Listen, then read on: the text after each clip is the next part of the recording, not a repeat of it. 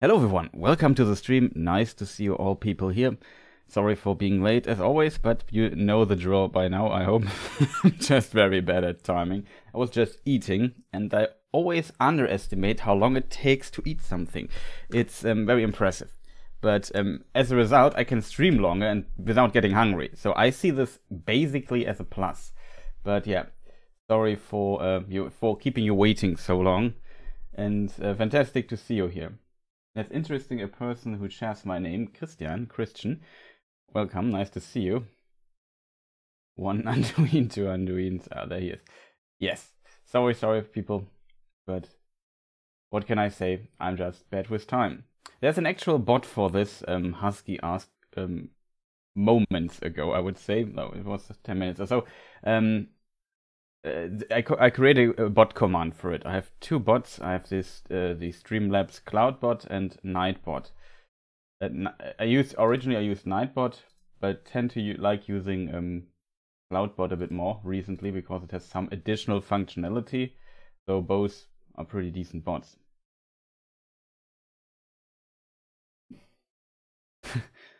Christian, hi, I'm Christian, I'm Christian and Christian. Okay. Exactly, we have the new logo because um, hmm, how can I bring this up here on the stream without destroying anything? That is a good question, chat. You might have to... Is still studio mode? I'm not sure. First of all, I need a window, right? Something like this. Then I need to extract the window like this. Make it full screen then get the production tool somewhere where it uh, favors my stuff. Maybe this here. Why is this activated? That seems strange, but whatever. Window capture, maybe like this, and it's not in the foreground. Genius, Chris. Uh... Community. Oh, I didn't vote myself. Interesting. So, why doesn't it work, chat?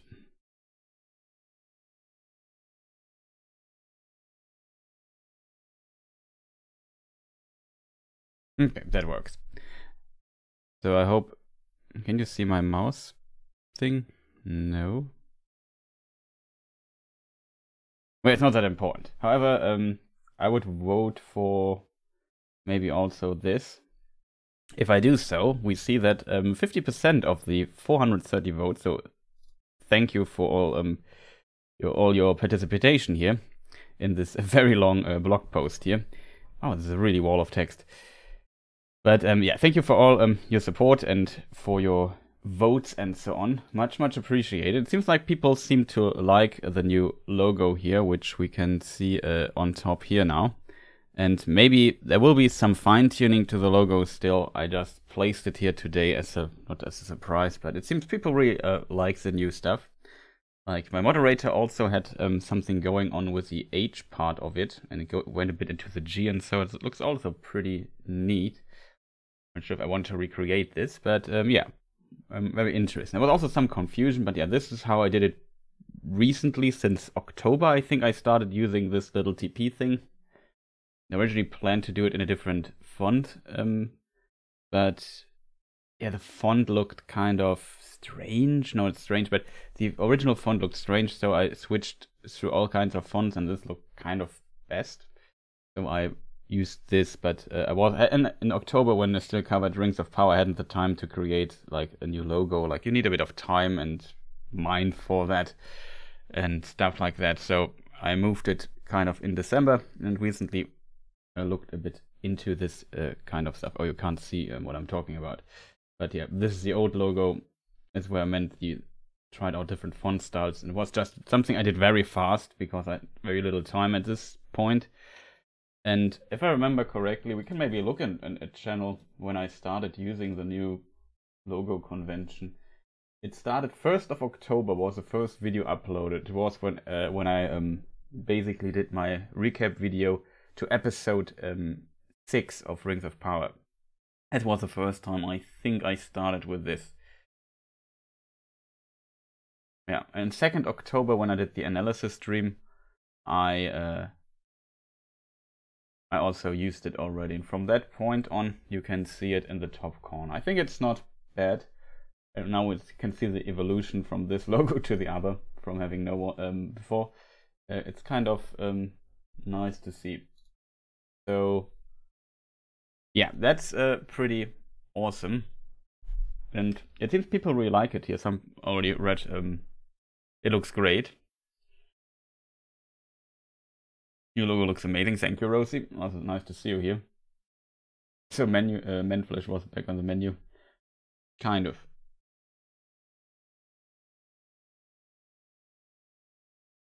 I might go earlier because I need uh, relaxation as always. I'm just uh, quitting my new job, so hopefully I will be able to stay longer later on. Oh, okay. I hope um, you got a new job and uh, have a um, yeah good transition to the new job. But I can um, I can see why people need a bit of relaxation. Is this even the official correct term? just bring up all the stuff here back up on my main screen.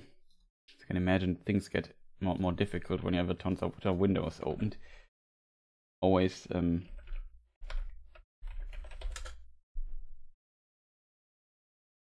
Yeah, it seems like it is that. Yeah, definitely after Rings of Power and all the stuff, I also need a bit of relaxation, so that's why I've not very... Let's maybe consult the Cambridge yeah, relaxation. That's how it's pronounced. Okay, just uh, curious, but it was a it was a tough time because of so much content, little free time. But that now changed a bit. Had a really nice um few days, few holidays. Met a friend I haven't seen in a long time. Shoutouts to him. Was really fun.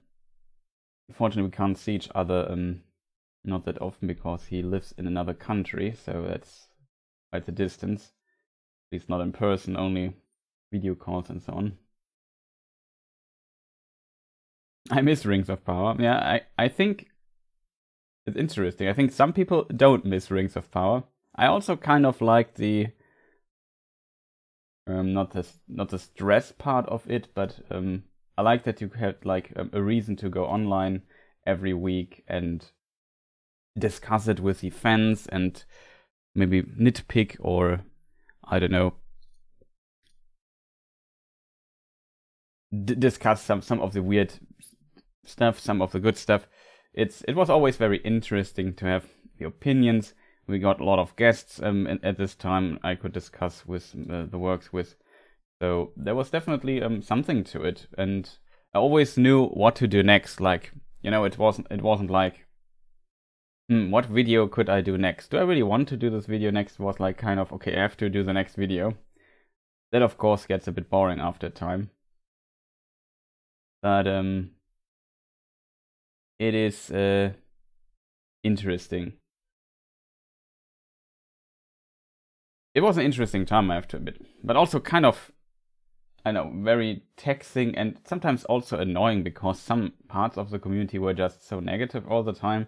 If you have to work with, well, if you decide, not, I don't have to, I decided to cover the show, and I am also not the hugest fan of all their decisions, to be quite honest, like, not even close.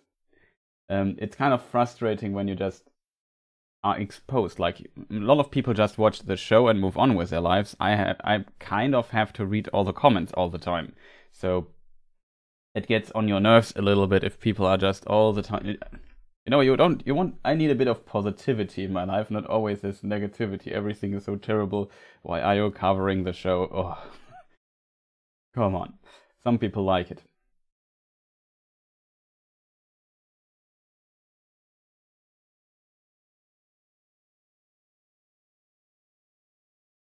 I still can't really um, say how popular the show was if we think about it. Like the problem is there are a lot of very loud voices um, in the world that or in the on the internet that don't like the the show, and I think like a lot of people I knew that are not huge into Lord of the Rings watched it and wondered what's the big deal with the show was kind of okay. And yeah, I guess it's more when uh, you are very into something that you notice maybe its weaknesses. Though the show definitely had its problems. Like it won't. I, th- I think it won't be. At least season one won't be like um, a show that will stay in, in mind as like the perfect show and as like, like a gigantic impact on how shows are made. Maybe on the technical side of things, but I think less um, on a writing side of things because are just many weird decisions in this show. I miss uh, not uh, Halbrand, uh, not wanting Halbrand to be spoiler a certain character and Waldreg uh, most of all.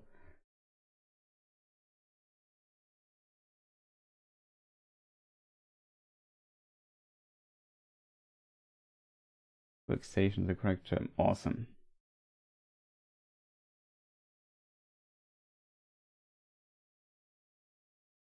You could literally hear him uh, shout Padme.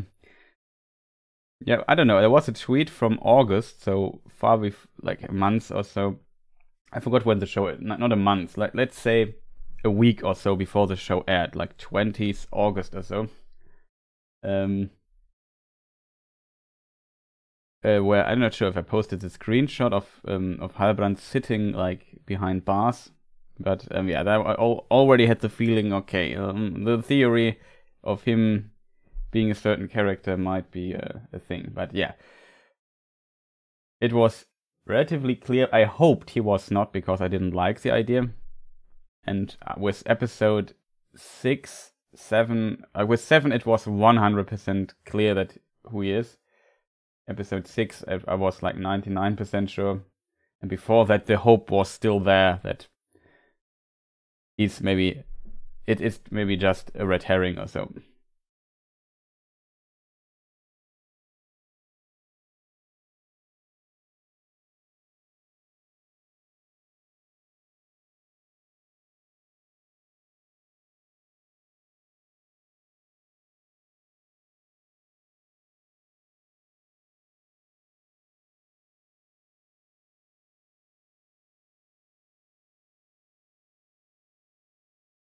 I love that Mr. this elvish pencil sarcasm. yeah, that was not my favorite part of the show, too, I have to admit. Like, that was a, one of the worst decisions for me.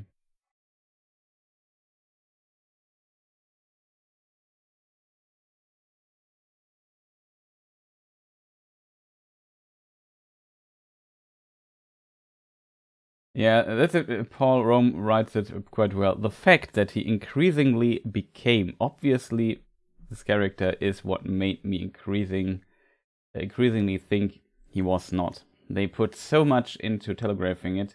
I thought it had to be a misdirection. I agree. Like it was too uh it was definitely too obvious for me as well. Like it was too on the nose. If he's like my my thought was if he is Sauron, they just put it on your nose right from the beginning. No, I spoiled it. Amazon can't tell um, how popular it is either. It's a need to know it. I mean, I think Amazon can kind of tell it simply because they know how many people watched it on Amazon Prime and they can see how many people kept Amazon Prime or maybe returning to this. So I think maybe they don't know it in absolute terms, but they have a pretty good idea, I think. And it took quite some time for Amazon to put out some num- some numbers in an interview or so to say the show is popular. The question is um, how what what that means, kind of. Usually, like my my approach, at least from the gaming industry, is always when I see a game is very successful. Usually, the developer or publisher does not keep numbers for themselves. They say, "Look how successful our our game was." I would say that it's maybe similar with in film and of course TV shows and stuff, where they say, yeah, this show is insanely popular. Look at these numbers. It took them a time to bring those out, so I would imagine it's not as bad as some people think, but it's probably also not as maybe not as good um, as they want to sell or make us believe. somewhere in the middle, but I, I don't think it was a catastrophe for Amazon. For sure not.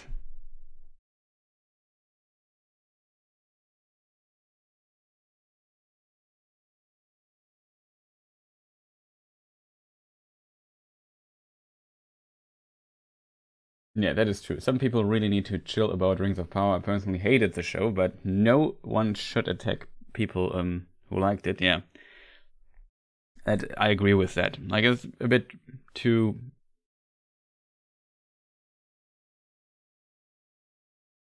Uh, yeah, sometimes people are a bit annoying. Can we please stop talking about the, the atrocity? Yeah, we we stop about talking about it in a moment. my mouse was on the floor. Yeah, I, um, I, I simply I can't show you the clip, and you probably have no context to it. But there is like um, in United States um, commentate StarCraft commentator called Artosis, and he played a game called Hearthstone, which is a card game. And the and in this card game, he was like one round away from winning the match. And then um, he had like all the HP that he hit po- uh, hit points. The other had like one or so or three. I don't know. It was like I've literally one hit away from dying in the next round. You have to deal damage to the other deck basically, or to the own player of the other deck to win a, a game. And um, yeah, the, the other just pulled like a gigantic combo out of it and won and won the match like in a round. He was just sitting silently there with his mouth open for like I don't know a minute or two. it just was hilarious. Like that's also was my look on my face um, when I had it. I'm not sure if I have the clip. Maybe I can post it uh, if I find it. It was really tough to find. Like somebody posted it, and the top comment said, and it, that was the most hilarious comment in this um, uh, under this YouTube video was legends say his mouse is still open. it was absolutely awesome, but I have unfortunately no idea where I could have saved it.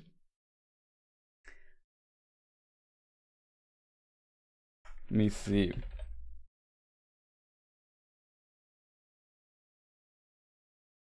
Okay, maybe I have it in a playlist.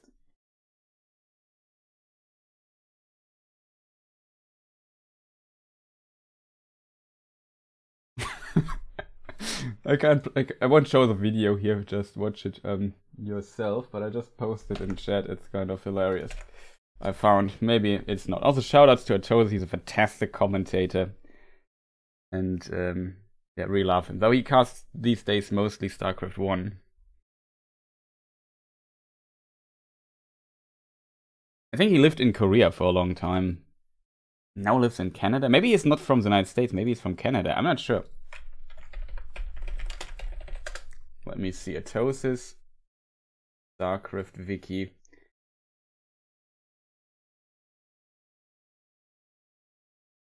Does he say where he's born? I'm not sure. Don't want to. Wait, Liquipedia should have a knowledge of him. No, he's from the United States, it says. Okay.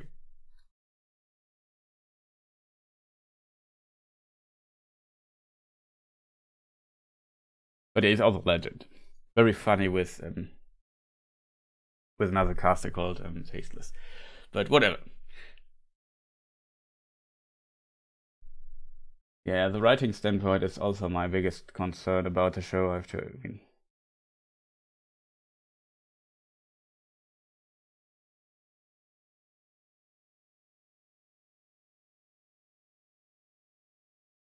Yeah, I agree with Snef. Uh, also interesting name. If it would be such a success, they would brag more. Exactly, that's what I mean. They would brag more with it.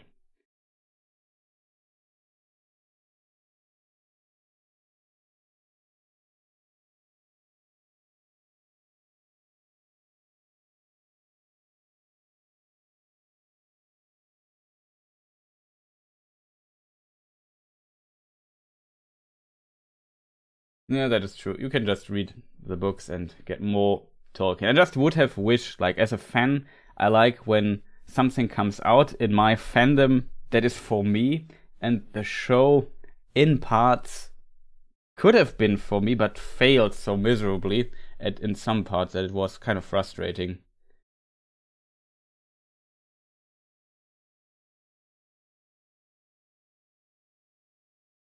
Exactly. For Amazon, the success is in Prime subscriptions. It's a huge investment to bind people to their platform. And yeah, Amazon is also like a weird company, to be fair.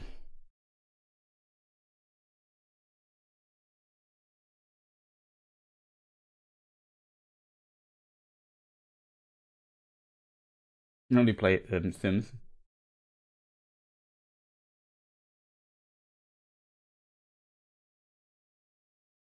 Gaming is gaming gamer.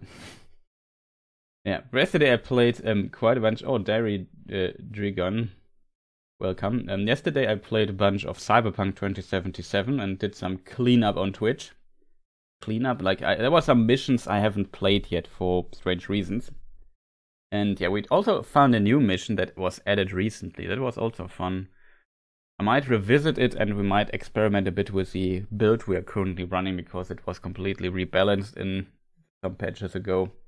And my save game is still from the time when the game comes out, but we st- I still found many, many little bugs in this game. It's kind of interesting sometimes.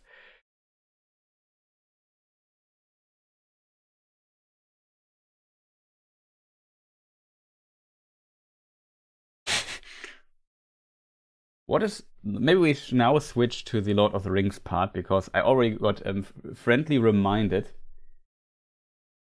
um, what it is. Okay, Trixie Bell, the, the person I'm talking about, um, also asked uh, the question. But maybe we start with um, Diary um, Jing. What's the strongest sword in um, Lord of the Rings? I assume you mean. Um, that's a very good question. Strongest sword in Lord of the Rings it's a bit difficult to it's a very difficult to answer question because first of all we might need to establish what strong means. And strong is always like most like i would assume the strongest sword that's my my my point of view is the sword that maybe achieved the biggest achievement maybe possible. So I don't know. It did, it did something incredible. However, in this case, um, it might be the person behind the sword is more powerful, and that makes the sword powerful as well. You know what I mean? In this regard. So from this, yeah, we could make a vote for. So my top, like the strongest sword. The, if you consider this, there's a version that Tolkien wrote where later in the let's call it apocalypse in the um, Ragnarok or Ragnaröker in the in the equivalent of it in Tolkien's world, basically the um, final battle, the um, Dagor Dagorath. Um, in this battle, there is there are multiple versions of this battle, and Tolkien potentially abandoned this idea to some degree because we don't find it that much. We don't find it mentioned anymore in the Silmarillion, though we find some hints here and there in um, some um, um, um, texts. And in these texts, um, in one version of the text, Tolkien wrote about this, about this final battle, the Dagor Dagoras, as um, Husky writes in chat. There is Turin coming back. Let me see if I have an awesome artwork of Turin because that is amazing. Who who drew a good Turin chat? Turin. Turin, I know. That's Ted Nasmith. I would use a Ted Nasmith. Who who drew, who drew a good Turin in my artwork collection? Let me just see. Turin. Okay, that is maybe a good one. Turin and Beleg by Jenny Dolfen. I really like that one. So we go with Jenny's. Um, because I also have her selected here. That is. Brum. Also, it could be a bit more reverb here in the room today because I don't have my anti-reverb set up um, here. To, uh, it's here, but I didn't install it because I was busy eating. But yeah, um, here we have Turin. And Turin later, then we have to switch, still switch to Ted Nasmith because he has a pretty sick artwork of that, even though it's very, very small, unfortunately. I guess it's just a sketch he just drew somewhere, but I really like it. So it's a bit not that sharp. It looks it's um like the size was changed a lot. It was it zoomed in a lot. So um, yeah, here we have him, and he has his late like he later forges a sword out of the um, black sword um, Anglachel. Anglachel was forged by the by the elf or dark elf, as he's sometimes called, Eol, and um, yeah, he he made these swords out of a meteor. I assume they are also made out of a meteorite. Like there was a meteorite falling on the ground, there was metal in it. I assume it's not directly explained what he does exactly and extract, but that's my assumption here. And he forges Anglachel. And out, later, Anglachel is reforged into this sword that we see here Turin holding. And I always have to think which sword is which. There is Durthang and Gurthang. This is Durthang. Dur means black. No, that can't be Gur. Yeah, Dur means black. No, Durs means death. Ang means iron. It's iron of death. Gurthang is the castle. It means Gurs is oppression. No, Gur is dark. It's also a word for dark, and Thang is oppression. I can't remember it. But it's, it's very confusing for me, so I hope I said it right. Durthang and Gurthang. I always confuse them. I, I always have to think what, what means what. But yeah, Durthang it is the other way around. I uh, confused myself. Dur is dark, Thang is oppression, Gurs is death, Ang iron, so iron of death. It's Gurthang. I don't know why I can't memorize it. It's kind of fascinating. However, this is then Gurthang, and uh, um, actually shattered in some versions when uh, when when he dies, uh, when Turin dies, and so on. But later in the version, coming back now to the Dagor Dagoras, um, yeah, Gurs is death. Like I, like I said, it always confuses me. it's kind of fascinating. Something is wrong with what I just said. Whatever. Um, yeah, he coming back to the Dagor Dagoras. There is one version Tolkien wrote where this Turin here comes back with Gurthang, and he kills Morgos with it. And that is, I think, the most powerful feat a sword in Tolkien's universe could do. Like Morgos, for people uh, wondering, he is the first Dark Lord, the master of um, Sauron. I usually use this fantastic artwork, of course. I had a 50-50 chance to select the right one. I did not select the right one, but this is the right one. By Kimberly 80, yeah, this is the first Dark Lord the master of Sauron. And he is like the most evil being, and even Sauron um, later uses his his evil power um, that Morgos infused into the world for his own dark means, his dark power, his magic, and so on. So even though he is bent into the void, he's still kind of there. Just it, like his power is still in the world, and he damaged the world. We have the term Arda Marred for it. And however, yes, I would argue in this way, like when we take this version as canon or as the true version or whatever, then of course I would argue that Gurthang is potentially the most powerful sword. However, there are other versions where other people bring him down. Though I think Turin is a pretty common candidate for it. Then, um, yeah, we have a, a, second mention here that was already mentioned, and that is um, somebody said my vote is for um, for Ringil by Fifi Trixibel. Ringil is um, the sword of um, Fingolfin, and um, he wounded Morgos um, with it. As a result, you could make an argument saying, yeah, like the sword that can wound Morgos is pretty powerful. Like here we have, you don't see it that well here on this, but you see Morgoth in front with Grond, the hammer of the underworld, and they fight um, in single combat, to which um, Fingolfin challenges Morgoth, and he managed to just dodge all his attacks, like just from a weapons power standpoint.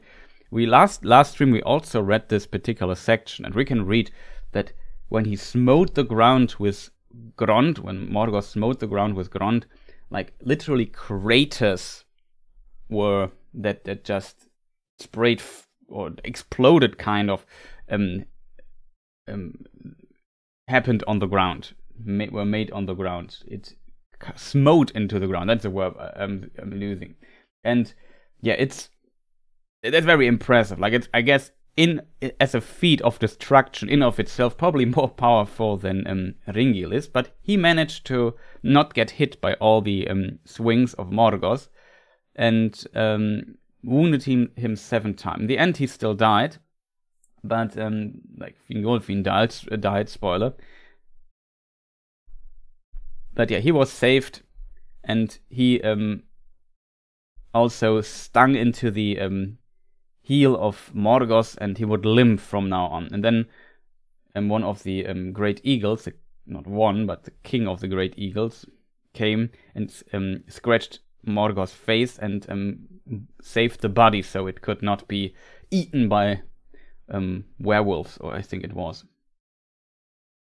So and it was transported away and could be buried properly. There's also t- uh, artwork of Ted Nasmith somewhere.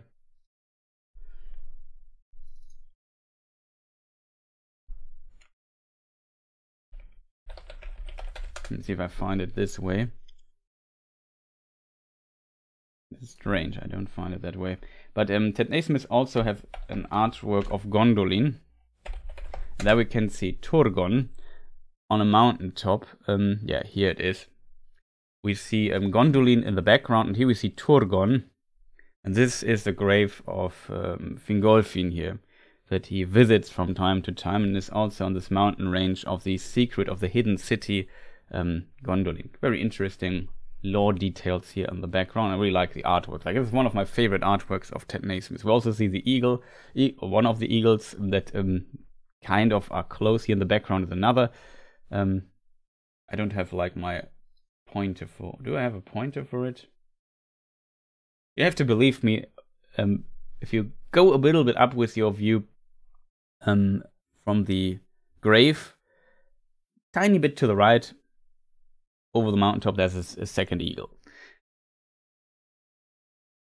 Yeah, seven is also like a holy number, so Tolkien for sure had some thing here wounded him seven times. Maeglin bounced seven times off the walls of Gondolin. What's up with all the seven times? So I have to admit, didn't Maeglin only bounce three times?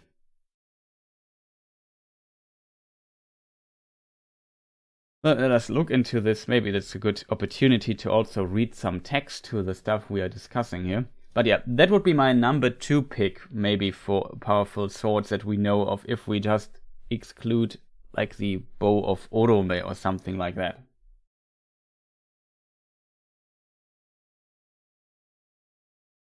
We can maybe make a vote in a moment what people think. Like, let's exclude Valar weapons for a moment, I guess.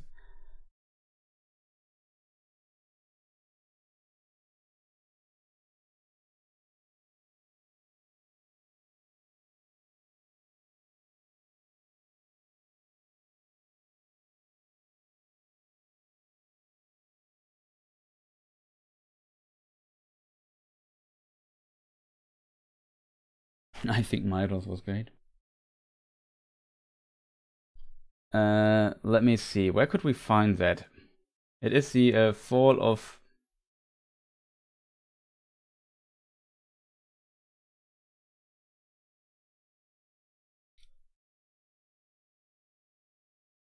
It should be somewhere here, right?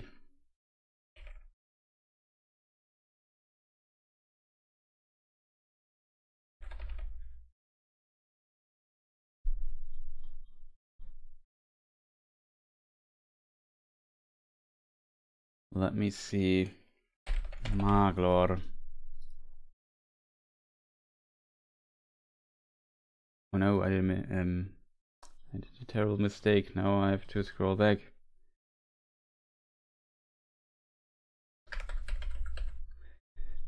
Epic searching fail here by my side. Not Maglor, I search for Maeglin. That's confusing me.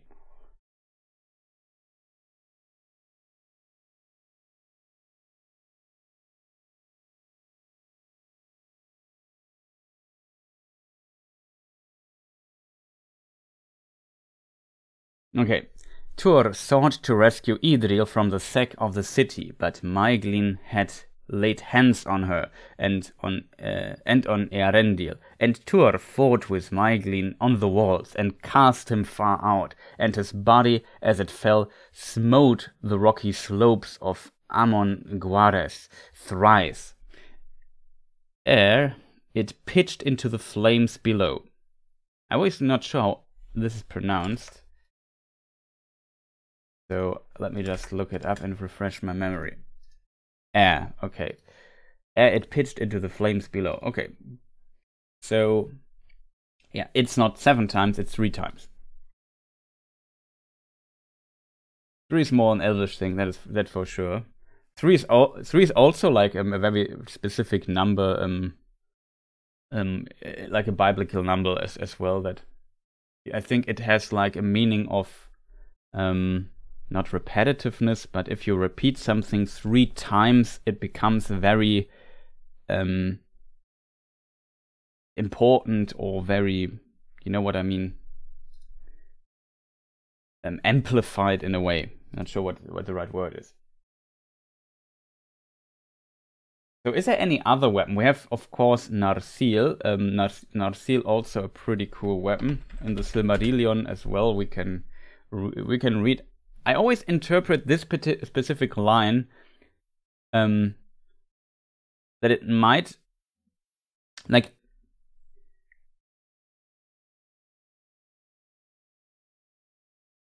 um, that, that it might maybe got its name in this particular time. It was never mentioned before, to be honest. And uh, here we have a mention about the spear of Gil-galad, um, Aiglos, and we can read against Aiglos, the spear of Gil-galad none could stand, and the sword of Elendil um, filled orcs and men with fear, for it shone with the light of the sun and of the moon, and it was, na it was named Narsil. So you can argue at this time, maybe this is it was named before, still um, past tense here, Narsil, or it was named in this time, Narsil. I always interpret the latter because I find it more interesting that maybe this very important battle of men and elves, like the, the War of the Last Alliance, for sure is one of the most um how to how to put it like well-known battles, I guess, in in the history of Middle Earth, and um, yeah, it's like a legend, this legendary battle where we cut off the ring of Sauron's hand and um, that that of course definitely means something, I guess, in the, in the history. And yeah, so I could it would make sense that in this legend also the sword of the king gets its name Narsil or something like this, and that's also how I interpret. So Narsil also um, was able to cut off the ring, so that's also a very powerful deed, to be honest. Um, even in a already destroyed um, what do you call it um, um, status, I guess. But yeah, it, it it broke like it was with the with the hilt shard of Narsil Isildur cut the ruling ring from the hand of Sauron and took it for his own, as we can read a few lines later in the Silmarillion. So yeah, pretty um, awesome stuff. There was another question. I'm not sure. Is there Okay, we also have in this context, it's not a sword. Uh, the, the, original question was about swords. We have, of course, as weapons also Aiglos, which is also mentioned here. And um, it says, as I just uh, read, against the sword, uh, uh the Aiglos, the spear of Gil-galad, none could stand, something like that. Now I lost the line and can't find it anymore. but yeah.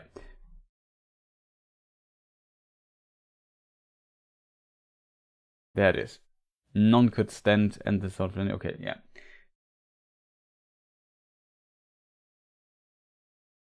yeah i think brimby is um Celebrimbor.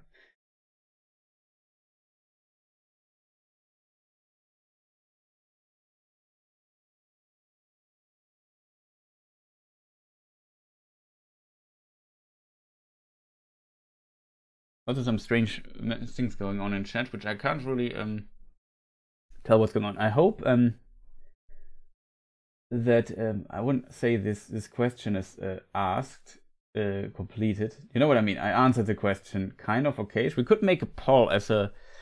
Is there any like chat? Is there any sort you would like to include in this poll. Like currently we have, I mean, the most legendary thoughts I can, can that can come up to my mind at this point. Um, Diary Uh, Dragon.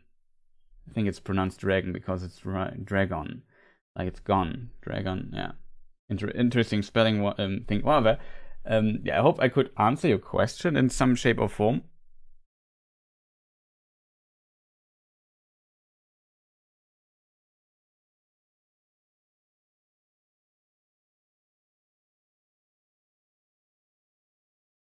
Gorsang on the screen. Uh, wait a moment, I have to find the artwork.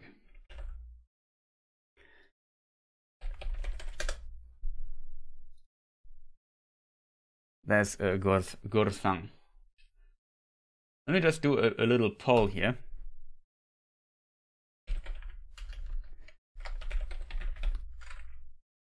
Strongest sword in Lotte. What has happened here? In Lotte universe, something like that.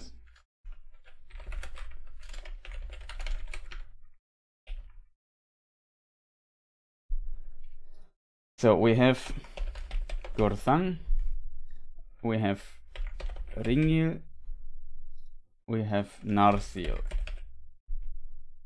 Is there any sort um, not as a picture, just as a joke, because yeah, the sword can also talk. The sword of Turin can talk, and that's kind of interesting. Turin Turambar. Uh,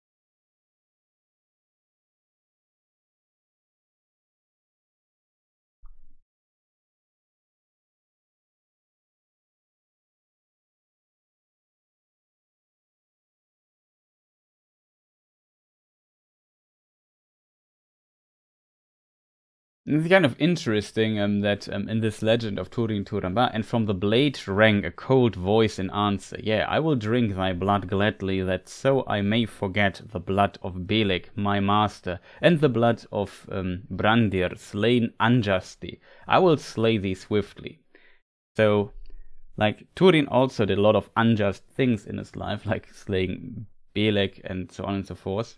That's very interesting.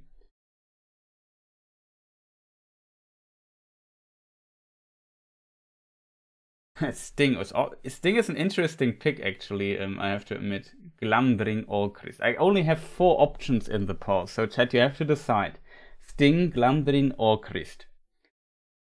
Uh, Glamdring is uh, the sword of Gandalf, or Orcrist the one of later Thorin Oakenshield. Glamdring was also once the sword of um, Turgon. Sting is a sword, as you're probably all aware, of Bilbo and later Frodo.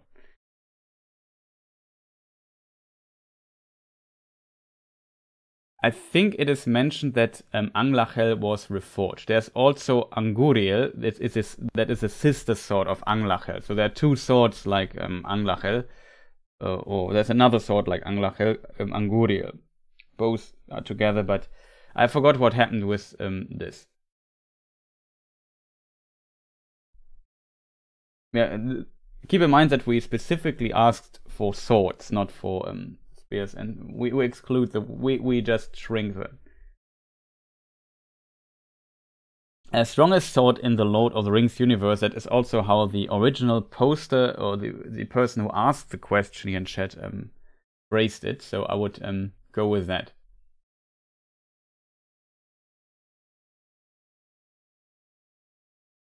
Sting wounded Shelob. That is true. I mean, Glamdring killed, um, like, uh, Gandalf used Glamdring to fight a Balrog.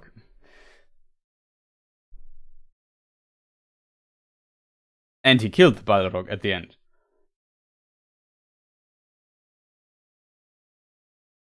It's also kind of legendary, I have to admit.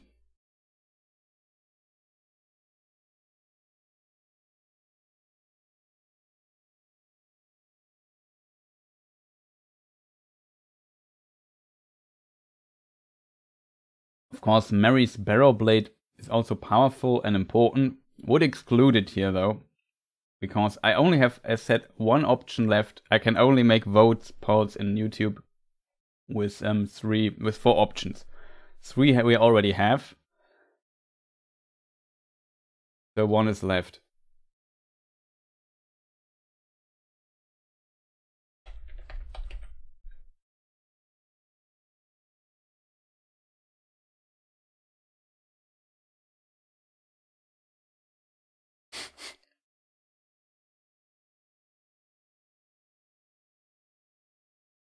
That is true. Aeglos is technically a Naginata type weapon.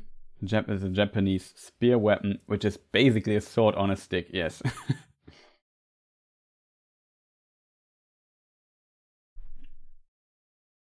I would still say either Glamdring or Sting. So, chat, decide between the two. Glamdring or Sting as option 3.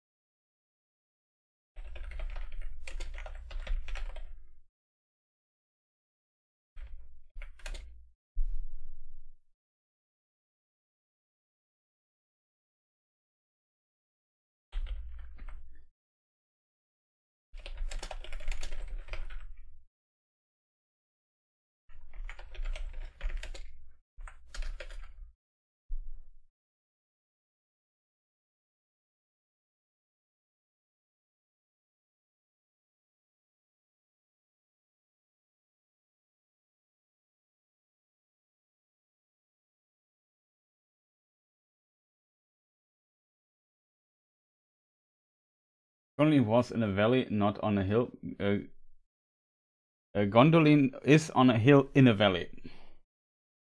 It's exactly as Ted Nasmith um, portrayed it in the, the picture I had a moment ago. I forgot what the hill was called though.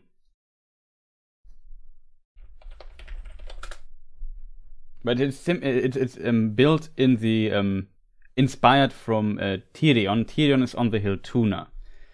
Let me just see.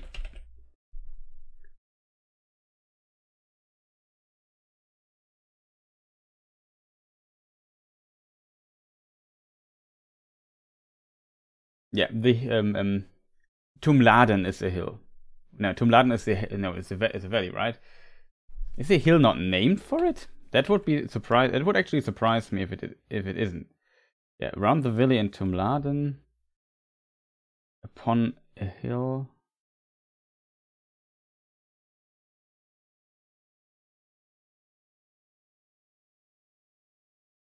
No, it's Amon Gwareth, as somebody wrote, I think also wrote in chat. That is um, in in the in the Tumladen is the valley, and um, Amon Gwareth is the hill where the city is built upon.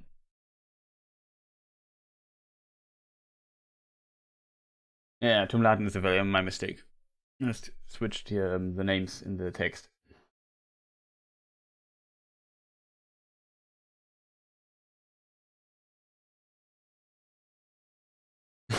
Barrel dagger didn't kill Balrog the last time I checked. okay, it, it, seems like we can't decide, so we have to um, flip a coin or something. Do I have a chat command for it? An exclamation mark D2. Does it work here, chat? Come on, Nightbot. Okay, that would be Glamdring. I maybe should have said it before, but Glamdring was one, Sting was two.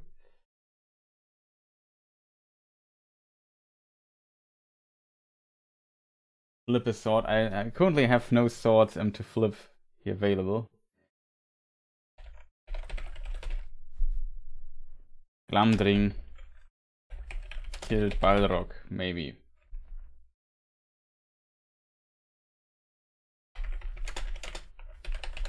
I write it different. Used to defeat Balrog. I don't have more letters to write it better. Um, Because technically we don't know how uh, Gandalf, excuse me, defeated the Balrog. So that's the poll now. I hope I didn't do any spelling mistakes. There will probably be some in, in it. Whatever. So people can now vote. Very curious.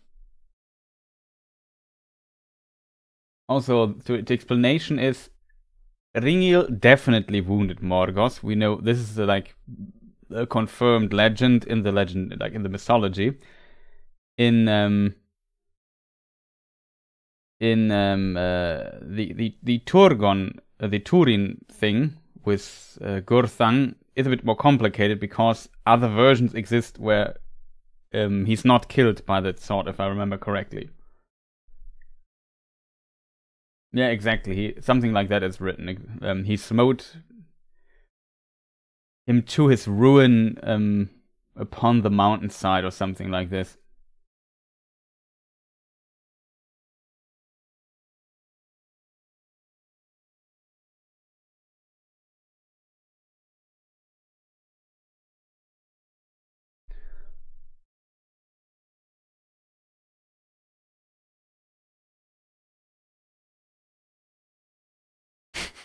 I prefer Mithril.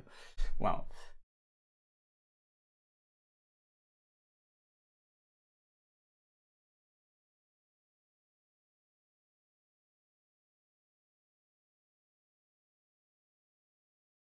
The problem is Anglachel is just a mention in the legendary. It's just a name. Like we don't know what it did. It's they have a name, so they must be kind of famous. Anguriel um, was a sword that Beleg later um, had, and then Turin killed him, and then he used it and it was reforged into Gurthang. So technically, um, Anglachel we have Anguri, uh, Anglachel, not Anguriel. Ang- Anglachel becomes Gurthang. Anguriel um, is just like we know it exists. I'm not even sure how often it's mentioned. I think very few times.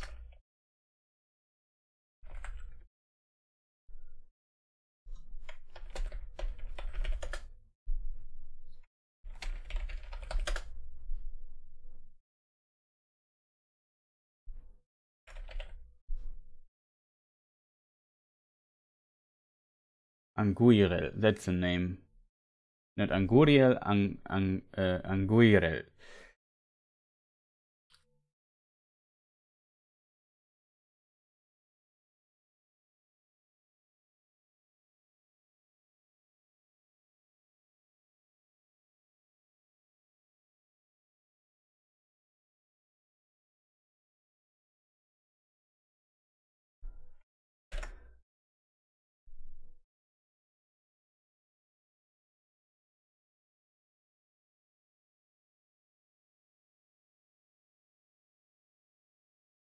Interesting. It's mentioned in the Silmarillion, but it's made Anguriel he kept until it was stolen from him by Maeglin, his son. That is what um, we can read in the Silmarillion um, about it. Anguriel. I need to get the Anguriel out of my name. It's Anguriel.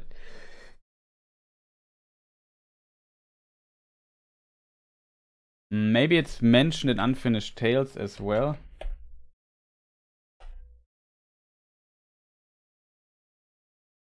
Nope.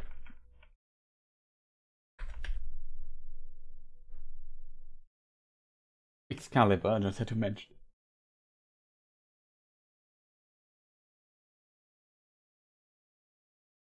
Mithril sword, uh, which makes me think, uh, why did nobody do that? We don't know on, on which out of which uh, material some of these swords are made.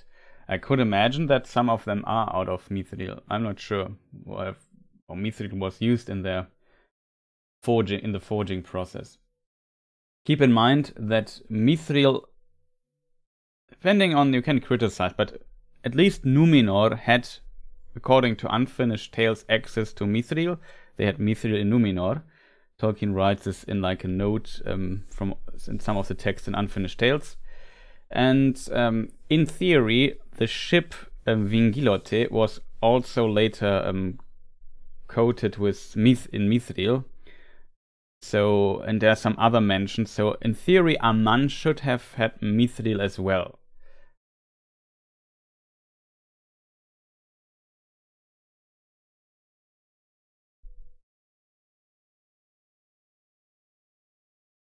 Okay, we should. We unfortunately we have to exclude um, Valar weapons and also um, He-Man. but I like I like the quote that you put in the chat. Is given to Prince Adam by the sorceress of Greyskull as a key to transforming into He-Man, the most powerful man in the universe. I mean, that's kind of a statement in of itself. I have to admit.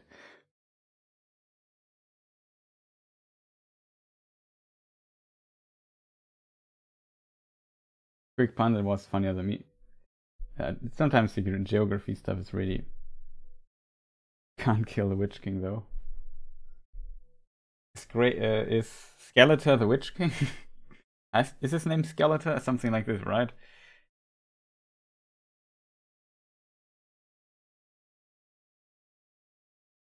I mean, Gursang, to be fair, also killed a dragon. Like it killed not only some of the dragons, it killed the father of dragons, um, Glaurung. It's maybe also a good point that Joe is making.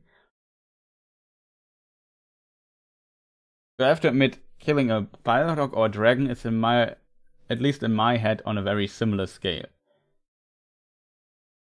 And it's very interesting if, if you look into the story of um, how he kills. Um, he, he kind of sneaks under the belly and um, does this and um, the uh, Volsung um, mythology from the Norse mythology um, is very similar to that if you think about it. It's kind of interesting.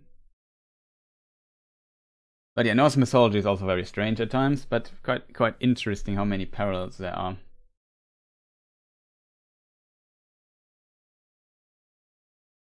Let us see. Gursang currently sitting on 53%. Ringil is 29. I mean, wounding Morgos, in my opinion, is also quite impressive. Like, there's not, not many weapons that could have said this. There's also Angrist, which is a um, which is a knife that um, Beren uh, used to um, get out one of the Silmarilli from the crown of Morgos. But um, yeah, it, it snapped doing so. Which is like it's kind of interesting that it's a um, it's a second weapon that snaps like Narsil snaps um, and um, Angrist also. Both were made by the dwarven smith Telchar. Interestingly, so it's an interesting connection that both of them have, I guess.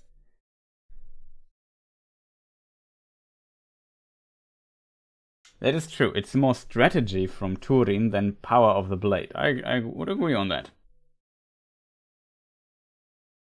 Didn't a lot of Balrogs and dragons fall in Gondolin? Uh, we don't know. You have to consider that um, in very early versions, when like the story of Gondolin, the fall of Gondolin, is a story Tolkien. It's one of the oldest stories Tolkien wrote. It's from 1916 or something. It's one of the oldest texts he wrote. And back, uh, also Priscilla, wish have a good one. Thank you for staying so long.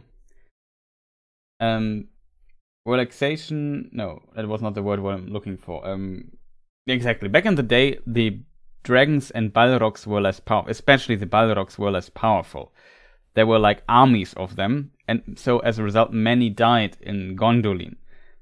Later um tolkien just reduced the number to just like i don't know something between five or and seven or something like that.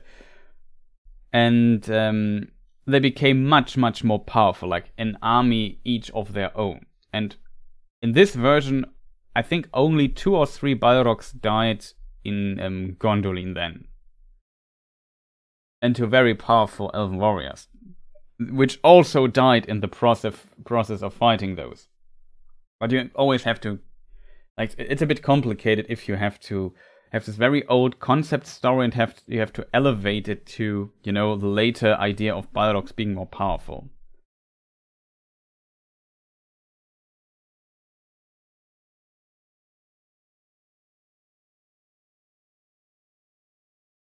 Oh, Jonas, nice to see you here. How are you doing? I'm doing very well. Like, it was a very relaxing time. I should have worked more on um, my next lore video, I have to admit. But um, yeah, I I couldn't motivate myself in in the later Christmas time too much, so I decided to just make some streams here and there and play a bunch of games.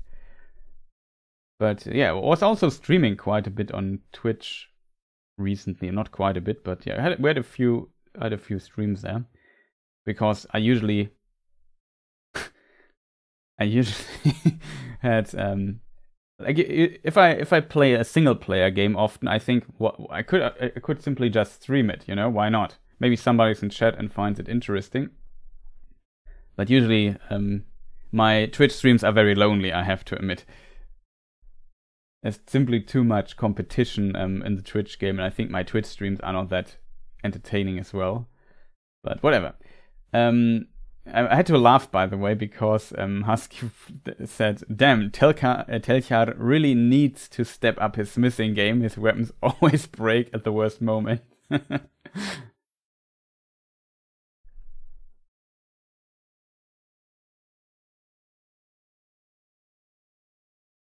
Balrogs aren't that hard um, to kill. Ecthelion killed one with his head. That is true, uh, he actually drowned it and himself. She's always working hard. I wouldn't. I, I I would like to agree, but it's unfortunately not true. I could work definitely harder. The only time I really worked hard this year was definitely before and during the time Rings of Power released. That is when I worked really, really a lot, like a lot, a lot, too much. Sounds good. Yeah, it was um, a lot of fun. Yesterday we played a bit of Cyberpunk because I had like a bunch of side missions that I didn't do, and now we did at least those I want to do. All that is now need um, left for me is wait for the DLC of Cyberpunk 2077 and also to maybe refine my build a little bit.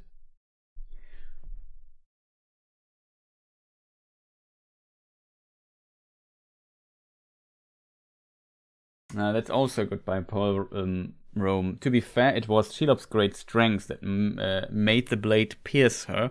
A sharp rock might have worked the, uh, in the right circumstances. So at, you have at least to give credit to um, Sting that it didn't break in the process or so.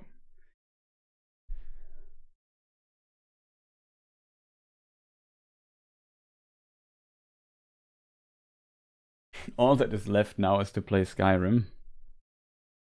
Yeah, good old Skyrim. But some also somebody wrote um, earlier in chat something about Cyberpunk.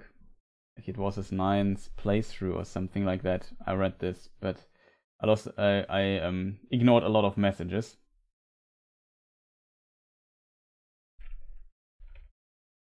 Oh, Christian, it, well, Christian it was. I already did my ninth run in Cyberpunk. I'm totally in love with this universe. I didn't encounter lots of bugs these runs though. But yeah, back to Lord Rings now. Ninth run, yeah. I'm I'm I'm I don't do that many runs in the game, but sometimes I just start the game and um, drive around and look at in with with ray tracing stuff. It looks so beautiful the game. And now uh, my total playtime ended up to I don't know 300 or something hours. it's just kind of ridiculous. But yeah, it's kind of I'm also I really like the um, how it's designed, like visuals and so on. It can definitely improve a few things, but still great. Though the release version was still very unfortunate state. Should not have released like this, but that's a different topic here. I think it's a, uh, the point of Ecthelion's uh, helmet delivered um, the lethal wound falling into the fountain was just extra, I think. I think his intention was to drown the Balrog um, in the in the fountain, and he drowned as well. But yeah, I don't know. I've, thanks, I've been wrong with my comments.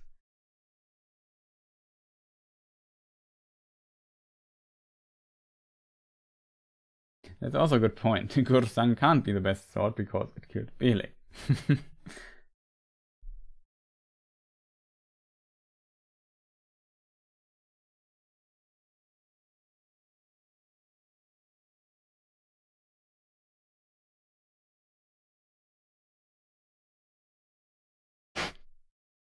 No, we won't do singing here.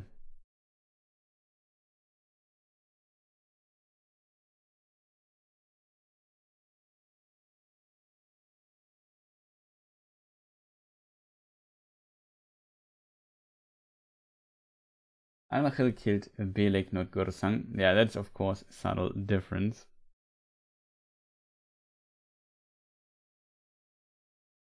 I'm also curious if Anguriel is mentioned somewhere else. Let me see if I can get my book here.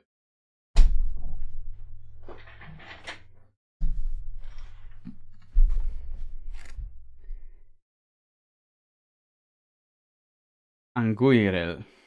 Oh, I said it wrong again. Angband. I have like the index of history of Middle Earth. Let me see if it is mentioned there somewhere. Angrist, Angrod. No, it's not mentioned in History of Middle Earth. Isn't it interesting there are 12 books and it's not mentioned once? But like I said, it's just like a side note. Like it's just Tolkien wrote somewhere, yeah, there's also a sister sword to Anguriel. Ang- uh, Anguirel. Or mate sword, as Tolkien um, phrases here. But its mate sword he kept until it was stolen from him by Maeglin, his son.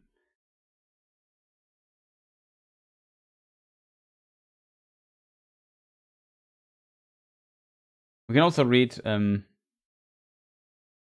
and that smith was Eol the Dark Elf, who took um, Turgon's sister, to wife. He gave Anglachel to Thingol as fee, which he begrudged for uh, which he begrudged for leave to uh, for leave to dwell in Nan Elmos. But its mate Anguriel he kept until it was stolen from him by Maeglin his son.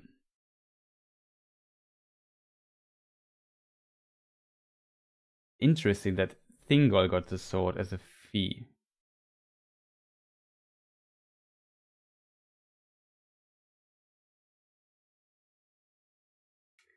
But Thingol turned the hilt of Anglachel towards Beleg. Melian looked um, at the blade, and she said, There is malice in the sword. The dark heart of the smith still dwells in it.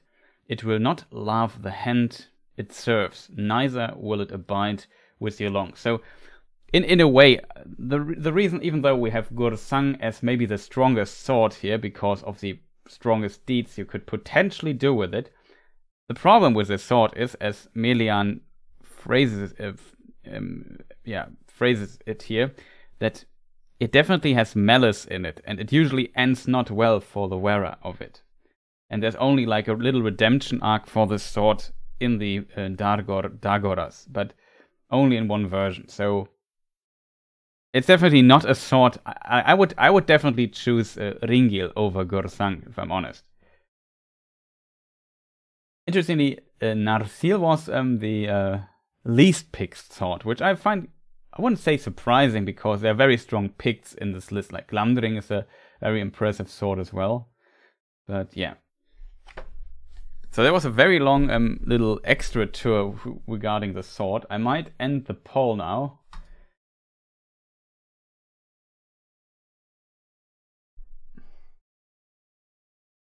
Do you think Ungoliant was one of the nameless things? Uh, no, I don't think so because she had a name. Like, it would be strange to name a nameless thing, right?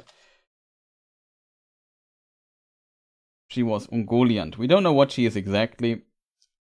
And the nameless things are kind of strange.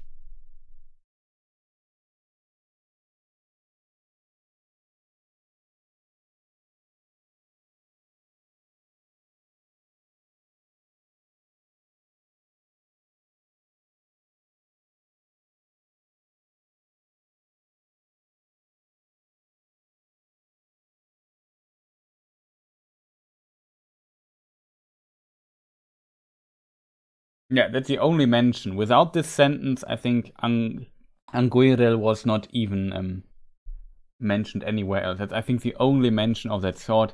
It is mentioned in the index of um, the Silmarillion, but the index was not written by Tolkien.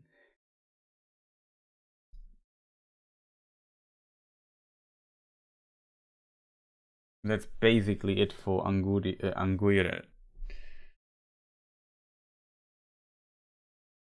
Uh, I have a question. When were dragons made? Because the first use of them is in the War of Wrath, but there's uh, inscriptions on the walls of dragons before uh,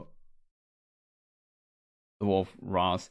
The first mentioned, I think, is definitely a. Um, I forgot which which it was. It, I think it was the. Um, but you are right. The dragons were potentially made um, uh, earlier than the War of Wrath for sure, but also after, like in the years of the Sun already, because I think it was the um, um, the uh, Dagor Bragolach, the Battle of Sudden Flame, where Glaurung came forth when he was still young, and he is like the first dragon, I assume, that was created, and uh, Morgoth was angry that he showed himself, and I think we can also read that he wasn't as strong yet, and that his um, his scales weren't as hard yet, something like that.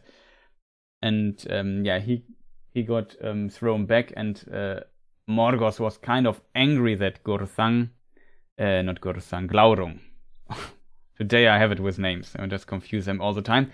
Uh, Glaurung, the father of dragons, showed himself so early, so his enemies now knew, oh, this guy has dragons. That um, he was not very happy about. I'm not sure if there's any mention of earlier dragons in Tolkien's writings. I mean, there are earlier writings with dragons, like The Fall of Gondolin, as said, was written 1916, but later it happens in the war, uh, in, close to the War of Wrath, a few decades earlier. And um, so there are also dragons are mentioned. I think even there's a dragon in some ver- version mentioned that transports Balrogs or something. It's kind of interesting to see, but as said, Tolkien just toned it down a bit with Balrogs and dragons later uh, in the later versions and so on and so forth. And Christopher Tolkien tried to make use of that.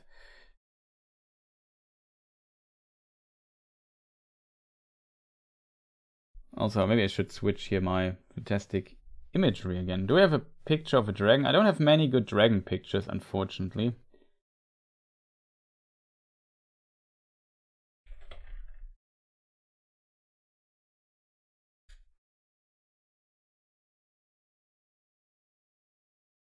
I have uh, one of uh, Jenny Dolfen.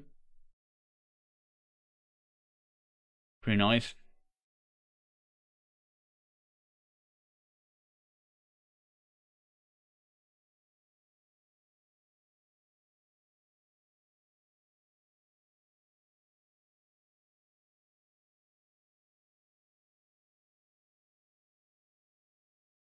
Yeah, Killswitch uh, also welcome. Um, phrase it well. Uh, the question was, do you think Ungoliant was of the nameless things? Well, we answered that, I think. Um, I see Ungoliant as a sort of um, impersonation of shadow or of, of darkness, like a black hole. That's kind of how I imagine this entity. Now, Goldberry is um, like Tom Bombadil, like a spirit of a certain aspect of the world, like a spirit, like some spirit being a nature spirit in a way. Tom Bombadil maybe like I like the theory. I mentioned it in my video as well about Tom Bombadil. Um, the like the what do you call it manifestation of the music of the Ainur in some way or like a part of it. That's definitely a good idea. And on a like a Tolkien writes, he is the spirit of the English um, countryside. He writes it in, in letter 19 or something, very early on. Also, very old concept of Tolkien.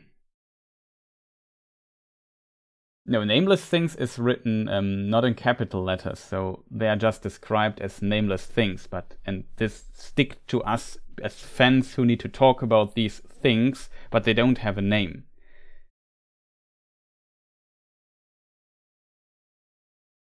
Let me just switch to Lord of the Rings really quick. There we have the nameless things. The nameless things are really strange. I saw some uh, Tolkien um, channel made a video about them, and uh, it was called like um, "Are the nameless things older than Sauron?" or something like that. It was only eight minutes long. I think it was by a German Tolkien channel. Um, Mythen um, aus Mittelerde, I think, made a video about them. I haven't seen it yet, but I would be very curious what these people um, have to say about it because um, I never did much research on the nameless things. Uh, but let me just post the quote in chat so you can see. This is how it's in my digital version of um, the book. You see nameless things there is um yeah there is um space missing because of the um, new line, but whatever, uh, just ignore it. But you see, nameless things is not written in capital letters, so it's not their name, it's just how it is. Same with fell beasts, by the way, it's also not written in capital letters, the winged steeds of um, Nazgul.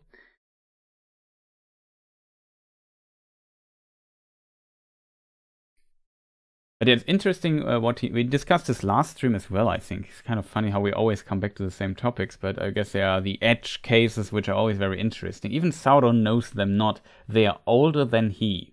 Tolkien writes here, which is strange because technically they can't be older than Sauron. Sauron is older than the world itself, and probably was created by Eru with the other spirit beings in a time where there was no time. So saying that somebody is older makes very little sense, I guess. What is possible though is that the nameless things, and that is maybe what Tolkien means here, or there are two, possi- two possible interpretations of this sentence, in my opinion. Either Gandalf means the nameless things existed long, even before Sauron, or um, Mairon, as he was called before, according to Parma Eldalamberon, issue 17, that um, like he was Sauron was once a Maia of Aule, same as Saruman, or I guess still is, but complicated topic. And yeah, um, maybe when the when he was still Mairon, the nameless things already existed in the world. You know what I mean? Like they are older than the form Sauron exists, or that well, they are longer. No, how to how, how can I phrase this correctly? Like they existed before Mairon became Sauron, so they are older than Sauron, if you know what I mean. That is one interpretation of the sentence, or they are simply longer on Arda than um, the spirit being Sauron slash Mairon is on Arda. That is also definitely a possibility. That Sauron maybe came a bit later to the world and they already existed in a very early state of the world and they are older than him and so on and so forth. So that is a very interesting detail because the only way for these nameless things, and we don't know how they look, there's no description of them, Far, far below the deepest delvings of the dwarf, the world is not by nameless things. The, the, the description that it's not implies that they might be physical beings. Like, if I understand the word, hope I pronounce it right at least, but I see the, I assume the G is silent. So that basically they are eating the, you know, the, the world, the earth below or something, like worms. So I would, I definitely get like an impression of some weird being with, with some kind of maw or so that can gnaw on the world. It's no, okay, not nah. Sorry for that. Is it really? Is it the United? Maybe the United States? No. Ah, the United States people say nah, and the British people say no. Okay. Thank you, English language, for confusing me further. But you know what I mean, at least. And interestingly, if they are physical beings, then they can't be older than Sauron, who is a spirit being who existed before the world of physical beings existed. And there was even a time, which we can also read in the Silmarillion. Oh boy, I, I won't find it though. Oh, that will be really difficult.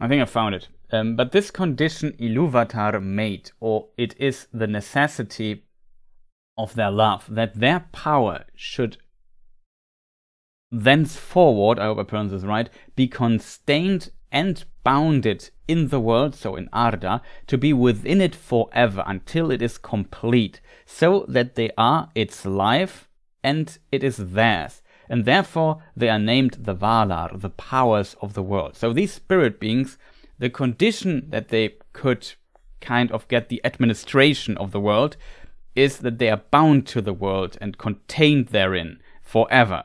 That is a prerequisite for, for them becoming the, powers of the world, if that makes sense.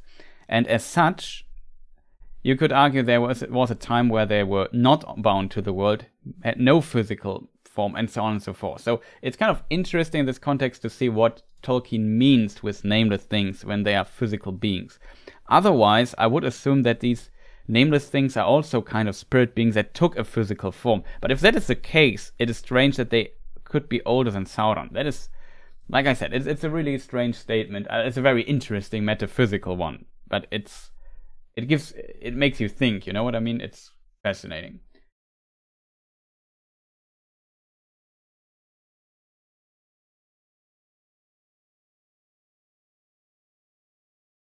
Is Tom Bombadil or Treebeard eldest being? Treebeard can't be um, that old because Treebeard is younger than the dwarves because the Ents were created as an answer to the dwarves. At least Yavanna knew what dwarves would be doing when they were set into the world, and then later they were created, so they can't be older. I would so I would argue that Tom Bombadil is older than Treebeard.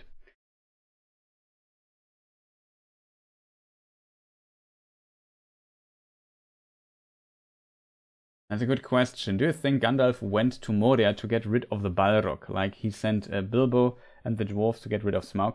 Maybe.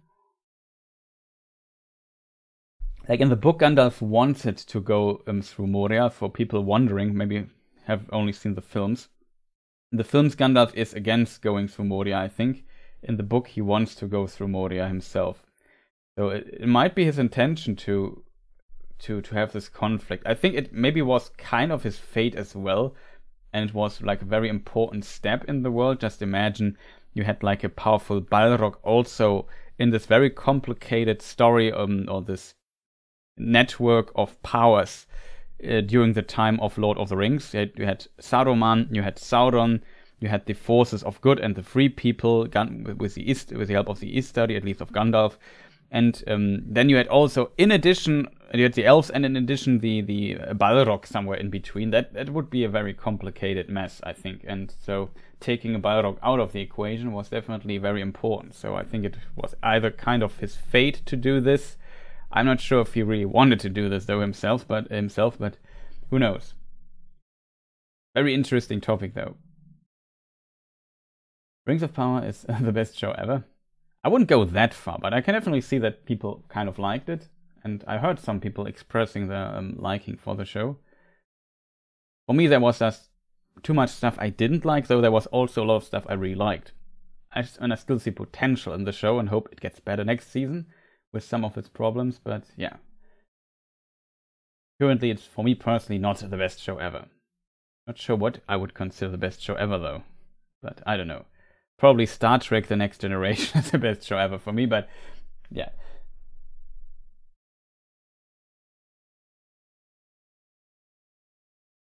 But Morgoth was like the root of every evil because he was the one who um, corrupted the music, right? Shouldn't he then predate Ungoliant? It's possible that he predates Ungoliant. It's hard to tell, to be honest. I guess a very extremely metaphysical question, very hard to answer for me. Um, you could argue maybe Ungoliant was created due to the dissonance that Morgoth put into the music of the Ainur. It is a, definitely a possible interpretation of that.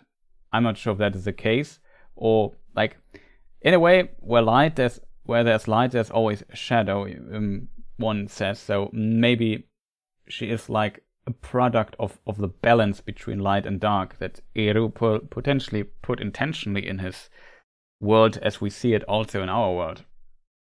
As I said, it's very difficult to tell. There are definitely multiple interpretations for this.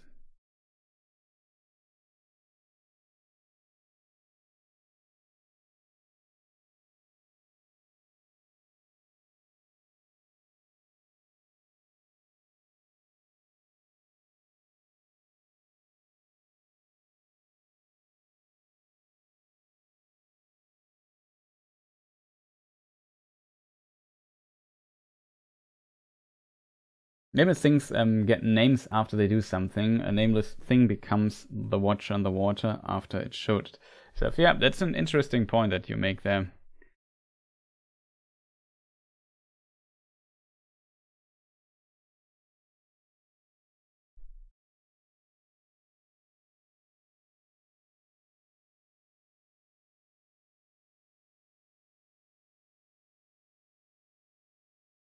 Were there chickens on Middle Earth? If so, which one was the greatest of them all? That's a good question. I think yes. There could be a mention of chickens somewhere. The problem is Tolkien knew uh, probably a billion words for chicken, so he probably.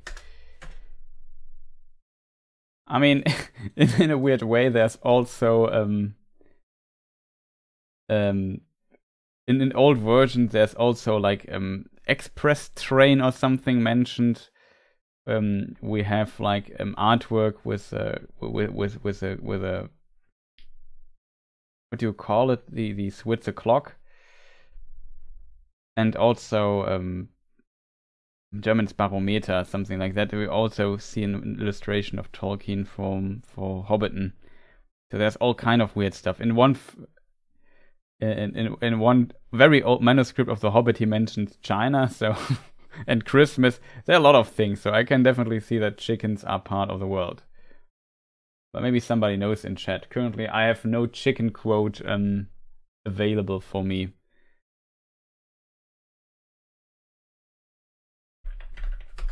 Maybe you find something like, I don't know, rooster or whatever, but I don't know all the chicken animal terms in English.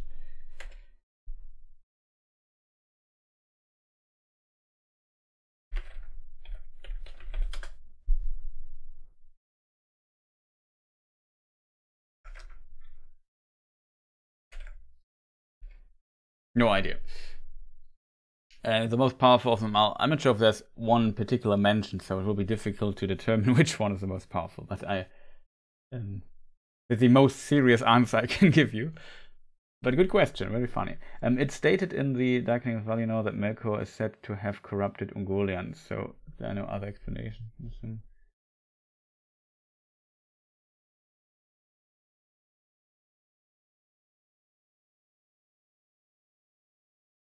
Okay, that's a discussion. I think it's more metaphysical. Thank you for answering, no problem, man. I hope that it was somewhat satisfying. We made Morgoth scream and pain louder than any sound in the world. I've never. Mm-hmm. Need to get to where chat is. One chicken to rule them all. Exactly. My thoughts on Goliath are evolving. I'd always considered her the polar opposite of Bombadil with their um, unexplained origins, but the obscure nameless things complicate um, that neat duality. I mean, it's not clear if the nameless things are actually spirit beings as well. It could indicate that they are, that's like another possible interpretation, but that would be strange. Especially, why would Sauron not know them then? But I don't know.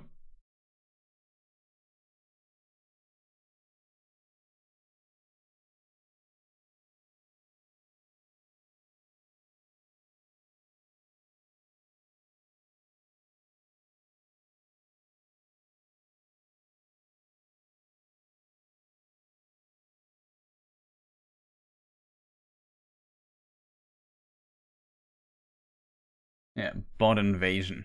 Oh, we purged it.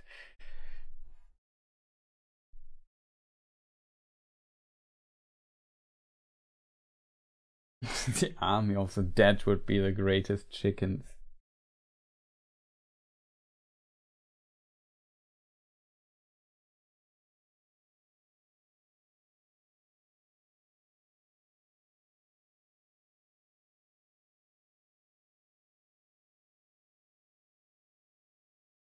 There was like another question by somebody.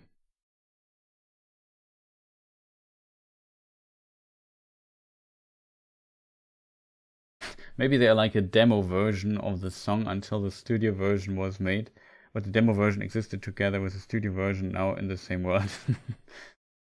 it's an interesting way of seeing it.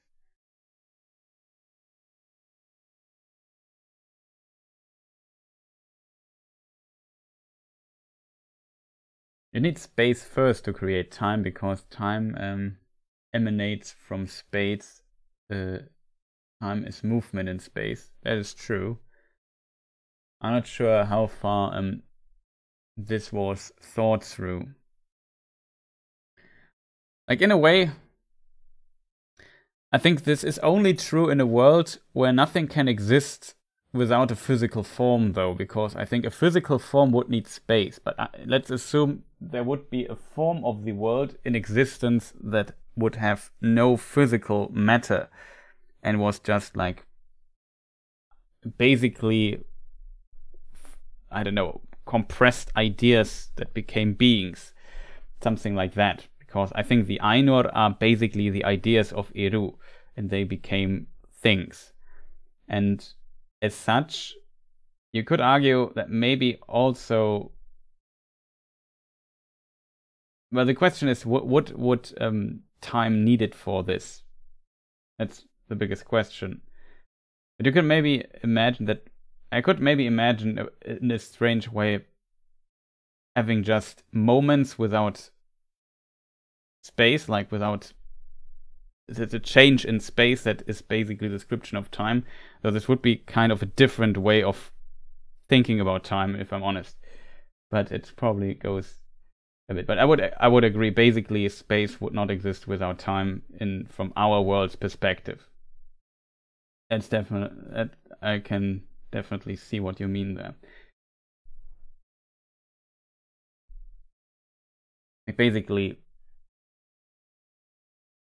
time is a concept where what you have in space in the in an in like a set state in space that changes to another one and this diff this difference if you if you perceive only the furthest or the uh, specific one you you have like movement in time. It's very difficult for me to express um, complicated stuff like this in english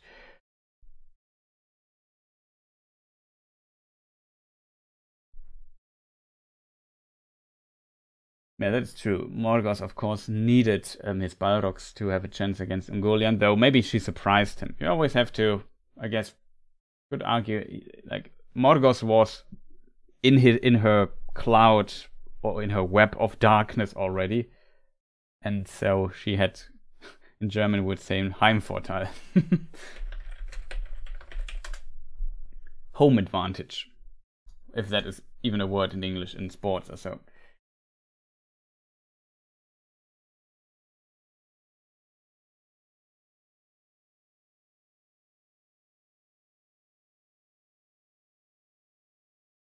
Hmm, interesting. Valaquenta. Ainur entered into the world at the beginning of time. Interestingly, the the place where Eru lives are also called the Timeless Halls, if I remember correctly.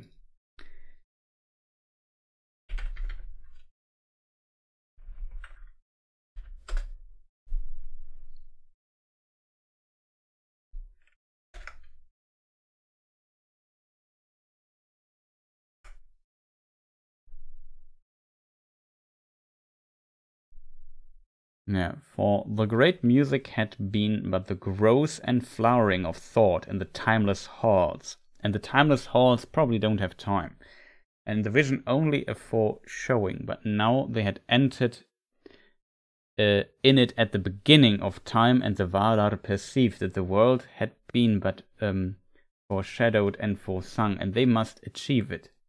So began the great labors in uh, wastes unmeasured and unexplored and in ages uncounted and forgotten until the deeps of time in the midst of the vast halls of air.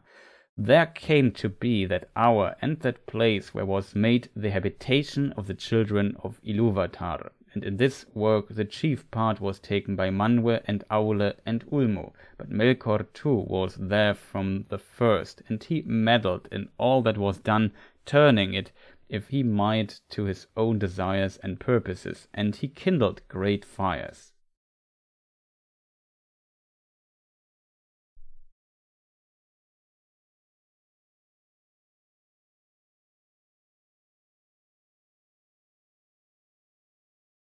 Yeah, that's true. In addition, the Ungoliant also like consuming the two trees also empowered her greatly. I I interpret is uh, what what we can read about as well uh, like this. I'm not sure how explicitly it's mentioned though.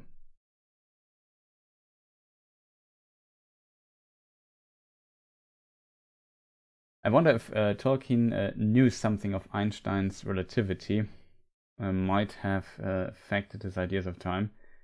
It definitely has potential, and as a scholar, he might, for sure, has heard of it because it was kind of a big deal back in the science world, I guess. It still is today.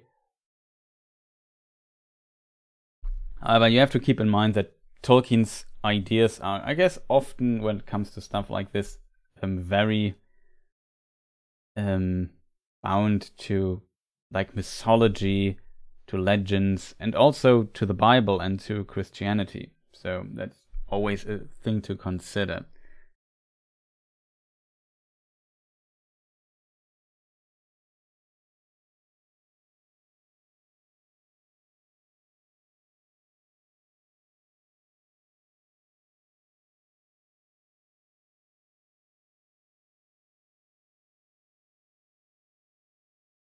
Legolas mother is the name.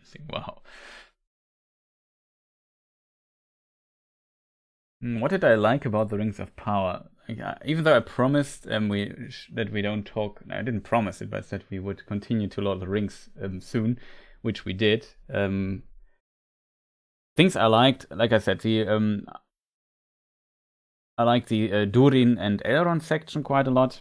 I also thought it was not as terribly written as some of the other stuff, so that was um, definitely help uh, helpful. I like definitely um, what the actors did. I felt like most of them did a pretty good job. I liked uh, specifically the um, dialogue between Galadriel and Adar. I think that was pretty good, and something we have like exploring the metaphysical world of Tolkien, even though it was just a small moment, but like this we've never seen in an adaptation as well. And like um, Dan, aka um, Voice of Geekdom, said, um, his inner Tolkien fan was sitting there nodding all the time. And yeah, that's, that's definitely a statement I could behind. Like I, I really um, kind of liked. Also, I don't know. The, the, for example, the, the beginning, the scene with the two, like seeing the two trees of Valinor in this quality, like you definitely see it's a it's a show with a lot of budget, and seeing the two trees of Valinor was was pretty pretty nice moment in the show and could make use uh, of that.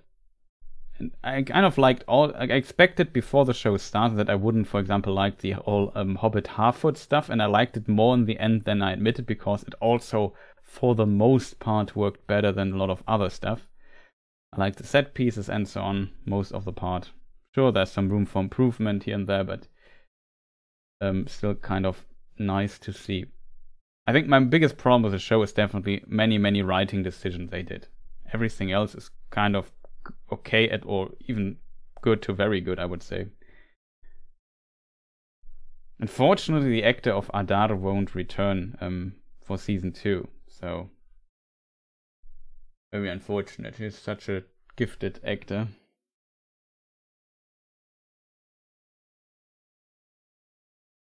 But yeah, let's return to Lord of the Rings because, uh, as said, you shall not spam. Yeah. Currently, bots kind of work bad. I have to say, there are not that many bots um, compared to previously. Just got interesting and back to uh, Rings of Power again. Sorry, Pumpkin.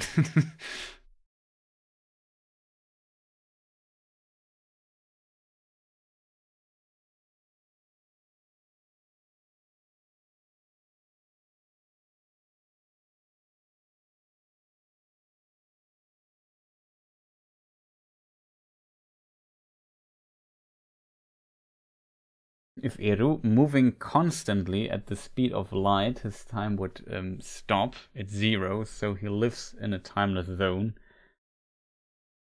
I mean, that is. That's a, that's a very complicated case because the time only stops from the perspective of an, another observer that observes another. Uh, what is the English word for Bezugssystem? Framework. Reference system, something like that.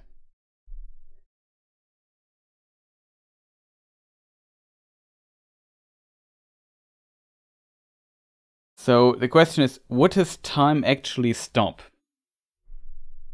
In a way, mm, like I said, only from the perspective, perception of somebody else, not of his own perception, if that makes sense. But maybe it would. It's a complicated edge case. I guess.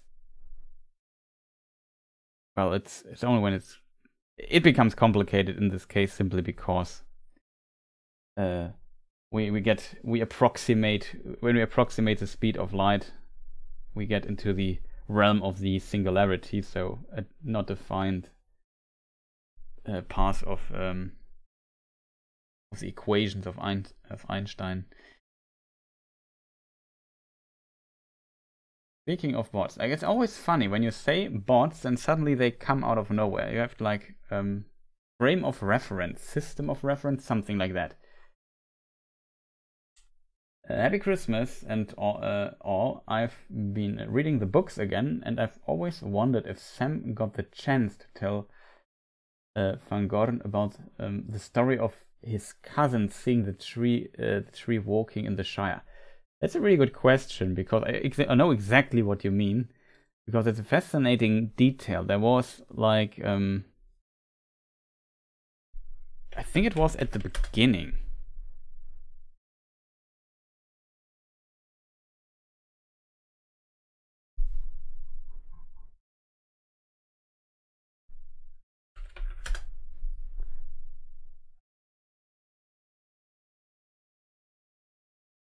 Oh, this is still a prologue. It is at the beginning of um, Lord of Rings, A Long Expected Party.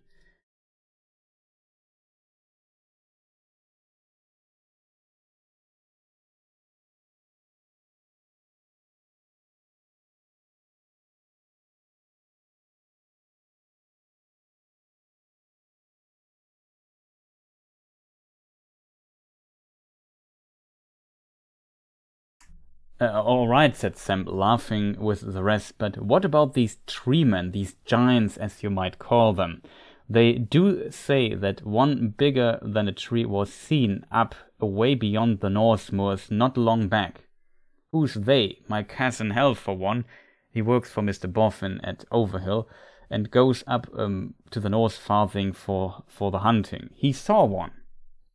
So that's um, the mention basically of walking trees there, which is kind of interesting. I'm not sure if he ever had the chance to tell um, Treebeard about it. Would be interesting to know. But um, to my knowledge, no, they, he never told him or had the chance, but wenn man vom Teufel spricht. Yeah, exactly. Also, happy Christmas uh, to you, and um, yeah, fantastic slide into the new year. Guten Rutsch ins neue as people say in Germany. Also, to not only you, to all the people here in chat. I hope you had good uh, Christmas days.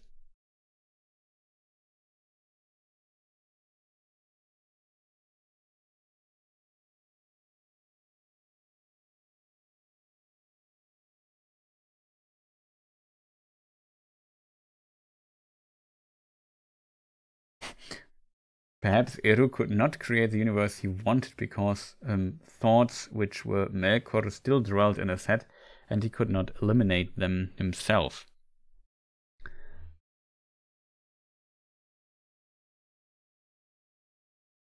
Make a video, um, whatever, I'll read it in a moment. So he externalized his thoughts as um, the Valar to let the rest of them, uh, to the rest of them get rid of Melkor, so he could eventually be a second music with uh, without Discord. It's an interesting idea.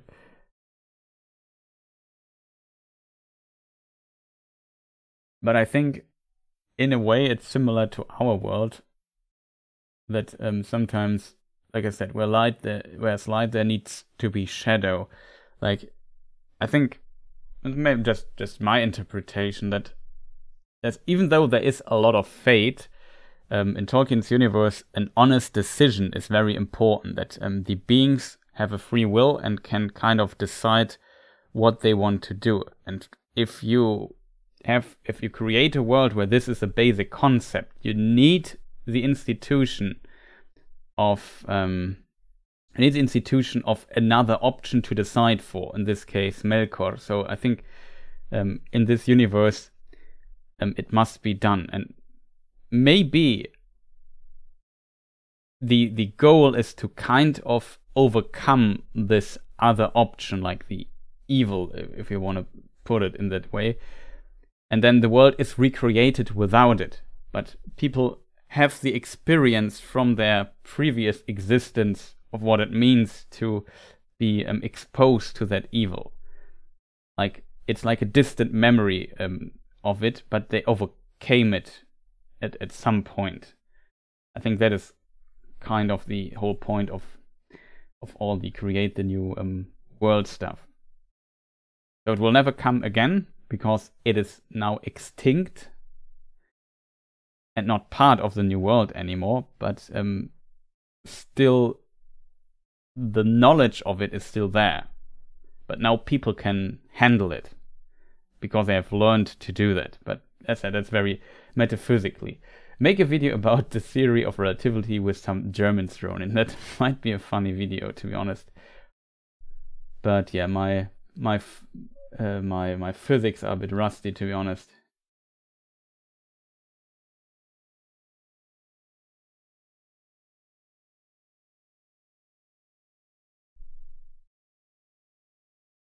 That's an interesting question by Mr. Man, also a very cool name.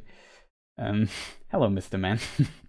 um, what uh, what was up with Beorn's animals? They were unusually dexterous and intelligent. Are all animals intelligent in this sort of way in Tolkien's mythos, or was it something? Um, was it something to was it something to do with Beorn himself? That's a really good question. The problem is I have no good answer for your question, unfortunately. I wish I had. Like, I can maybe answer it kind of from a metaphysical standpoint, because Beorn is like mostly a character we know from The Hobbit. And The Hobbit is a very special book. Like, it's kind of the special case of the Lord of Rings universe, especially in the form that it is definitely like its its basic character of this book is more of a fairy tale story than Lord of the Rings in a way. Like originally Tolkien wanted to write a story with his children in mind, and The Hobbit was created. At the time he wrote The Hobbit, the whole idea of the One Ring and so on um, didn't even exist. So the metaphysical, like the mythological world, um, the Silmarillion, already existed at least in parts. And maybe there was a very, very short time in Tolkien's life, just theory, that Tolkien wanted to make The Hobbit play inside this mythological world, inside the Silmarillion world, maybe even in the First Age. Because we have, for example, the Elven King, and there are some similarities, distant similarities, to um, Thingol, though he's very different, of course, in Thingol in many ways as well. But um, so I assume Tolkien said, okay, my mythology isn't even far enough to do this, so I just borrow some names, and that is how Gondolin, how Elrond, and so on um, became part of his world of, of, the, of the Hobbit book by just simply borrowing names. Um, Golfimbul, for example, in a very early manuscript, is also called um, Fingolfin, which is a very fascinating detail. See my latest um, Who is Elrond video for more information. So from this perspective, um, the the whole description of animals and so on, I would assume is far less set into stone during the time he wrote The Hobbit. As a result, they seem more intelligent and more dexterous and potentially more like mythological or fairy tale beings at times, and that is why they behave, especially around Beorn, um, in this uh, in this uh, in this book. And so we have the Hobbit sticking out a little bit with also some mentions of wereworms. We have these stone giants throwing stones at each other. which could also be like a thunderstorm and maybe some landslides or so. We discussed this last um, stream, by the way, which is kind of interesting that we come back to this topic. But the whole book feels more like this. And I think when he started writing The Lord of the Rings, his vision, like he wanted to have, he wanted that Lord of the Rings is connected to the Silmarillion. And then he started to very, with a lot of work to um, bring it into the world um, itself. Um, Brothers of Kryn, thank you for staying so long. Um, have a nice rest and a nice rest of the evening or late afternoon for you, I guess. Um, all the best to you, and thank you for staying. As always, um, the Brothers of Kryn is also um, a Tolkien creator who does videos here on YouTube. Check his channel if you have the time. Shoutouts to him. So thank you for staying and um, uh, staying a while and listen. But yeah, return to my return to my thought. Then the world was needed to become a bit more maybe less fairy tale-ish in the Lord of the Rings and more consistent and the fairy tale-ish and the mythological stuff is more in the background of Lord of the Rings, like in the background story in the past. Because if we look at the Fourth Age, the elves are leaving Middle Earth, and this is kind of a way how the world becomes less mythological.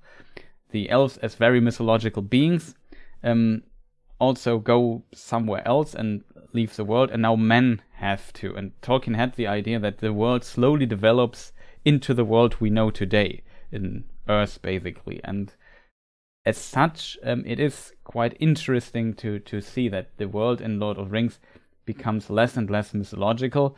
And so uh, you could argue that also the idea of these, um, yeah, intelligent um, animals and this mythological fairy tale beings is reduced further and further. So that would be my meta explanation of why this might be the case. I'm not sure if there's a good explanation for it inside the world.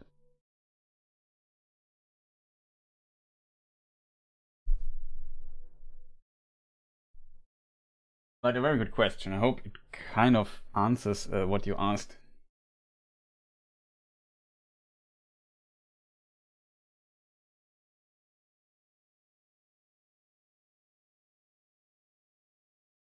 Okay, that is interesting. The rope walk uh, in Tighfield. No, I've never looked that up. Probably um an interesting uh, term of uh, research, I guess.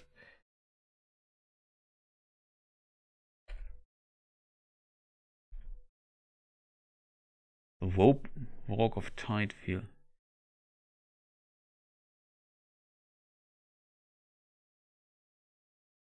Very interesting. No, I never looked um, into this. Very interesting um, detail. Thank you for uh, your extensive answer. No problem, man. I always feel a bit bad when I can't give you like a really good answer, more like some of this meta answer or whatever.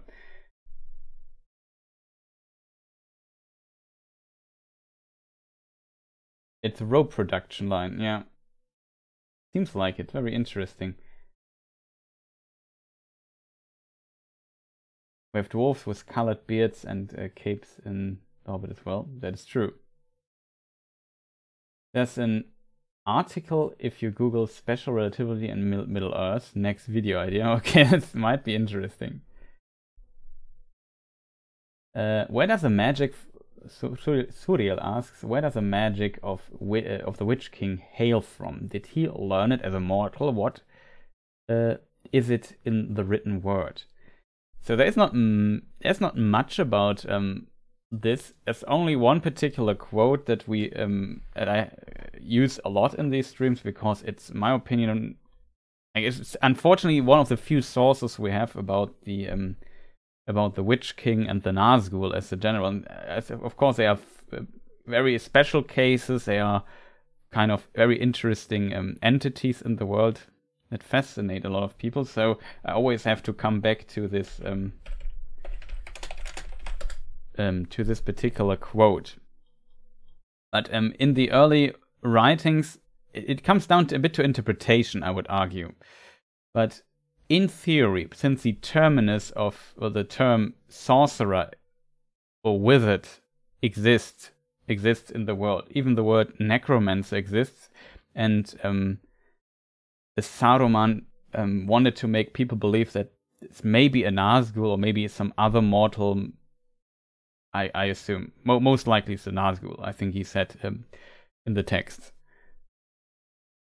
However, um, it, it was not like, yeah, this must be an angelic being like us who can wield magic. So, in my opinion, there is some plausibility in the idea that also mortals can learn to some degree what um, some might call magic. There's also the quote of Galadriel, um, who also says that you call this magic, though um, she would not do so. For her, it's not magic. And, and it, depends on the perception. I tried to also bring this point across in my video um, about magic. That if you have a certain knowledge, you can do things that seem like magic to others. And yeah, here in this uh, Silmarillion text about the Nazgul, um, we can read the or the origin of the Nazgul. We can read: Men proved easier to ensnare. Those who used the nine rings became mighty in their day, kings, sorcerers, and warriors of old. So here we already have this particular um, part of it. They obtained glory and great wealth, yet it turned to their undoing. They had, as it seemed, unending life, yet life became unendurable to them. They could walk, if they would, unseen by all eyes in this world beneath the sun, and they would see things in worlds invisible to mortal men, but too often they beheld only the phantoms and illusions of Sauron. And then they slowly became the nine Nazgul um, over time. That's the rest of the text describes. What is interesting is the first line that always keeps me thinking, and I never, I, I don't have a good answer to this. Those who used the nine rings became mighty in their days, kings, sorcerers, and warriors of old. So the question is those who used the nine rings became mighty in their days, and then they became kings, sorcerers, and warriors of old. Or was it those who used the nine rings, kings, sorcerers, and warriors of old, became mighty in their day? I can't tell you what exactly this sentence want to express. I feel it's a bit um, a double-edged sword um, in this regard. However, if those who used um, the uh, nine rings and became mighty in their day were once kings, sorcerers, and warriors of old, uh, kings, sorcerers, and warriors of old, then this would imply that they were sorcerers before they had the nine rings. It could also be that the power they had is like as for example sorcerers, like the Witch King is kind of a sorcerer, um, is based on these nine rings. So that could be in this particular text mean that it is the source of power for them. Then there is another interesting text um, in the in the book um, Morgoth's Ring. I also quote in almost every stream because it's a very important source in my opinion that Tolkien writes um, in one of his texts, um, it was this Morgoth element in matter, indeed, which was a prerequisite for such magic and other evils as Sauron practiced with it and upon it.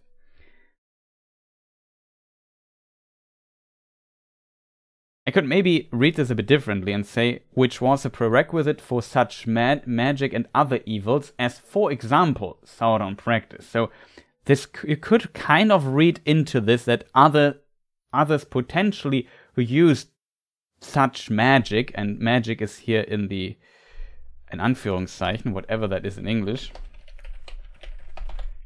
In quotes, I think you say, right? In quotes, magic.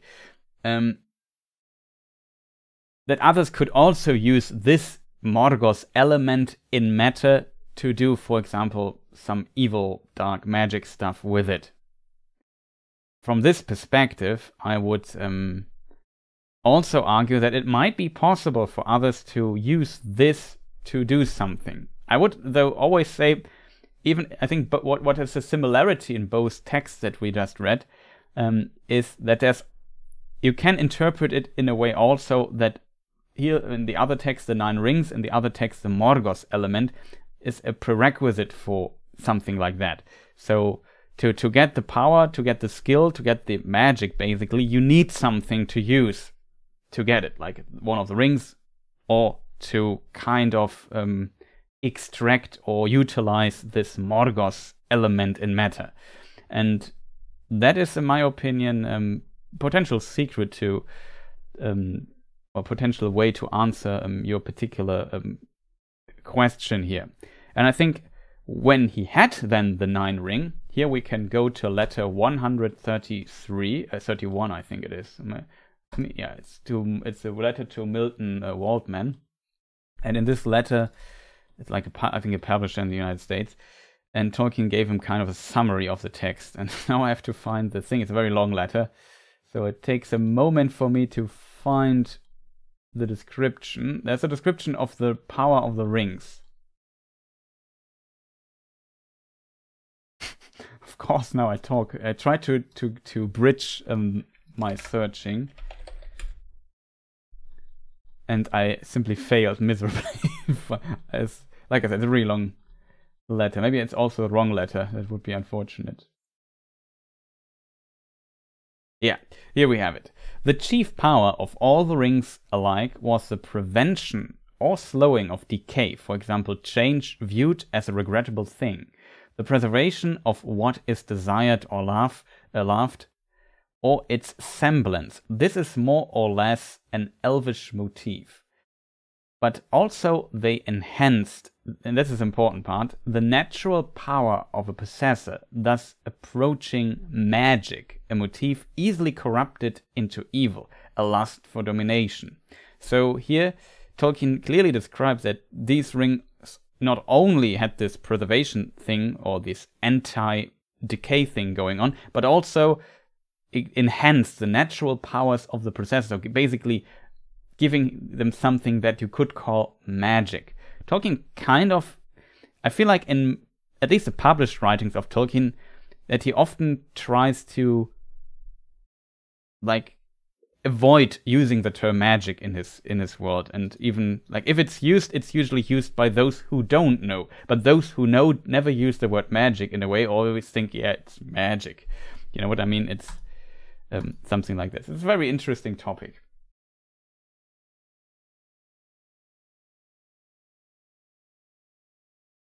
Yeah, there is um more to it, but you, you messaged me um, a few times. I need to check what you just wrote.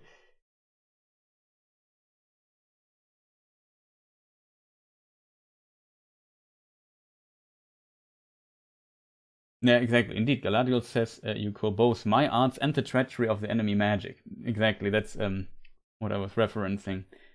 But uh, we know, for example, that the Witch King had a part in breaking the gate of Minas Tirith um, which seems to be magic. Yeah, for sure, there is, of course, some, some abilities that he has. Let me, maybe we have to look in, in exactly in what he does to break the gate, though. Let me just see. Uh, where do we find this? Usually, I guess, looking to the text further sometimes really helps. Mastering for Rohan, House of Healing, Pyre of Denethor, Battle should be in the battle, right? First we search for Grond.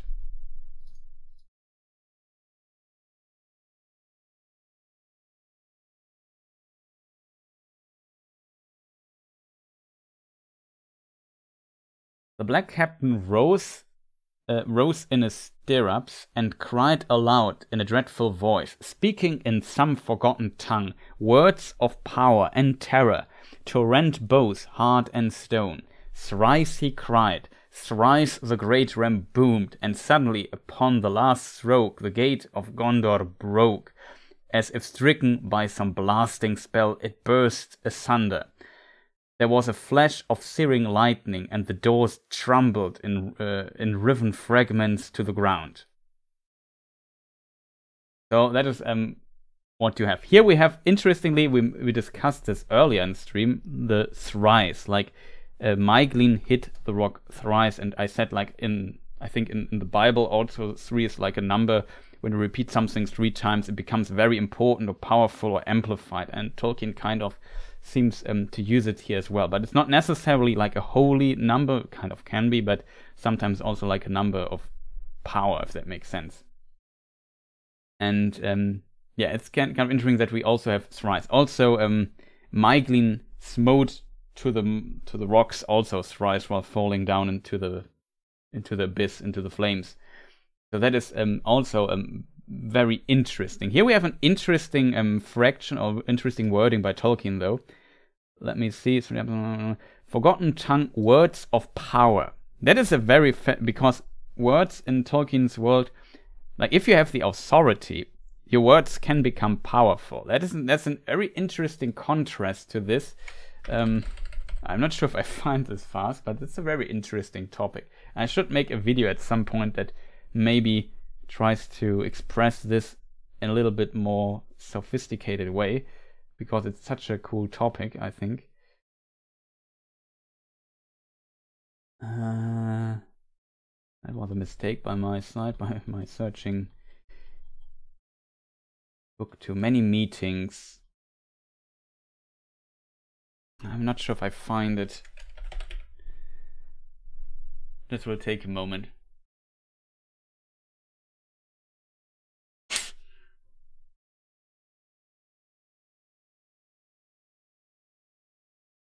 maybe said a bit harder dudes in black that is also a possibility but he has i mean that is a very good point that you make potentially even though i mean it for, um, to make um, a bit of um, on, on a more hum- humorous note.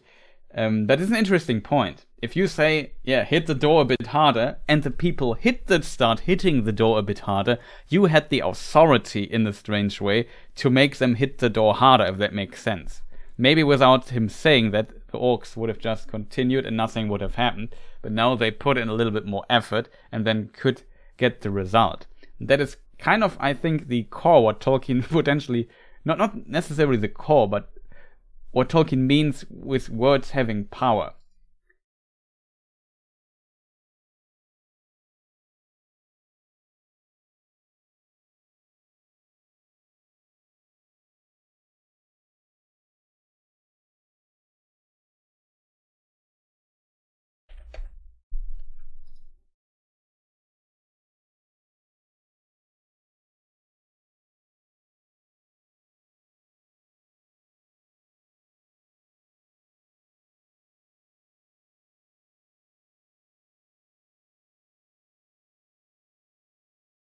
Let me see if I find the, the, this, passage. Like, it's an interesting contrast.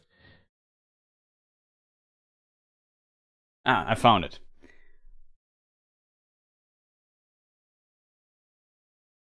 Uh, here it is.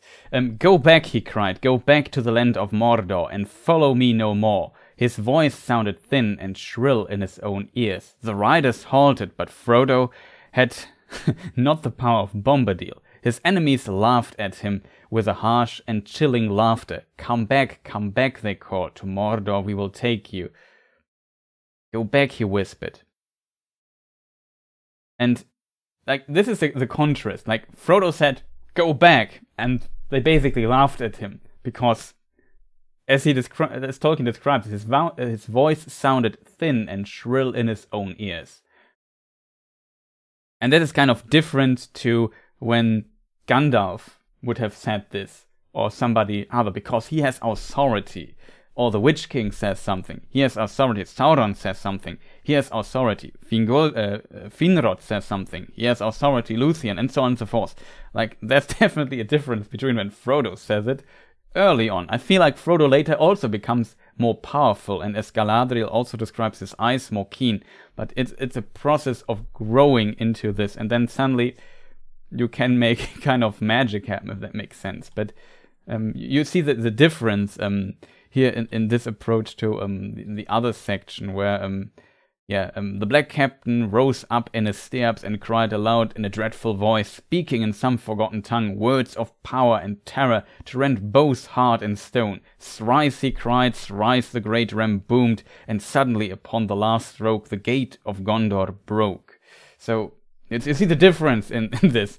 It was not like yes, thrice he cried, and then um um uh, where was it? His voice sounded thin and shrill in his own ears, and the Gondorians laughed at him. That was not what's happening. Like um, that's kind of the difference, I think. Words of power are magic. In a way, yeah. Like like Galadriel said, for for some it's maybe magic, it's his treachery, but there's for sure some spells and stuff um, going on. I mean, even on a more supernatural um, um, note, for example, we can write when um, Merry um, um, basically rams his um, barrow blade into the um, heel of the of the um, of of the Witch King.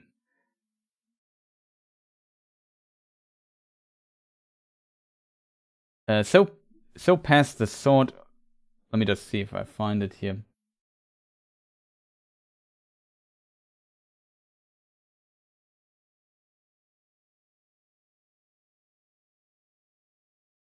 Oh, I just have the order in my head wrong. Okay. Found the passage I wanted to read. Uh, but uh, glad would he have been to know its fate, who wrought it slowly long ago in the Norse kingdom, when the Dunedain were young, and chief among their foes was the dread realm of Angmar, and its sorcerer king. No other blade, not though mightier hands had wielded it, would have dealt that foe a wound so bitter, cleaving, and now comes the important part, um, the undead flesh breaking the spell that knit his unseen sinews to his will. So there was like also some spell um, on him. This spell also um, is if, if it's all like in like Tolkien is of course as a language man, um, a language man, but um, a, a spell is like also um, means something like a story or like a speech, something like this. Words basically um, broken news. For example, um, uh, I think um, I'm not sure if it's it should be related to this word as well. Um, one of Gandalf's names is um, Láthspell, I think.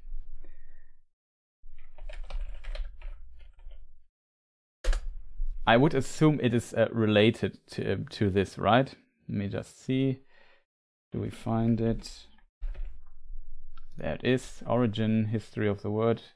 Etymology. Láthspell translates to ill news in Old English um, from uh, from uh, meaning causing hate, evil, injury, and spell, meaning story, message. So uh, this word is also kind of related. and interestingly, Tolkien uses the Old English word uh, last spell Oh, it's really hard to tell say for me. Um, last spell and um, yeah, earlier in the book, and here we have the word spell. So there is like some some magic spell, like some words again that were used to kind of knit his unseen sinews to his will. So that is always um, very interesting. Like the word in Tolkien's world is very powerful. That's basically what I um, wanted to, to get at.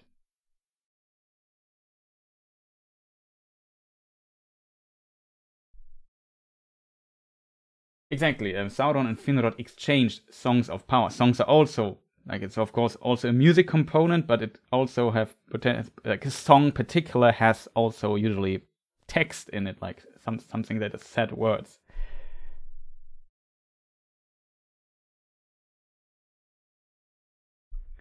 like the um the the uh like the, the mention here in the text um long ago um the Norse kingdom of the Dunedain were young and their foes uh, was the dread realm of Angmar and its sorcerer king. At least in this particular description, it says that it is, and the past, uh, the past, uh, the past so passed the sword of the Barrow Downs, work of Westernesse, however it's pronounced, and always have the same question every stream. How is this pronounced? But um, yeah, the, the point is basically they the the Dunedain in this northern kingdom were from the Barrow Downs that was part of Cardolan, and they fought against the Witch King in the past. So you could make it, it makes an argument they made these blades to fight the Witch King and basically hunt him. So they were potentially designed to be good against the Nazgul and their um, enemies. And when he got hit by it and I guess from this text, at least, um, Frodo, I would argue, or the hobbits are the source for it. Um, no other blade, not though mighty hands had wielded it, would have dealt that foe a wound so bitter. So this kind of was breaking the spell in a way. It counted his authority and his. It, I, I, like how Tolkien also mentions this that that um yeah, but glad would he have been to know its fate, who wrought it slowly long ago in the Norse kingdom when the Dunedain were young. So, like his his mistake basically started to mess around with the Norse kingdom so much, and he create there was something created that would later, pun not intended, sting him in the heel. I'm not sure if that's even a, a thing, but yeah.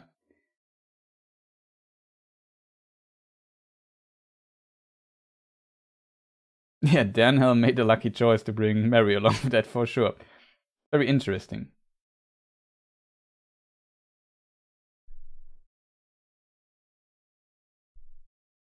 Yeah, that was at least magic or uh, music was one way to express it, like because it also concluded world uh, words, and we also have the music of the Ainur, which is the foundation of the creation of the of, of the world itself. So um, that that is uh, of course kind of important.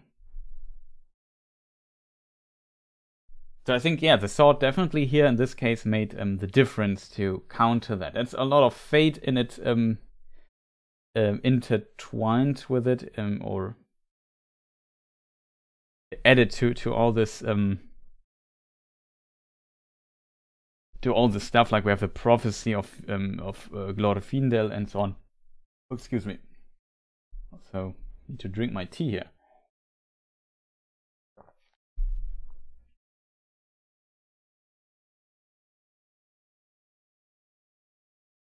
I would like to have uh, the Philosopher's Games in my um, Ars Magica campaign.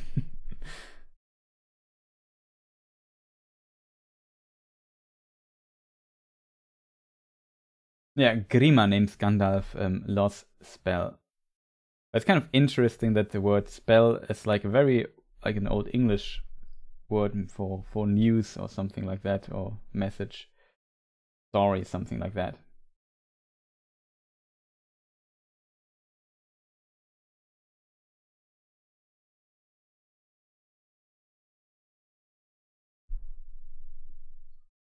Uh, it's funny because when you hear your voice through your own ear, it is deeper because of the uh, re reverberations through your skull. So if it sounds shrill uh, to you, it would sound even shriller to others. that's that's a very good point, Mr. Man. I agree.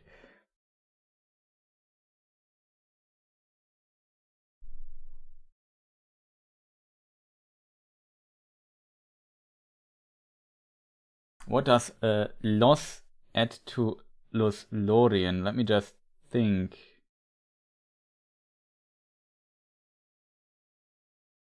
Like it, it means Lothlorien means, if I remember correctly, or is it just Lorien? It means dream flower or something, right?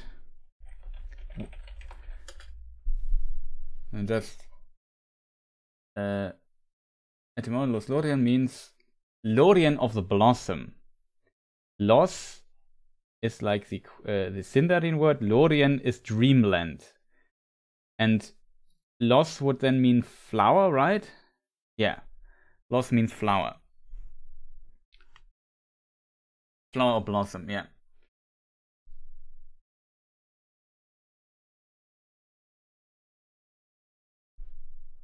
So Lorien is a place in um, in Aman where Irmo, also called Lorien. Interestingly, Irmo is a brother of Mandos, if I remember correctly. Mandos is also actually called, his actual name is Namo, but he's called Mandos, the place where he lives. Same with Irmo, whose actual name is Irmo, but he's um, called, um, uh, he is called, uh, what did I just say? Uh, uh Lorien, the place where he lives. I think the only the sister Nienna has I think for, for her nothing exists. There's also an artwork of Irmo, which I rarely show, also by Kimberly80, of course.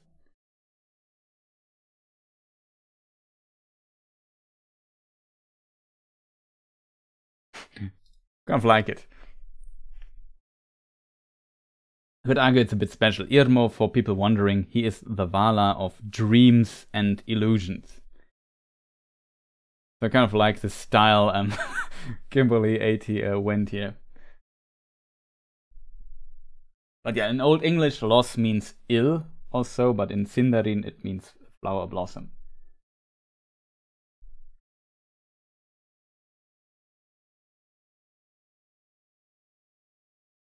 In his letter to Frodo, Gandalf says uh, Barliman has a mind like a, a lumber room.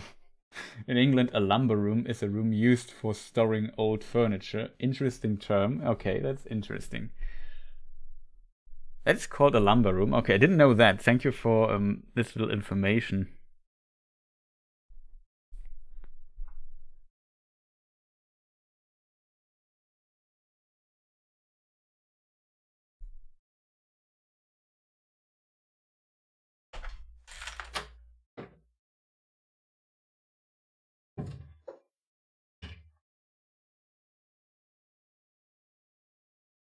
Question. I always have my in ears in my ears, even though I don't hear any sound. It's kind of strange. Of course.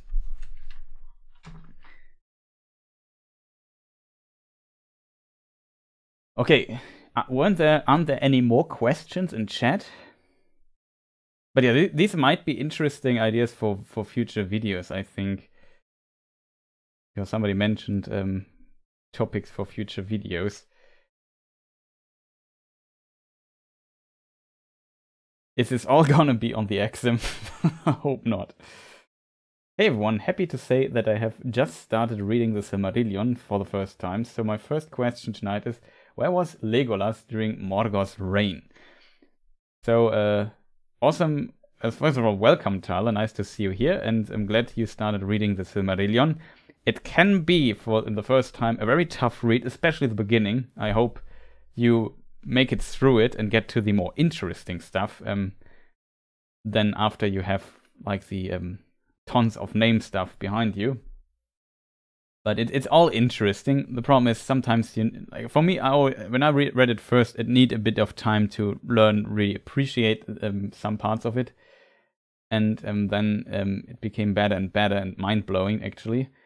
But uh, yeah, so Legolas is another interesting special case in this context. You won't find him in the Silmarillion mentioned at all because um, he was not born actually at this time. The reason for, like, we don't know when Legolas was born. I mean, in theory, it is possible that he was born already, but, um, well, I might have. It's actually not 100% true that you won't find uh, Legolas in the Silmarillion. Uh, because in Gondolin there is an is a Legolas, like um, there is a name. I'm not sure if Legolas appears in the Silmarillion though. Does somebody know? It, it might only appear in, for example, the Fall of Gondolin book. No, he's not in the Silmarillion. But in a very old version of the Fall of Gondolin story, there is a Legolas mentioned in it. Let's put it that way. Can't. It probably would too take too long to look up how, how he is. Thanks for the answers. I was cooking on the side, so uh, couldn't type. No problem. I wish you also, um, uh, yeah, have a nice meal or so. Have a good one uh, while eating. But yeah, no, no problem. I hope I could um, at least distantly answer your question because that's a very tough question to answer as well. But back to um, Legolas. So there is a Legolas in some versions that are not in the Silmarillion, in versions of the Fall of Gondolin, just for completeness sake.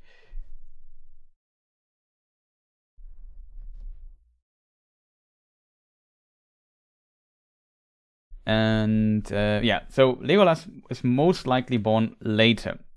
The the reason for this, like why was that? The the reason is a bit difficult to explain because we have the Elven King Thranduil, and one version he has a father Oropher, so it would make sense that Thranduil is relatively young, and considering the age of an the age of an elf, you would argue that his the child of Thranduil would then born when he had a certain age, if that makes sense. Of course, you can because we have a lot of time um, prior to the second age, like a lot of time, where elves could have been born and have children and so on. You could make an argument that Legolas might have born. I'm not sure if there is any um, if there's any mention in a way that kind of um, no, I think there's no mention of Legolas. I know of right out of the out of the top of my head. Um, that that kind of limits when he could be born. However, I would make an argument that if he has a grandfather in the form of Oropher, who was also the king of this woodland realm in the second age, and then his he died at the end of the second age, and in the third age his father Thranduil became king. That it makes sense that Legolas is a younger elf and probably has age-wise he's maybe similar to Arwen, somewhat around this. So at the beginning, maybe born at the beginning of the third age. However, not in all versions Oropher exists. There's another version, or in the Lord of the Rings, it is implied that the elves that left kind of um, um, Thingol's realm, um, that also upon them was Thranduil. I'm not sure if that's explicitly worded like this in the um, Lord of the Rings. Me just see if I find. It's in Appendix B, what I'm uh, referring to. Just don't know how it's phrased exactly. Let me just see. Uh, there he is. So the text goes In the beginning of this age, many of the high elves still remained. Most of these dwelled in Lindon, west of Ered Luin. But before the building of the Barad-dûr, many of the Sindar passed eastward. So after the War of Wrath, they passed eastward, and some established realms in the forests far away, where their, uh, where their people were mostly Sylvan elves. Thranduil, king of the north of Greenwood the Great, was one of these. Oropher is not mentioned here. As said, it's only in the version published in Unfinished Tales here the father, like there's a step in between. In Lindon, north of the uh, of the of the Lune, uh, dwelt Gil-galad, last of the kings of the Noldor in exile. He was acknowledged as High King of the Elves of the West. Lindon, south of the Lune, for a time Kili, uh, kinsman of Thingol, and his wife, was Galadriel, greatest of elven women. She uh, she was sister of Finrod, Felagund. Interestingly, in earlier versions, in other uh, like here, we find the name. Um, we find a, a, different name here. A friend of men, once king of Nargothrond, who gave his life to save Beren, son of Barahir. Interestingly, it might be even shorter in the original um, text. However, this kind of implies at the beginning of the Second Age, Thranduil was already king in the north, even before, like, we have the mention before, uh, let me just see. Uh, but before the building of the Barad-dûr, so before uh, the the Dark Tower was built of Sauron, um, he was potentially already king in in the north. This contradicts the other version where he has a father who is king at this time. Interestingly, but and this is, my opinion, the most canon version. However, in this version, it is possible that if he is king in this time, that um, Legolas was also born in this time in the second age. However, it is also possible that he's born in the first age already. That is not 100% clear. I'm not sure if there's any reference in Lord of the Rings, particularly or in the Silmarillion, that kind of limits um, the birth date of this. Maybe-ish. Then we have to go to The Hobbit, which is another special case in a weird way but is also an interesting source in this contract, I have to say. Legolas is not mentioned in The Hobbit directly, but there is. Uh, with that, he put on Bilbo a small coat of mail wrought for some young elf prince long ago. This is like um, an interesting little note here. What could this young elf prince be?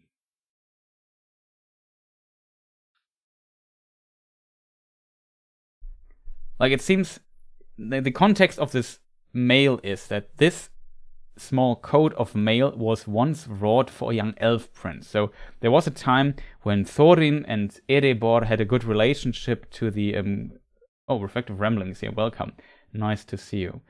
Where the um, Erebor and the Thorin or his father Thror and so on had a good relationship with or semi good relationship with the elves from um uh, from from Greenwood the Great from with Thranduil and his elves. And for him he might have wrought for long, long ago a coat of mail for a young elf prince. So this might be a reference to Legolas in The Hobbit.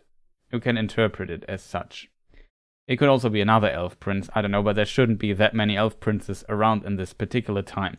This if we think of Thror, we are late third age. If we would interpret it this way, this would mean that Legolas might be born late in the Third Age. Because there he was still young and needed a small coat of mail, probably for a child, because it should fit Bilbo. And this is the explanation why there is even a small coat of uh, coat of mail that can fit a hobbit, and not a sturdy dwarf, um, and so on. So there is definitely uh, this particular connection. I'm not sure if there's another connection for Legolas.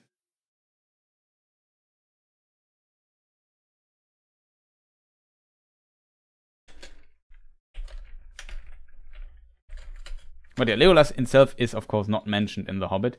There's only this reference. And you have to keep in mind this text was most likely written before um, was written before um, the Lord of the Rings existed. And the character of Legolas is also a very late invention of Tolkien. Originally, for the Lord of the Rings, Tolkien planned that Glorfindel would uh, be, take uh, would basically become the elf of the Fellowship, and um, then later he um, said, No, I don't want to do this. And he invented Legolas as a character. And he became the son of Thranduil. He's a very young character um, that Tolkien um, wrote in the writing process. And um, as such, he is not mentioned in the um, old stories. That is also a further argument that it's more likely that Tolkien said, Okay, he's a young. El- like a young elf prince, if you want to call him like that, and I don't want to retrospectively write him into all my Silmarillion um, stories that he's maybe potentially mentioned there. Because, um, as said, also Thranduil is a newer character. That's also the reason why he's not really appearing in the Silmarillion and so on. So um, yeah, it's it's always very very complicated with this. Like I think Thranduil appears um, in the Silmarillion a few times, most likely in the um, text uh, called um, Of the Rings of Power in the Third Age. I'm not sure if he appears before that. I don't think so, no. But Tolkien wrote him at least in it, and the text um, of the Rings of Power in the Third Age is also, I assume, related to the um, appendices texts.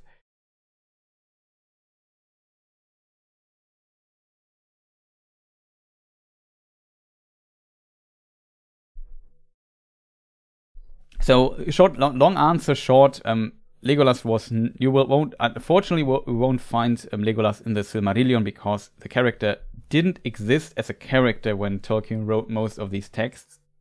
Point one. Second, um, even if we consider the Hobbit and the Lord of the Rings and so on, for me it seems more plausible that he was also born maybe in the Second Age, most likely in the Third Age, and maybe he is the same age as Arwen, or potentially she was born like 100 something or 200 no 200 something in the um, third age, or even later, like let's say I don't know um, the the Erebor phase is relatively long um, of the dwarves, and it was abandoned one time in between for the Grey Mountains and so on and so forth. But um, the ancestor, like it's complicated because there's another Thorin. He le- he le- um, Thorin the first. The Thorin from the Hobbit is Thorin the second, and um, Thorin the first abandoned 2210. Maybe it was at this time that this mithril thing was um, made for the prince, or it was even later. Then we are in the realm of um, of uh, Thror who reestablished um, the kingdom there. That was 2590. So in theory, it could be this time. However, if that is the case, it's kind of strange, and Legolas would be too young again, because then Legolas would be at the time of Lord of the Rings only um, less than 500 years old, and usually they become elves become adult at the year of 1000. So I would argue um, the other date would fit a bit better. Then Legolas would be a very young elf, though still. So I hope um, this uh, kind of uh,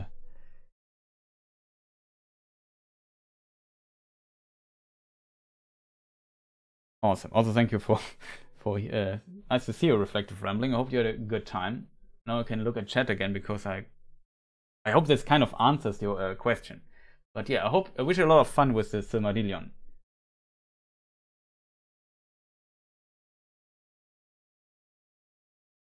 Also, Fifi Trixibel wrote um, in the context, is there anybody here who reads the Silmarillion? I had no troubles with it. For me, it was very easy and I, I devoured it in my uh, uh, in a very short time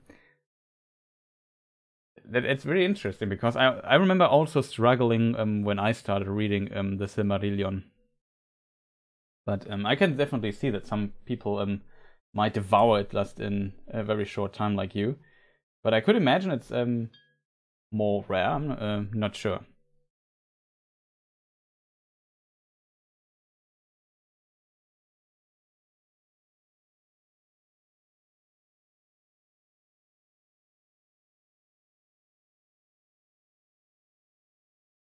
Also, Mr. Man just um, appreciates. Um, just read the Ainulindale, uh, Lindale um, recently.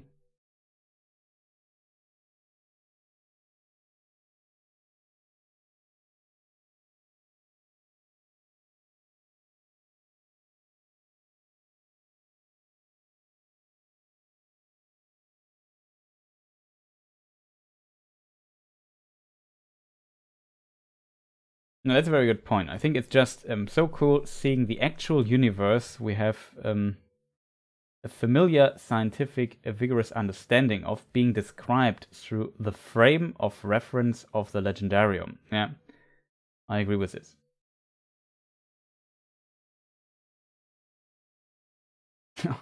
Reflective Ram just shouts out here the, the, the in, invokes people or in um, tries to convince people to press a like button, which I um, fully agree. Also subscribe and stuff. Everything is much appreciated. And if you see this as a VOD or so, maybe write something nice in the comments, would also be much appreciated. Or check some of the other video stuff just to make a little bit of um, advertisement here for my channel. So yeah, much appreciated.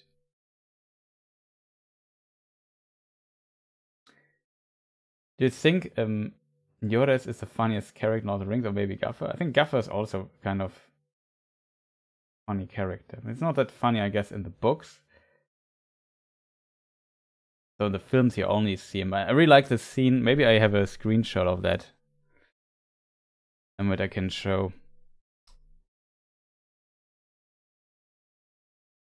Let me just see if I find it. It is from the first Hobbit film, so I can already put in the credits here screenshot. Let me just. I think I saved it as Gaffer Gamgee. Yeah.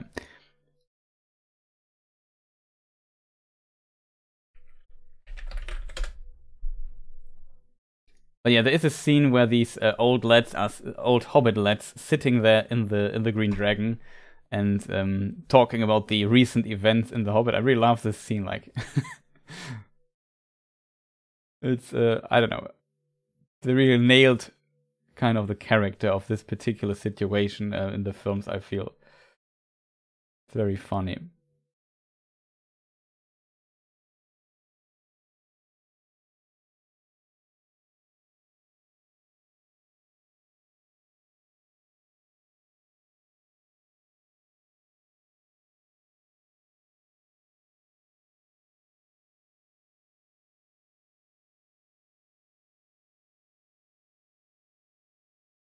Did Elrond and Círdan carry the Rings of Power while fighting during the War of the Last Alliance? We know the rings were hidden and their location only known to the wise. That's a difficult um, question um, to answer because we have, if I remember correctly, two versions. I don't think, like, um, I usually when Sauron has a one ring, the elves did not wear the rings anyway. So they potentially did not have them with them and kept them at home where they are safe. That would be my assumption. Because when there are multiple references that hint at that this was the case, like when Sauron did not, when Sauron had the One Ring at this time, they would hide the ring, not put it on their finger.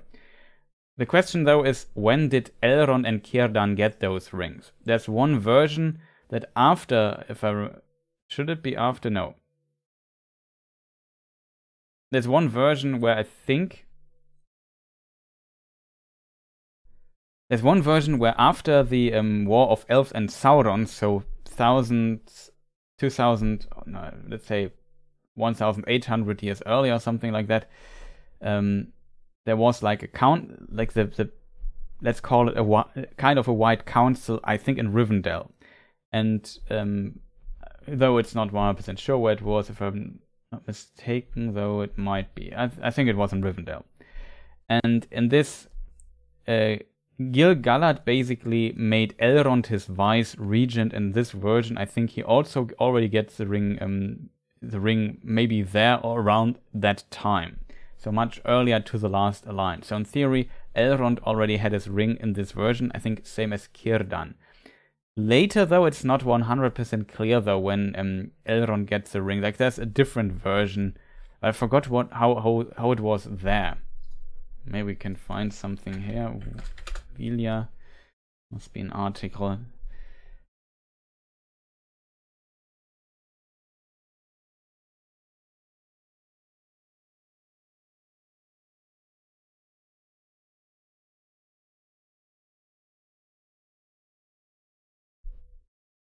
Okay.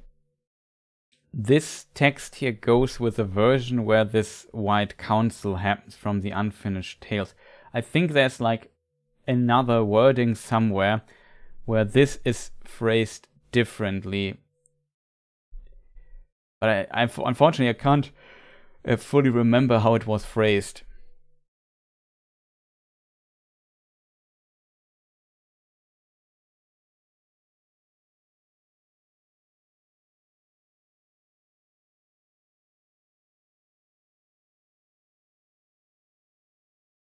No, I can't fully remember it.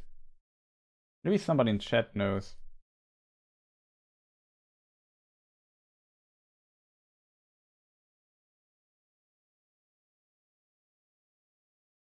It mixes oddly with the voice.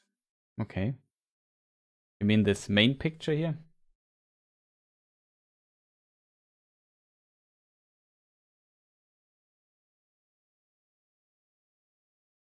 Which one is Gaffer? That's a really good question. Um,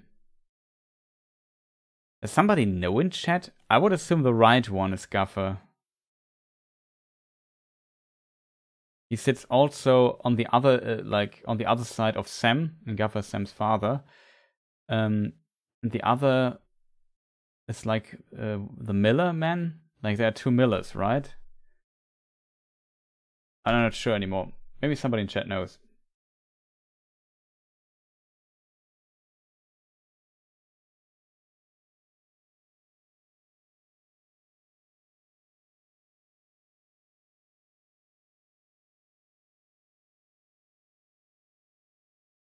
Yeah, then Voice of Geekdom also has a Silmarillion um, series where he goes uh, through it. There's also a lot of uh, detail. So I can recommend this as well.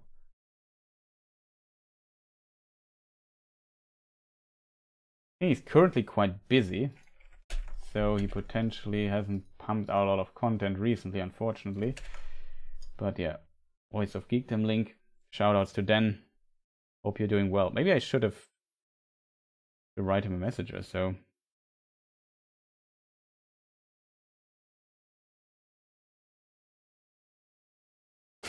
I bet Círdan hid his ring in the newest ship he had uh, in Worf. Interesting idea. Yeah, exactly. Gandalf used um, uh, the ring um, to to encourage others uh, to fight, for example. But at this time, when Gandalf had the ring, um, Sauron had not the One Ring, so he could, of course, openly carry it, and he got it from Círdan.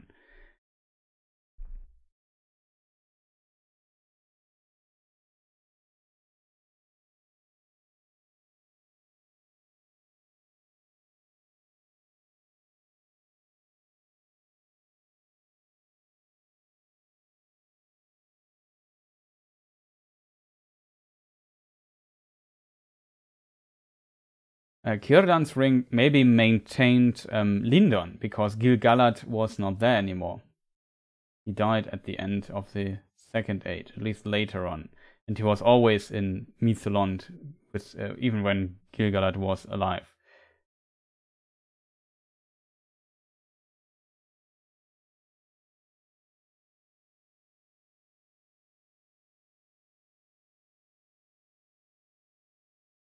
At least you missed the Rings of Power talk. Okay, uh, well, for some of that people, that's definitely better.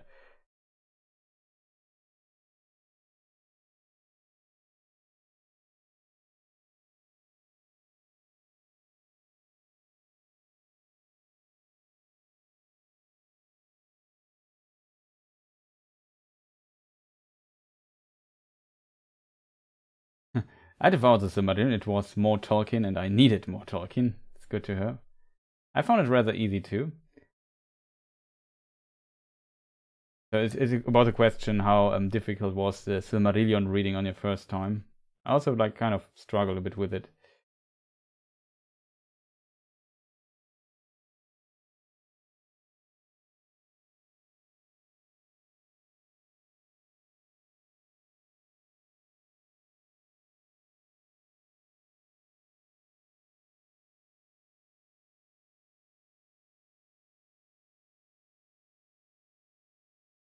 I just hoped somebody um, would have an answer to the question what happened in the other version to the rings.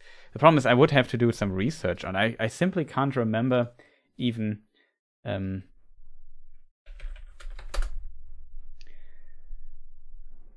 that is Elrond wore Mantle of Grace, uh, Bluestone, the mightiest of the three. No, that's not it.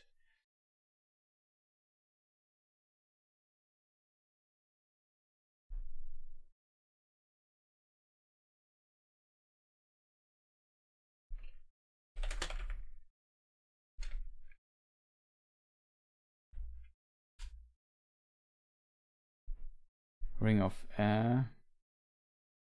Mm, maybe it's uh, like my my memory leads me to Appendix A.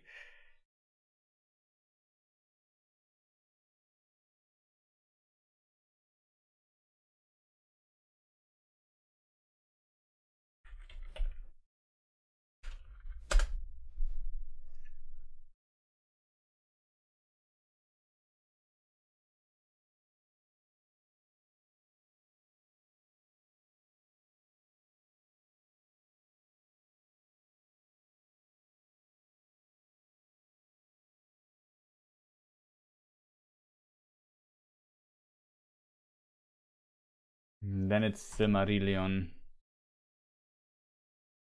In the Silmarillion. I should maybe speak in complete sentences. then it's in the Silmarillion.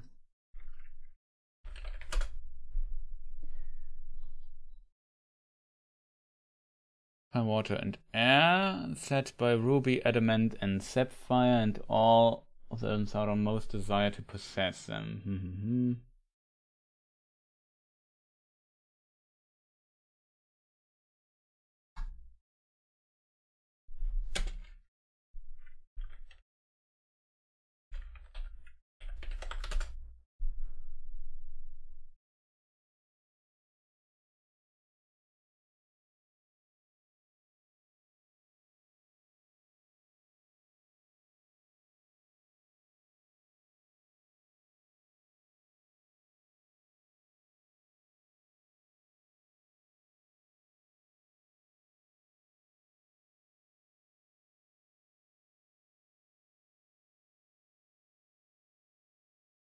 interesting. Manwe had a, um, a scepter of sapphire. Interesting.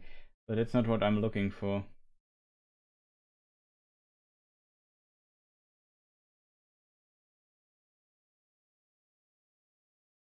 Yet after the fall of Sauron, their power was ever at work, and were they abode, the mirth also dwelt, and all things were unstained by the griefs of time. Therefore,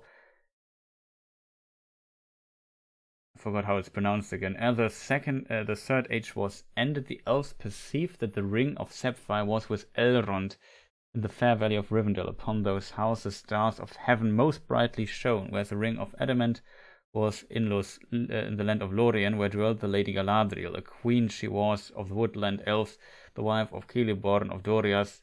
Yet she herself was of the Noldor, and remembered the day before the days in Valinor, and she was the mightiest and fairest of all elves that remained in Middle Earth. But the Red Ring remained hidden until the end, and none save Elrond and Galadriel and Círdan knew whom he had been, uh, whom it had been committed. Hmm, doesn't help us, Chad.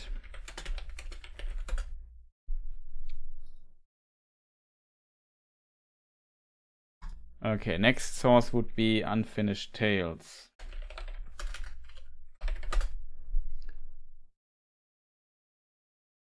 At that time, Gilad gave via the ruling to Elrond and appointed him as vice regent. I mentioned this version earlier.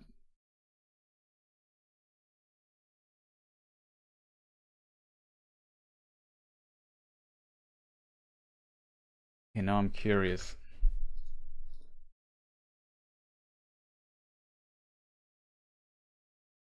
Oh, that's interesting. In this version, there's also an interesting difference. Wielding the Elessar, all things grew fair about Galadriel until the coming of the shadow to the forest. But afterwards, when Nenya, chief of the three, was sent to her by Celebrimbor, she needed as as she thought no more, and she gave it to Celebrian, her daughter.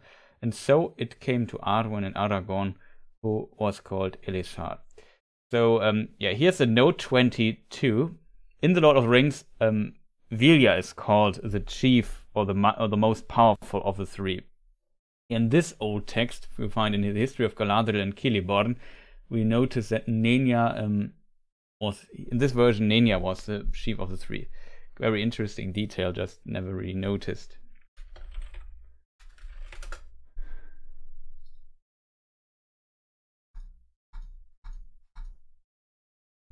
Balloon. Vice Regent.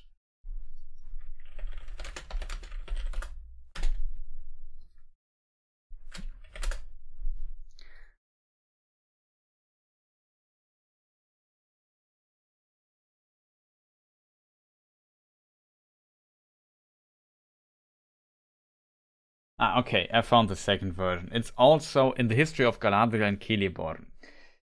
It's in Unfinished Tales. So there are two versions in, in the same book, like both versions are published here. So it's about that um,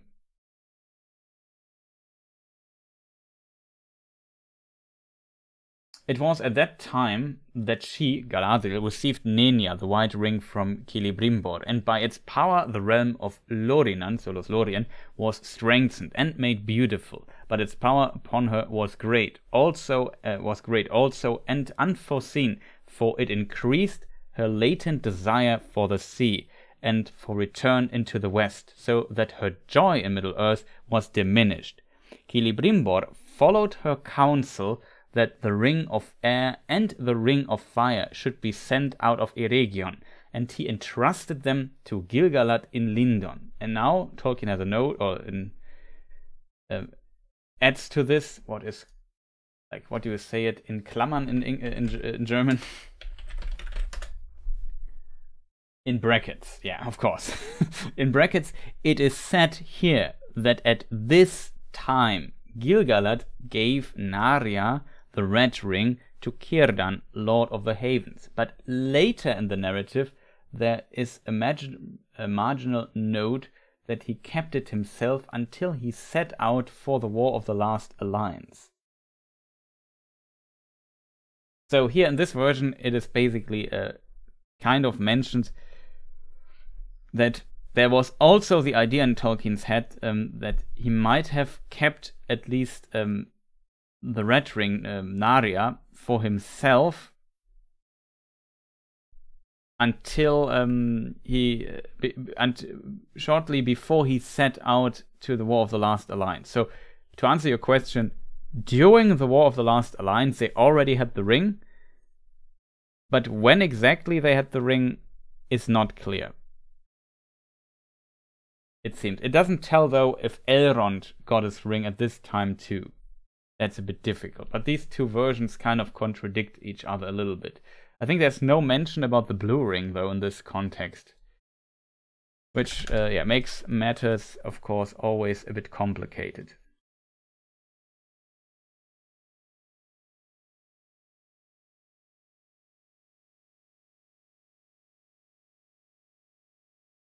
This, here it also says they should have destroyed all the rings of power this time, but they failed to find the strength. Galadriel uh, counseled him that the three rings of the elves should be hidden, never used and dispersed, far from Eregion, where Sauron believed them to be. It was at that time, and so on and so forth. This very, it's a very interesting um, text, my opinion, and recommend reading it in the Unfinished Tales. In the um, chapter history of Galadriel and Celeborn. Concerning Galadriel and Celeborn, it's um yeah, pretty mighty text here in the the book.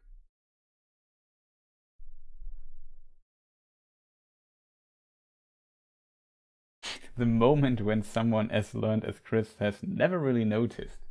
Yeah,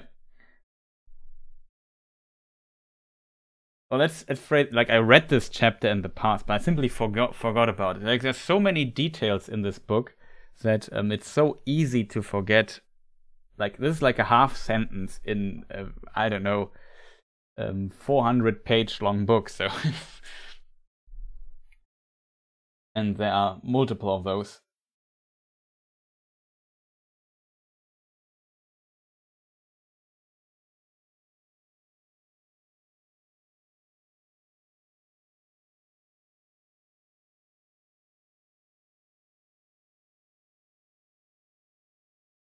I mean, it's not clear. Like, uh, in my opinion, it would be like it would be the problem with the War of the Last Alliance is that it plays in Mordor, and in my opinion, if they lose this war, it would not be smart to have the rings in Mordor. you know what I mean?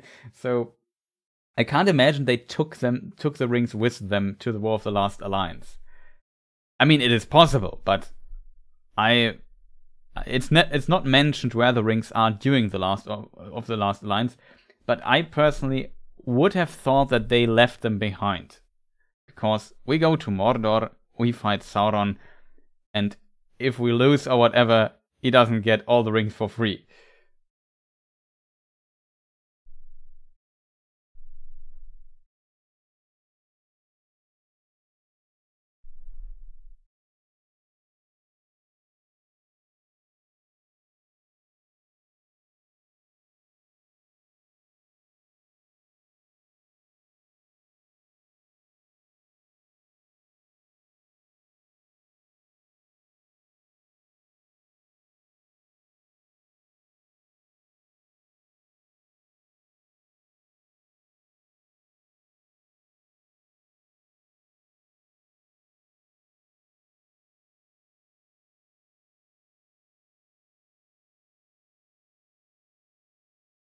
Okay, in this version, Vilya's always given to him in this way. Hmm, that's interesting.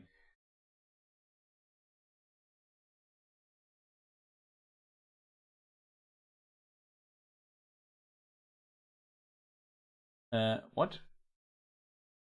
I hope this kind of answers your question, but as I said, it's, it's um, a very difficult, uh, no, it's not a difficult topic. The problem is simply I don't remember. Like there's somewhere a mention of the other ring as well, and it contradicts what we read here. I only remember I've somehow memorized this in my head, but I can't fully reconstruct um, all the the information here.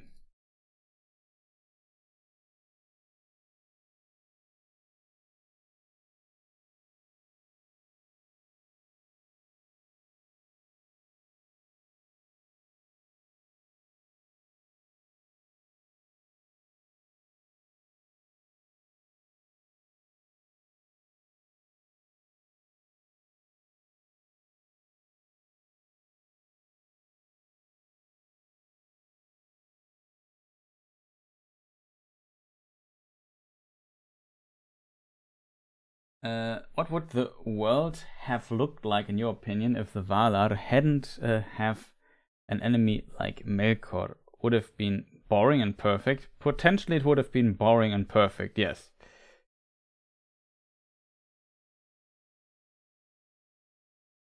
No, I think the elves, um, like Morgoth, in my opinion, always had like um, a role to play in ensnaring elves and men.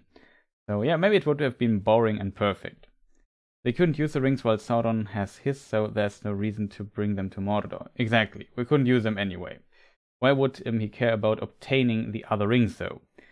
Um, the other rings were also powerful. Like, you. Like, for example, the dwarves, he later gifts them. I mean, it's a stupid example because originally all the rings of power are elvish rings, except for the one ring, of course, but um, they all are elvish rings. And later, when he gifted them, like he could do stuff with it. He could give them to humans, to dwarves. It didn't work for the dwarves, so he was very angry at that.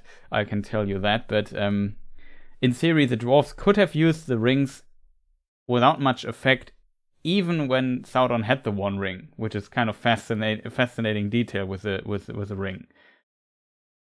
I find so. Um, that kind of, kind of worked out for the for the dwarfs. They were basically immune to his power, though the rings of like the, the seven rings of power still had like a negative effect on the on the dwarves. Like it, it brought kind of evil over them as well and made them a bit more greedy, which resulted in them digging too deep, I guess. But at least the uh, dwarves in uh, Moria, but oh, excuse me. And um, yeah, so there there's that still, um, yeah, having so many powerful items in the hand of your enemies is never like a good feeling. Like you could have them and do something useful with it. So that is why he wanted to have the rings back. And though the three elven rings were the most powerful of the uh, rings of power, the other were also very powerful rings with kind of a very similar purpose, just with few um, differences here and there. For example, the three rings would not render the wearer invisible, while the um, other 16 rings would do that, plus a one ring, I guess. But yes. He thought, I want them, my plan didn't work. And um, we can also read that um, he always thought that men would be easier to ensnare, but he wanted the elves because the elves would make more powerful servants and he was kind of greedy himself.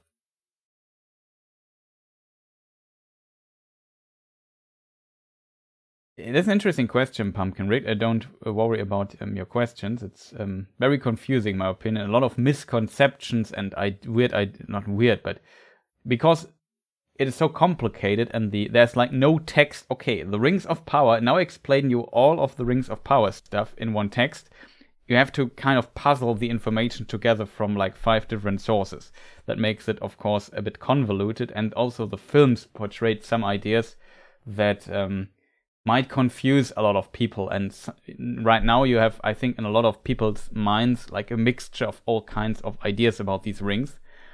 And um, even I struggle at times to piece them together correctly, especially if some versions are contradicting each other. But um, that's uh, another topic. So there is a mention in Lord of the Rings.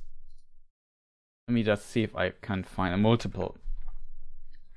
Seven and the nine. Of course, I had a typo.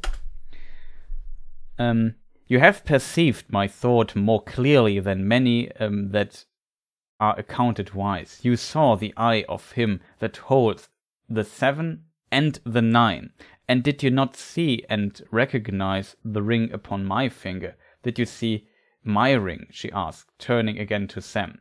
No, lady answered. Uh, to tell you the truth, I wondered what you were talking about. I saw a star through your finger, but it would, pardon my speaking uh, out, I think my master was right. I wish you would take his ring, and so on and so forth.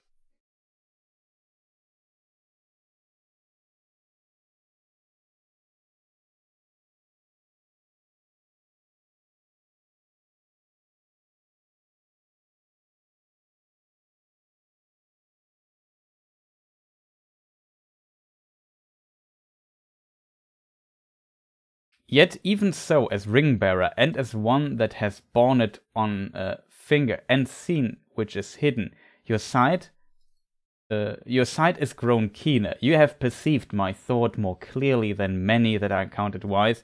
You saw the eye uh, of him that holds the seven and the nine. Did you see and recognize um, the ring upon my finger? Did you see my ring? She asked, and then turning to Sam. So Sam couldn't see the ring um, uh, Nenya on on Galadriel's finger. Frodo could see it.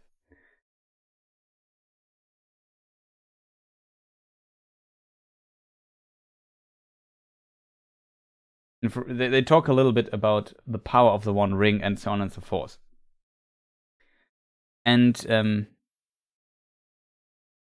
in, in, this context, I actually forgot what um, the original question was. You asked um, in this in this particular line, though, we can also notice that they could see and perceive Sauron, and he holds the seven and the nine. Technically, he only holds four of this, uh, three of this of the seven and the nine, but it seems that Sauron collected the rings of power for himself at the time when he had not the one ring anymore in the third age, so at the time of the Lord of the Rings, and he was wearing four of the seven rings and the nine. Here, Tolkien shortcutted the phrasing by the seven and the nine. Um, four of the of these um, seven rings were consumed by dragons or by fire or whatever, and so are destroyed. So there are only three of the seven rings left. Still, they are now the seven, even though they are only three, if that makes sense. And of course, the nine of the Nazgul. So we also learned that the Nazgul don't need the rings of power to be the Nazgul. They are still the Nazgul without the rings, and Sauron have those rings, I assume, to increase his own power.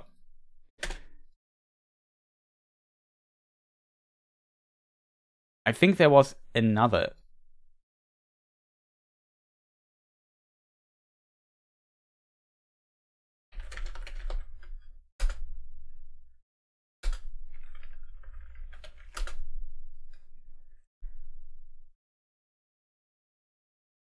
So yeah, here in the I think it's in the Council of Elrond. No, it's in the Shadow of the Past, right? Yeah, the Shadow of the Past. Gandalf also comments on this. Let me see if I find the place again.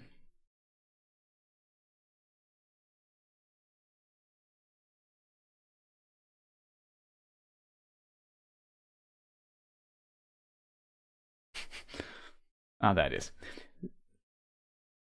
Uh, so it is now. The nine he has gathered for himself, the seven also, or else they are destroyed. There are three, uh, the three are hidden still, but that no longer troubles him. He only needs the one, for he made that ring himself, and it is his, and he let a great part of his own former power pass into it, so that he could rule the others. So here Gandalf also, like we have Galadriel who confirms this, that Sauron has the 7 and the 9, and Gandalf also says it. He has 7 and the 9, or else are destroyed. So the three remaining 3.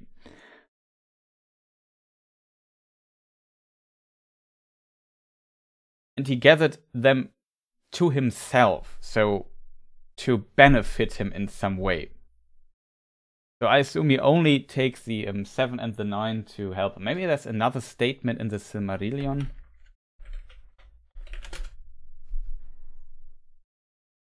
Seven hordes is a seven rings.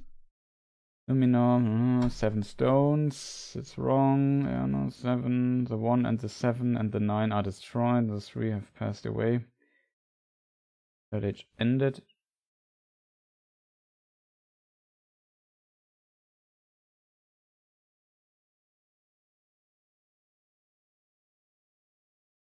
For he ruled the nine, and of the seven he has recovered three. We must strike. Also says oh, another confirmation of it. And unfortunately, not sure if there's like another more explicit um,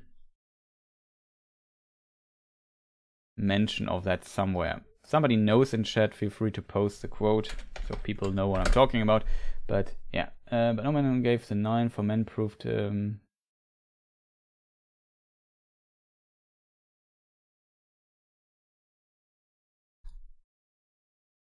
nine are destroyed. One seven.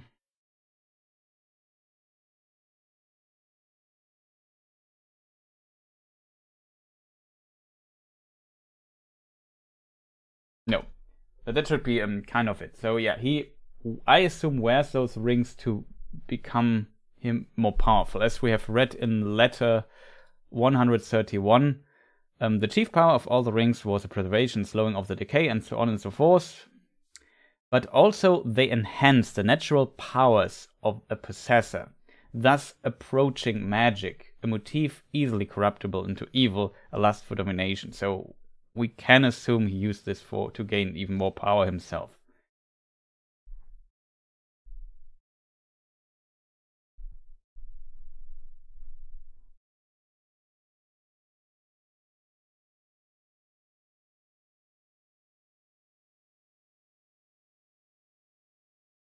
Have to go now. Great stream. Happy New Year, everybody. Until next time. Yeah, Mark Shees, I probably don't. You're probably gone already because I was too busy answering this question, which often take quite a bit of time.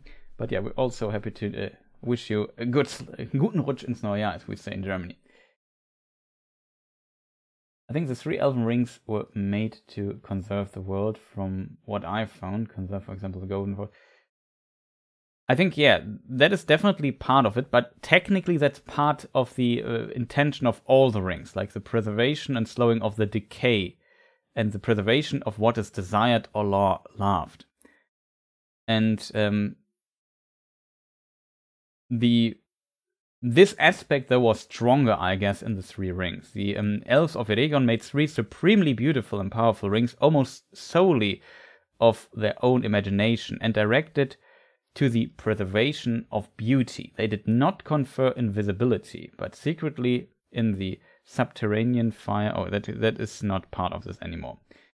But that now how the One Ring is um, what.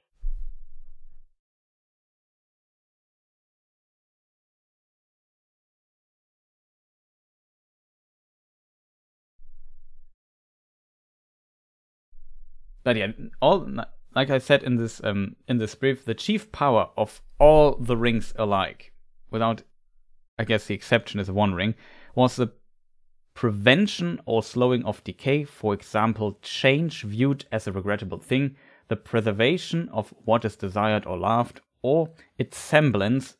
Um, this is more or less an elvish motif but also the enha- uh, they enhance the natural power of it uh, of a possessor, thus approaching magic, a motive easily corruptible into evil, a lust for domination. So they enhance the power, and this is basically the access for Sauron to corrupt them into evil because it generates a lust for domination. And finally, um, they had powers more directly derived from Sauron, um, the necromancer, so he is called, as he casts a fleeing, a fleeting shadow and uh, presage on the pages in The Hobbit, such as uh, rendering invisible the material body and making things of the invisible world visible. This is very important in the context of the um, text with the um, delusions of Sauron. Um, they could walk if they would, unseen by all eyes in the world beneath the sun, and they could see things in worlds invisible to mortal men, but too often they beheld, uh, beheld only the phantoms and delusions of Sauron. So while seeing the invisible, they were more. Uh, it was easier for Sauron to just get get in contact with them with his phantoms and delusions to um, trick them and bring them under his control. And this effect, as we can read here, um, was different for the three rings of power. They did not confer invisibility, as we can read in letter 131. I, ne- I need to make a video. I really planned for quite a time um, to make a video about the misconceptions of the rings of power. I'll probably also call it like that. Maybe I make it in German or in English and German. I'm not sure yet.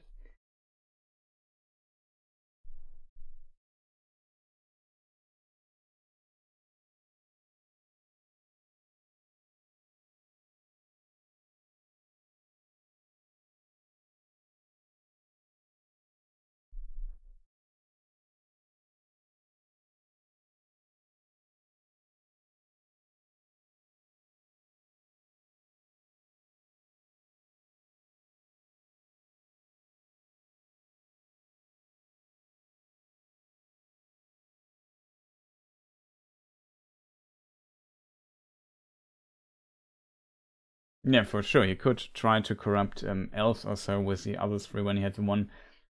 Very interesting.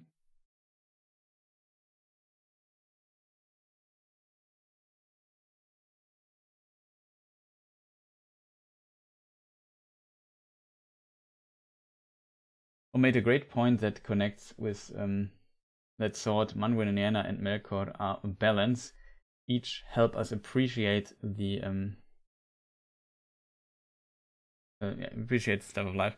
Okay, um, do not know what happened with the spaces uh, there. Sorry, no problem.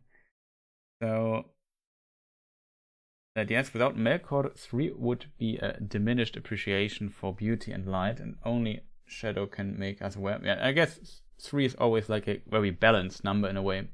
We have this motif also in the um, Rings of Power show, interestingly, which I kind of I, I, like the point that they make try to make with with this particular little sentence they put in the show that two would mean like um, conflict, but three has kind of um, a balance.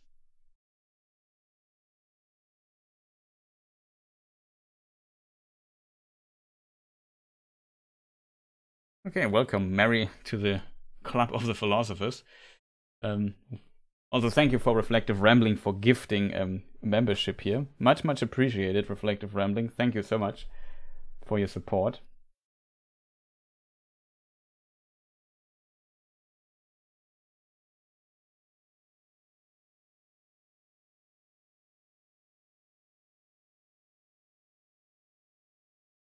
also lagging behind in messages, it seems.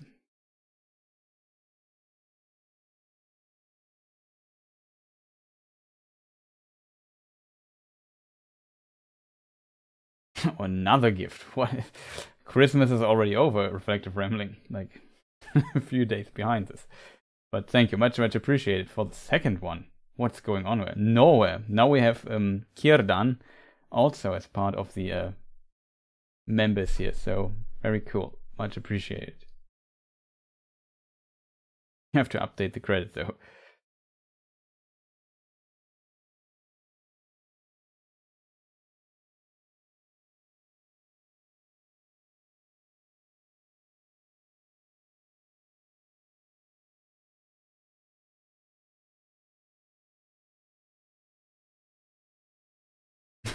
okay, that is a good point. Uh, for whatever reason, glancing Gandalf's pose in the corner of my eye, I thought he was shredding on an electric guitar. Yeah, now I see it as well. it can't be unseen anymore. At least when I look from the side. That's pretty cool. Again, shoutouts to Kimberly80 who made um, this fantastic artwork. It's usually a bit bigger, I zoomed it in quite a bit.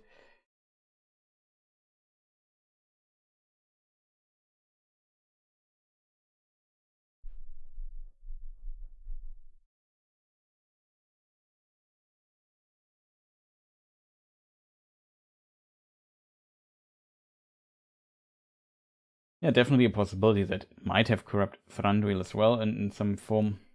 Difficult to say. Did ships transport elves via the straight road and then return for more passengers, or did they uh, need new ships and crews for every trip? I have no idea. Like that's a very interesting question as well. What happens with the ships? Do they sail back? I don't know.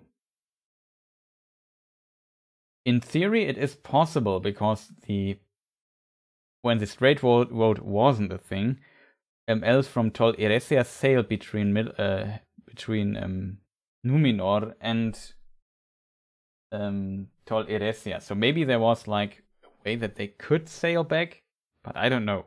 Like if they maybe didn't put foot on the land, they could sail back.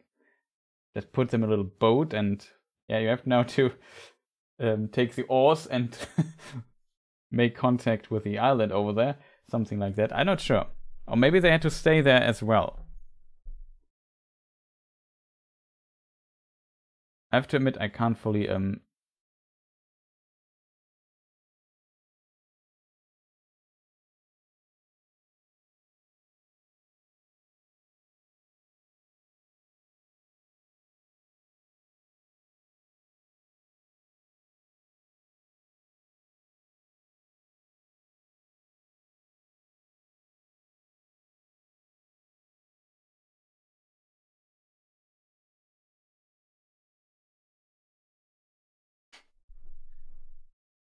If Gandalf had a band, what would it be called?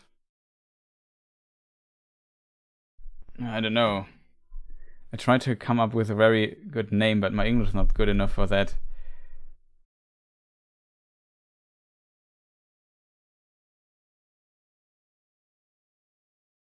I, I need something like, I don't know, like Istari would mean those who know. you could make, I don't know, those who rock or something out of it, but the word for rock would ideally rhyme with no. You know what I mean? but I can't come up with a word that fits.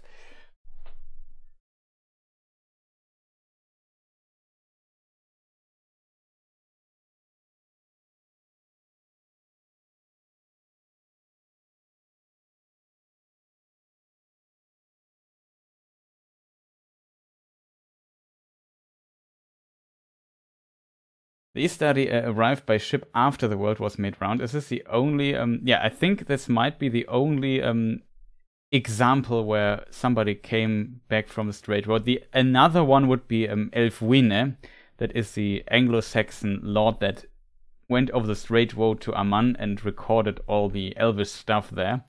But um, that he was uh, excluded from the Silmarillion, but originally he was part of it basically of our time it is, is the explanation how this story of the elves and so on got into our world and was found by Tolkien. He also, I think, returned um, then to his world basically again.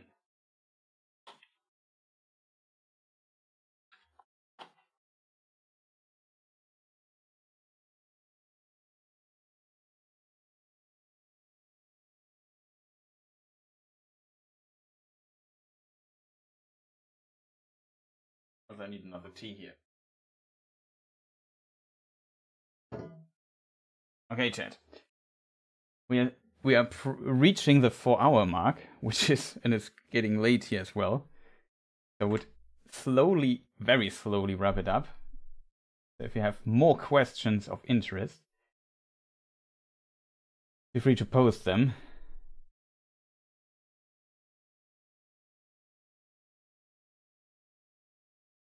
Gandalf is more a band manager. Radagast would be the lead singer, etc. So it's the Hedgehogs, famous for their primal metal.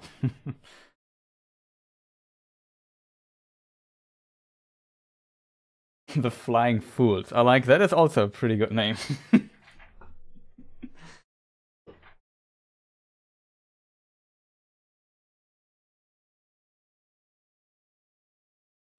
Mithrandir and the Flying Fools. That's good.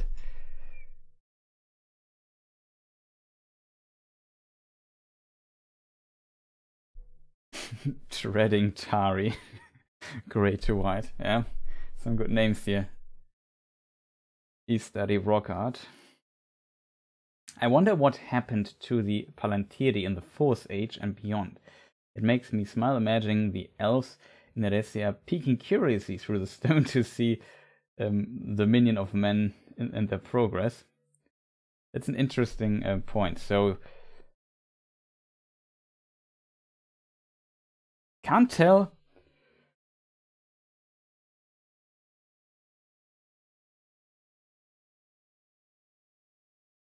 Uh, I can't tell you what happens with the um, with this with the Sauron Palantir. Maybe we haven't seen many maps today.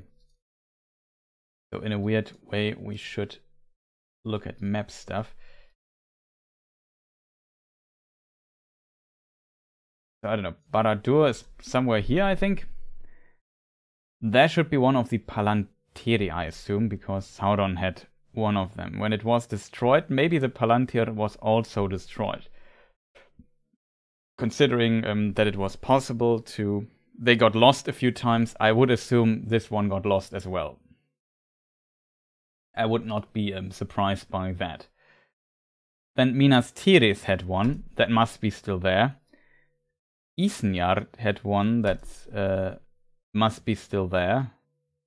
And here in Emyn, uh, Beraid, um, we had the Tower Hills and the Elostirion Tower that also had one always. And then, of course, on the west continent, Aman on the island of Tol Eressëa, there was the Master Stone, which was not part of the seven Palantiri of Middle Earth, of course, but there was another one.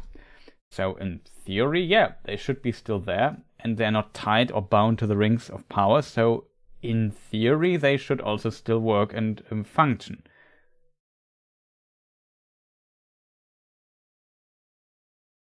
Map out Gandalf's first touring gig. That's that's a that's a good question to be honest. I feel like like it's it's difficult to to tell how how popular the band would be. Like if the band just starts, maybe their first tour would be in in a smaller village. So I, I kind of like the idea he's playing in in the bar of um in the bar in the pub. it's not a pub in the prancing pony like in Bree or so. That would be maybe the start of the tour and of course um, he has at least some fans in in the Shire, so maybe he tours in Hobbiton. Uh, somewhere there, there are also several places where he could um, do them. Maybe um, Michel Delving and then Mithlond or so to the elves, and then later um, when the when the fame spreads over, I mean, he has later also friends again in Edoras, and then he can also go to Minas Tirith, basically, as, as the latest thing. Not sure what happened with Osgiliath, but maybe that too when it's rebuilt or something. And then maybe make a coast tour down here in Pelargir and uh, all the way to Edhellond or so. Something like that. I don't know. But now we skip, like, I mean, the elves are gone the trees probably don't like. Um, I don't know if trees like the music. Fangorn would be also an interesting place as a result. Also, we should not exclude Erebor, which is also active. And Erebor, I heard, also had some Gandalf fans, so maybe Erebor has to be um, uh, included as well. I don't know. I'm not sure. Something like that.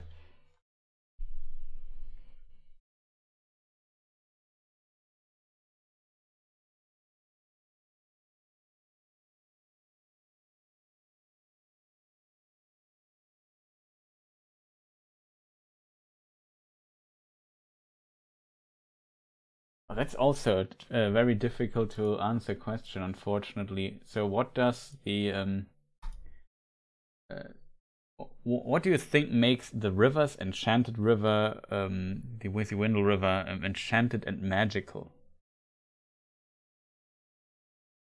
I mean, it's we had like a similar question to um, the um, to to the to the Beorning stuff.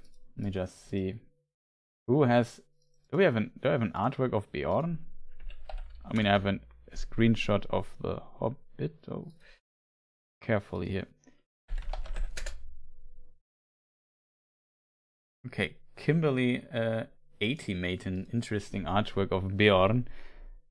Um, we talked about him why the animals are so intelligent and dexterous around him previously. My answer was somewhat um, in the direction uh, on the meta level that the Hobbit is kind of a special case uh, in, a way that it's more like a fairy tale story. And I would imagine that um, this explanation you could also make count for, for example, the Enchanted River. I feel like, well, we have these magical rivers and places that have some strange effect as we slow, fastly enter the, um, or quickly enter the, um, the, the realm of fairy tale stuff. As a result, I would try to find like um a similar um I would go with a similar answer of that.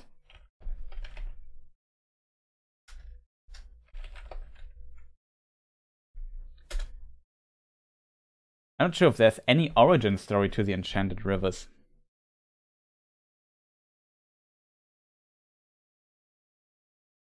Hmm. Its water was black and carried a curse that gave the rivers its name.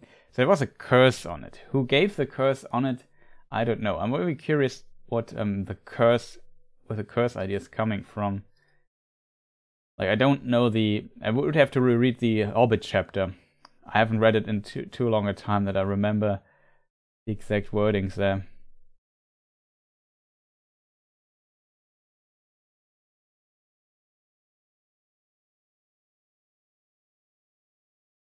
Maybe somebody in chat knows, so feel free to post if we have some Hobbit expert.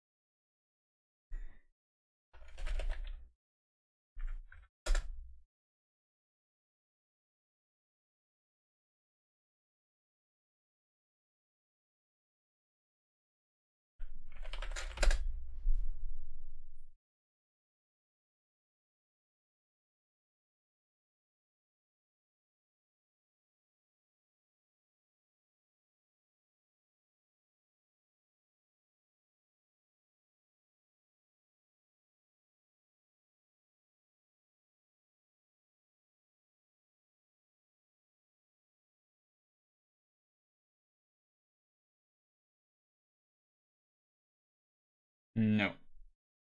No idea, chat. Somebody has an idea in chat? Can't find a reference to a curse here.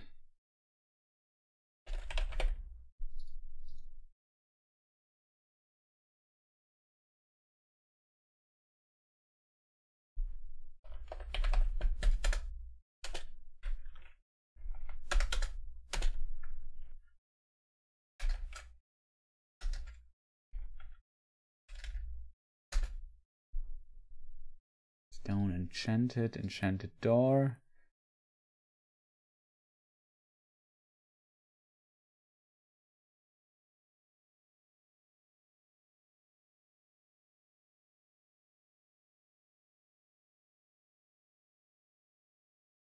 Being safe across enchanted stream. Hmm.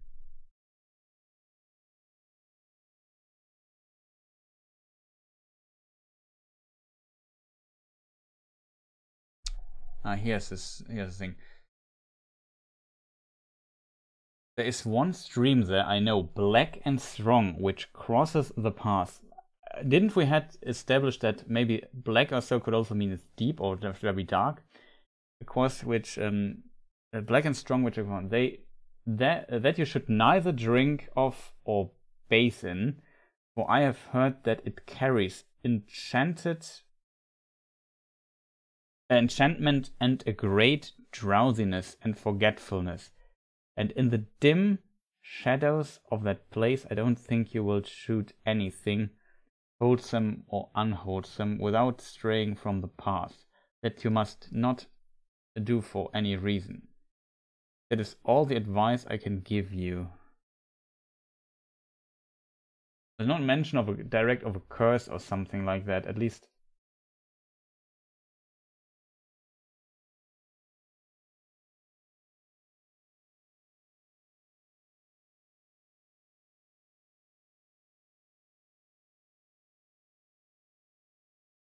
There were streams and springs along the road, but your way through the Mirkwood is dark, dangerous, and difficult. He said, Water is not easy to find there, nor food. The time is not yet come for nuts, though it may uh, may be past and gone indeed uh, before you get to the other side. And nuts are about all that grows there, fit for food. In there, the wild things are dark, queer, and savage. I will provide you with skins for carrying water, and I will give you some bows and arrows, but I doubt very much whether anything you find in Mirkwood will be wholesome to eat or to drink. There's one stream then. I don't know. Uh, that's Mirkwood from The Hobbit. Yeah, the Mirkwood and the Enchanted um, stream where the hobbits um, have to go through.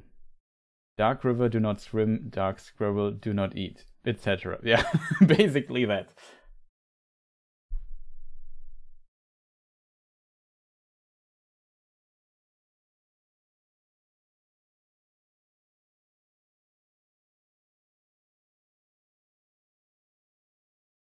I mean, that is a good point. The Enchanted River, that's a good point, Joe. It could be maybe like Sauron affected the whole forest in a way and um, as such, he might have kind of enchanted, cursed, or whatever this river to, I don't know, make it difficult. We also had have the spiders of Shelob there. Maybe they kind of enchanted it less. I, I don't think so though. I, I think maybe Sauron as as evil mojo livering, uh, lingering in this place, as Joe said it, um, is maybe a good candidate for this. Maybe it's also a theory. Maybe the elves as some kind of protection mechanism from Sauron, like they enchanted the river and um, to protect themselves, so nothing can cross that river that easily, and they have more control over the region or so. Also a possibility, but I think it's not really um, clear who exactly enchanted the river. I like your um, thinking there. Yeah, it's kind of like I said. Um, it's a classical Hobbit thing where you have um, like it, it's a fairy tale in its core.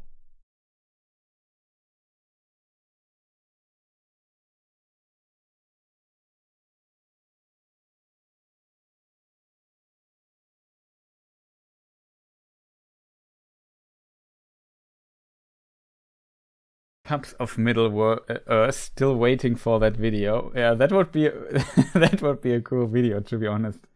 I think In Deep Geek might be the better fit for it, as um, Reflective Rambling suggests, um, because he does um, his traveler guides. I could also imagine here Nerd of the Rings doing it, who also does like all travels of character X.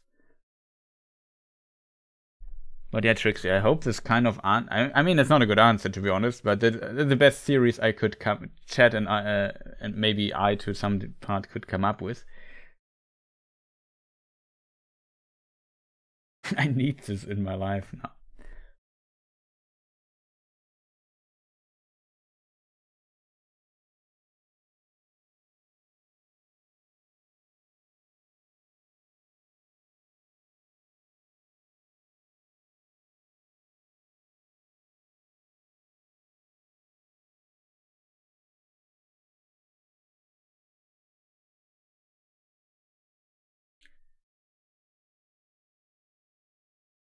What are we trying to find a spot for festival? Now we tried out what's going on with the dark rivers there.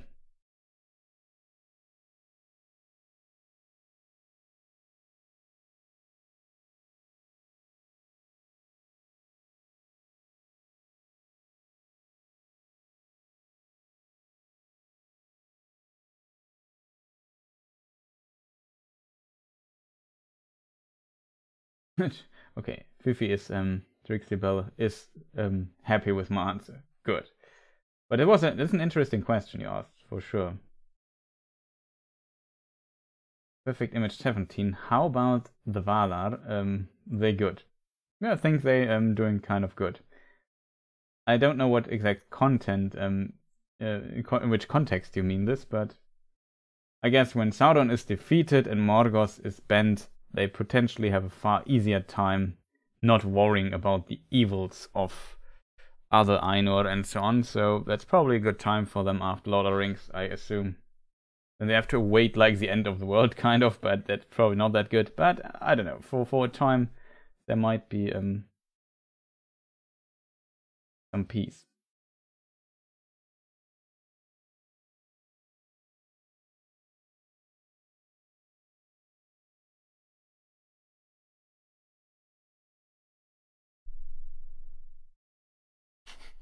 Chris. I've already sent him a message pleading for him to take it on or send it out to the greater fandom because we need this as a fandom, says uh, the only one here probably.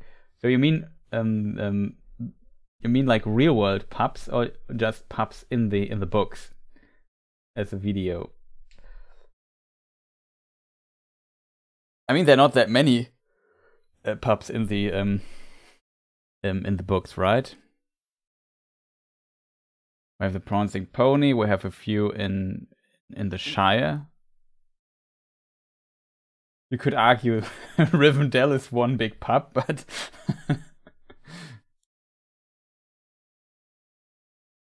that needs um, a bit of uh, it's a bit exaggeration. Hi, is this a general ask questions?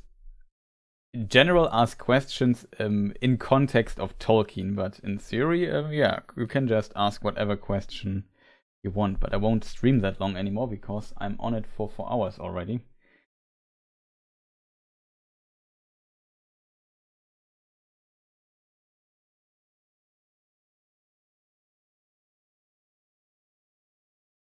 Uh, does the Lord tell us whether the stars would rise and set when the world was flat, or was the Earth unmoving relative to the stars? That's a really good question. I would imagine that the stars moved. Like, I can't imagine that that would not be the case. It would be a bit boring as well, like having the same star constellation all the time. But I'm not, I can't tell you if there's an, um, I mean, you could make some crazy theories um, based on this.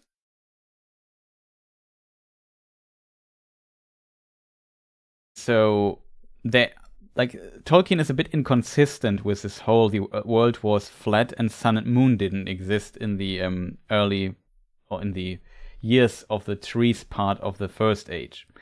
And in that it should have been always night and sometimes he kind of indicates that it was always night, but in some cases he also talks about dawn and so on. You could maybe construct a Syrian saying when he talks about dawn or something, he means like a certain star constellation um, being seen or so. So you can basically decide different daytimes based on um, that. And not only dawn in um, like Aman, because in Aman we had the two trees of Valinor, and uh, the two trees of Valinor, of course, had like um, a, a, a day and night. You could say almost something like a day and night cycle.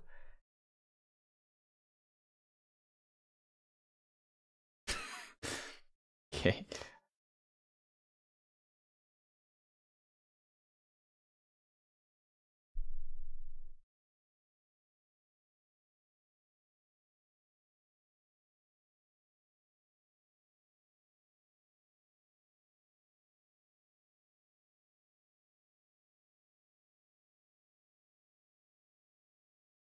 So yeah, the, the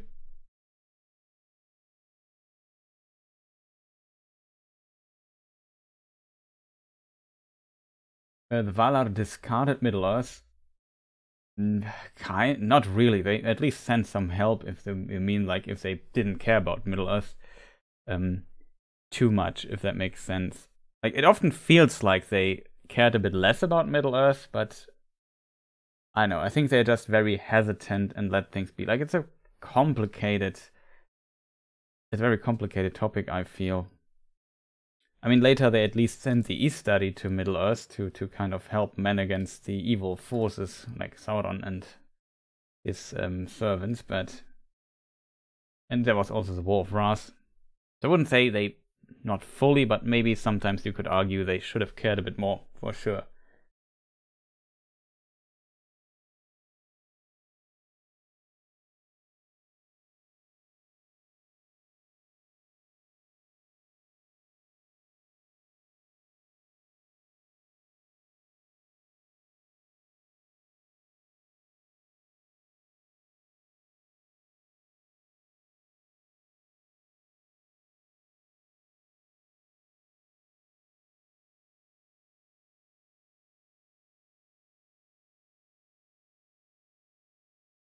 Yeah, the Eagles kept an eye on things. That's also a good argument. Like the um, Great Eagles that we.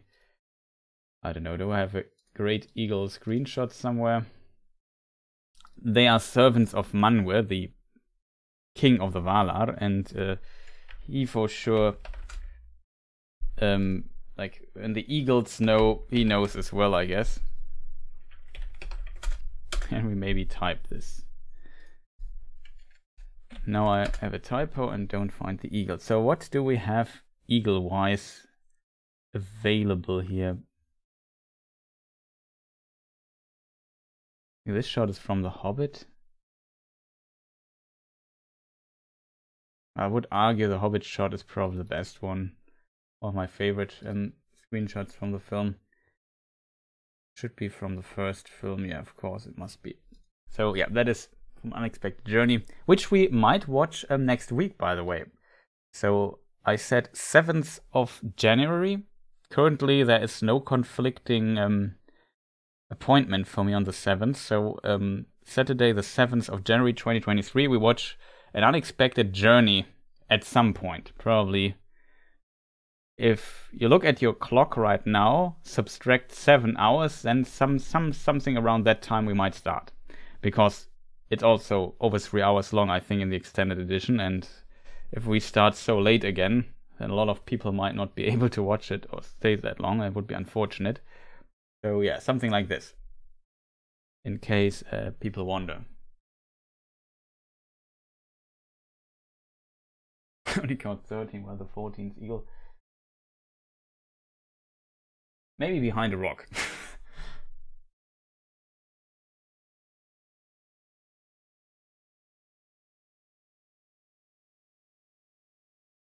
or maybe one eagle transports two people? Wait, should be 15. You're right, there's only 13 um, eagles there. But I could imagine, uh, like I said, somebody is maybe still further behind or maybe some uh, one eagle, like two eagles transport two people, then it would, I think, fit again, right?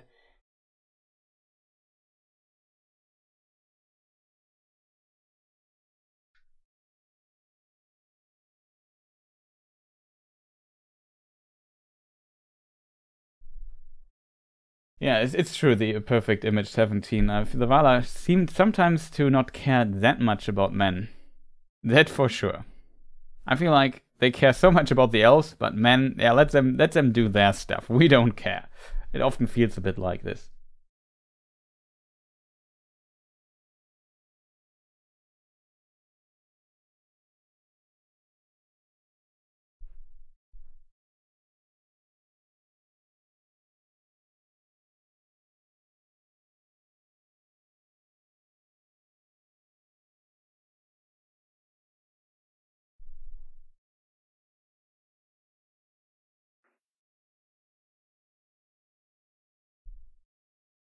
So chat, since um, the question amount is slightly reduced in chat, uh, wasn't Bilbo holding onto Dori's legs? That is possible. Like if you like one eagle in particular looks like the feet are a bit the feet are a bit prolonged. That makes sense. Or maybe there's a second one, but I can't remember. We we let's I suggest we look at this um next stream. When we have next week when we watch the this particular scene in the film. In the um yeah unexpected journey the hobbit an unexpected journey the first hobbit film. I can't be can't be like it's hard to believe that it's from 2012 it feels kind of closer than 2012 but it's like 10 years ago. Like, like the first film came out a decade ago. Oh boy good times chad. A decade ago just imagine I had this YouTube channel. Well, I had this YouTube channel. No, I had. I I didn't have in 2012. I did not have this YouTube channel yet. It's 2013. Next year in May or June or something, I have 10 years anniversary. So it must be 2013.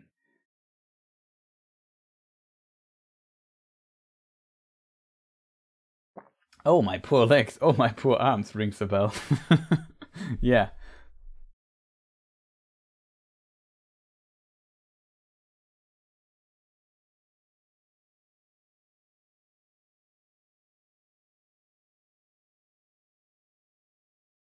Have to admit, I'm kind of looking forward to um, the Hobbit first Hobbit film. I like it. I think of the three Hobbit films the most. The second I like least. I think, though it's kind of tough with the third one. Like the second and the third are not my favorite Hobbit films. Let's put it that way.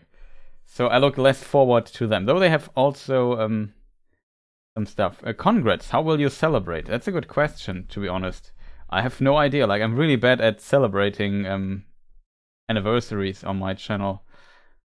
Usually you would make some, maybe make a live stream and answer Tolkien questions, basically the same as we do today. maybe I make a supercut of my best and most funny log moments or so.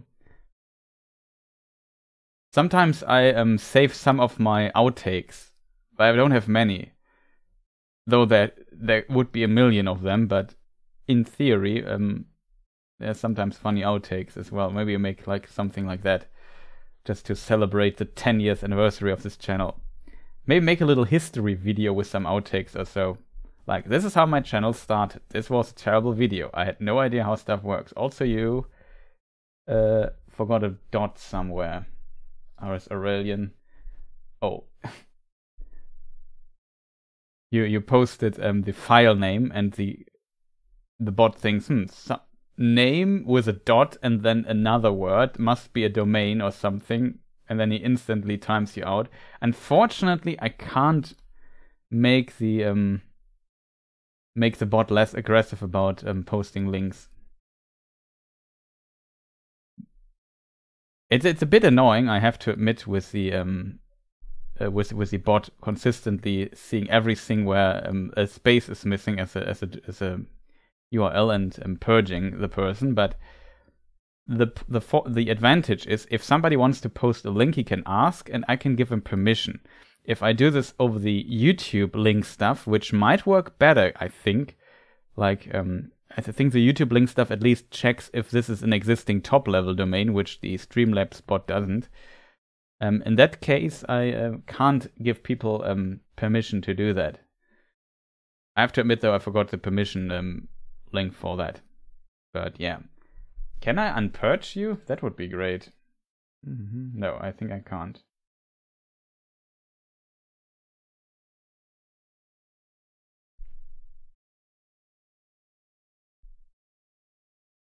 Can I post a link? Wait a moment, I need to give you permission to do that. The problem is I forgot the command. because I'm an idiot, but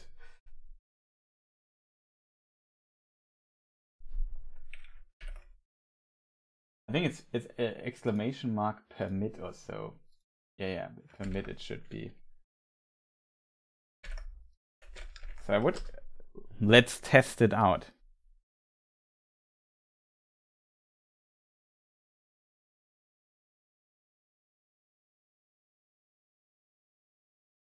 Yeah, you have permission to post the link and it only lasts for 60 seconds or so. So you have to, I'm not sure what to what number I set the permit.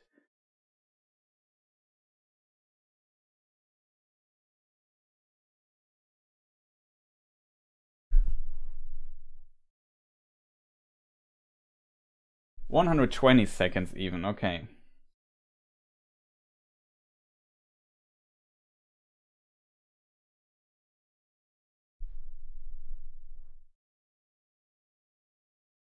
May your bait grow ever longer, the polite thing to say to a dwarf. Yeah, that's true. Uh, thanks for such a lovely time. I'm uh, sorry, love, that I've spaced out. Guess um, I'm at my limit. Need to pop out. Lovely to see you. Yeah, thank you for staying so long, Reflective Rambling. Much, much appreciated. As always, to seeing you here. And uh, staying so long with us. Also moderating. Thank you for that. Much, much appreciated. Thank you for your two um, memberships that you gifted. Probably to some people who just um, spacing out in the background, um, lurking in the background. But um, yeah, welcome to those again. Mary Korahonen and uh, Noah. Noah is interestingly the actual name of Círdan, for people wondering.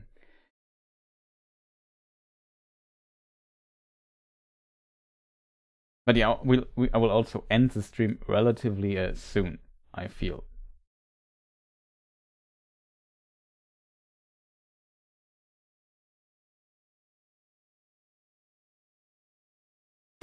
Waiting for the Hobbit extended watch party with Maia-like anticipation. Anticipation.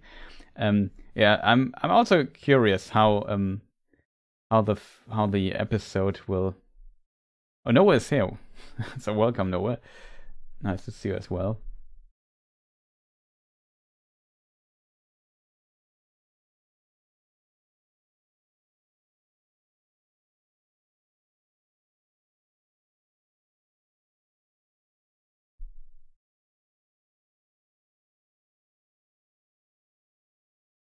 Anyway, great New Year's Eve to everyone. Guten Rutsch ins Neue to to the Germans here. Yeah, slide slide well in the new year, as we say in German, like it's word, translated by word. Um. Oh, Third Age um, on the PlayStation 2. That was a very interesting game, I think. Was that the I always mix them up a little bit. Was that the um, turn-based um, RPG? I think it was, right? Yeah, that was a very interesting one. Shadow of War is also good. I like Shadow of Mordor a bit more. Battle for Middle Earth also pretty good. Uh, I missed the Lord of Rings watch party, so I guess I have to watch The Hobbit now. Yeah, for those people who want to watch, um, the vote said we will um, watch the watch party. We will watch the watch party, yeah, but you know what I mean. we will watch the watch party in the extended edition. Let me just see if I can. Ha- I, have, I even have the poll here. Let me just zoom in a bit so we can maybe see my rambling here a bit better. The poll says with I, I, to be honest, I didn't expect the um, the outcome to be so clear because I would have assumed that the extended edition of the Hobbit films is a little bit less popular in a way because it's simply the films are less popular and so on, and maybe people didn't buy or bother getting the extended edition. So to be honest, it's kind of surprising that um, 33% said no, we don't want Hobbit content at all that's the most surprising for me. Like the theatrical cut, okay, but um, yeah, but 64% says let's watch the Hobbit f- films in the extended edition. So that's kind of impressive, I have to admit.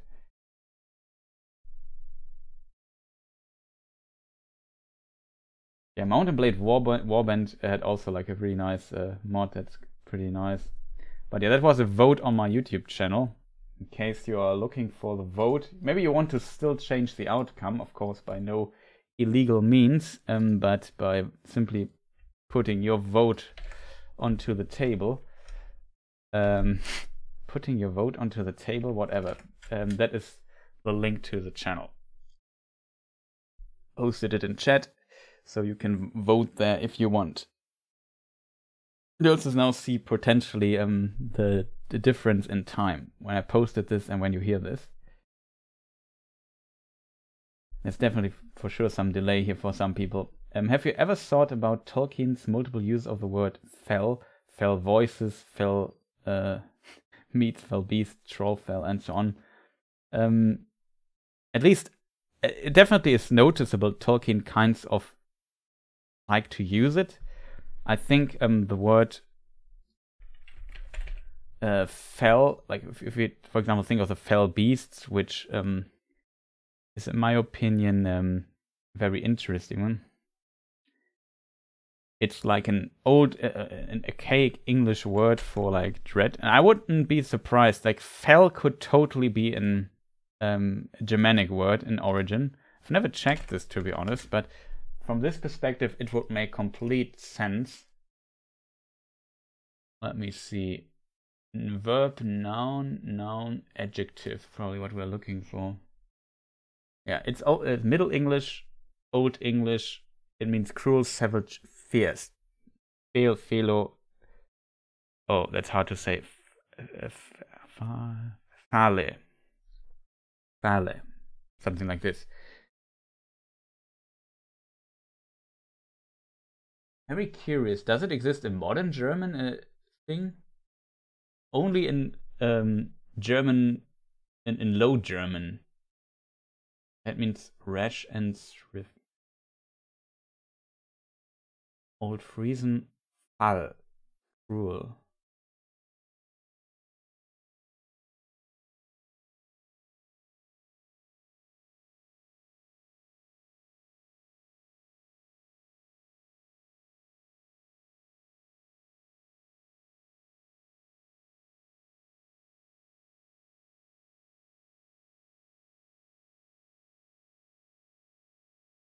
Very interesting.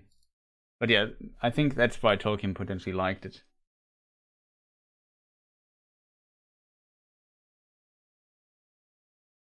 As a noun, it can also mean like um, animal skin or so. In German, we have the word still like hide or skin of a, of an animal is called um, uh, not hide, but the hairy fur of an animal is called Fell in German. But it's a different word origin of this. In Danish, it exists as as well. I'm sure uh, fell. Well, something like this. I'm always trouble with the air sound. High German. Very, very interesting word. Exists in Latin as well. Interesting.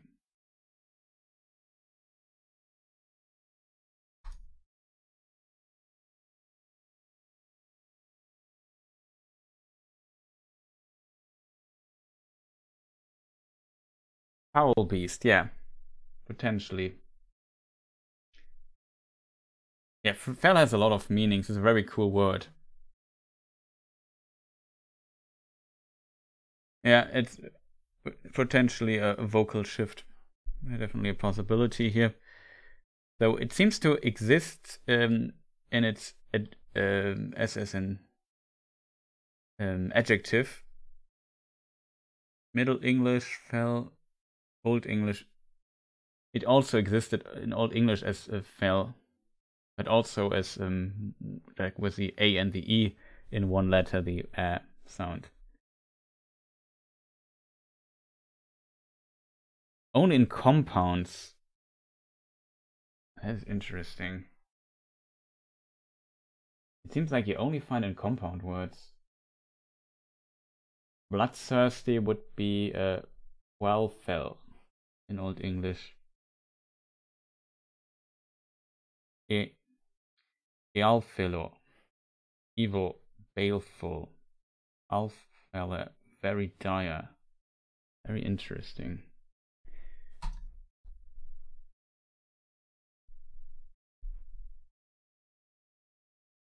Lucian donned the fell of the vampire in the text. That is also an interesting point, yeah.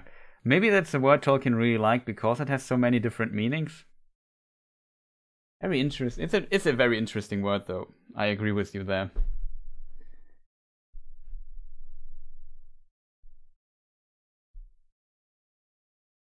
Yeah, for sure.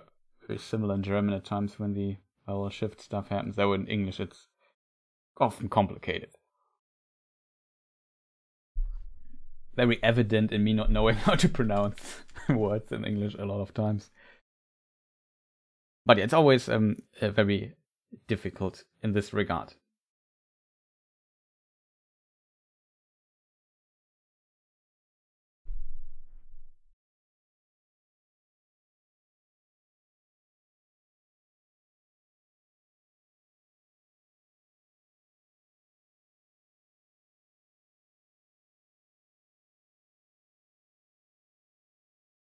Beren down the hame of the wolf in the text also means skin, yeah.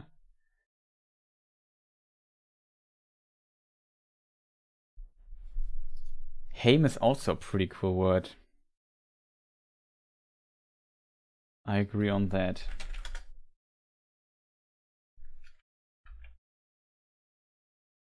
For example, Gandalf Greyhame.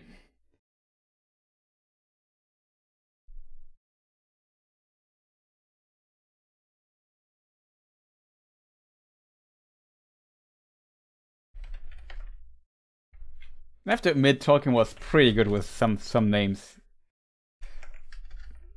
Not gonna lie.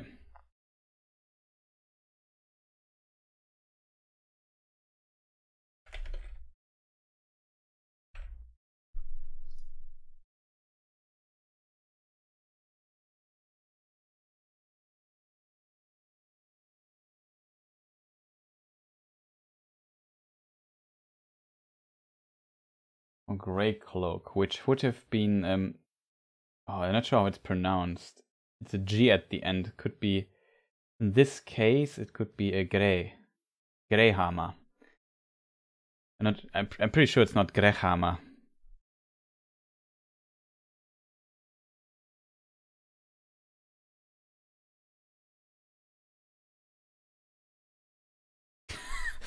Oh wait, it's a philosopher's stream, thus we shall solve this right now and the stream will last another 8 hours. No. See, even my grammar is failing me. Good night, yeah. I wish you a good night, Mr. Men. Thank you for staying so long. I'm impressed you are still uh, have the energy to stream. I think you are um, in the same time zone as me, where it's it's very late. Uh, I have not much strength, and now I must uh, slumber uh, in the deep. Thank you for the good time. Yeah, thank you for staying for so long. Yeah, it's indeed very late. The problem is my uh, currently my uh, day-night rhythm, sleeping rhythm, is completely destroyed. So currently, I slowly getting tired as well, but I could definitely go on for some time. It's very early, not late anymore. That's true. Wanted to wish every uh, everyone a happy new year, uh, a happy happy New Year's end. But then realized it's not a thing in English, unlike in German or Estonian. Well, that's yeah, that's always confused me as well. Always want to wish people yeah have a nice transition from this year into the next year, but um, there's no like Guten Rutsch or something like we say in German. So it's kind of funny that that is I assume not that of a thing in English, and you just wait till it's next year. We Germans are uh, impatient in this regard and want to wish you, give you our well wishes early already. Yeah, Happy New Year, MVP Trixible. But yeah, also to Pumpkin Rick and so on. All of you have a nice transition to the next year. Mithrandir, yeah. Also a pretty cool name, I have to admit. Mithrandir is also one of my favorite elvish names for something or of somebody. I don't know why, it, I think it has a very cool sound to it.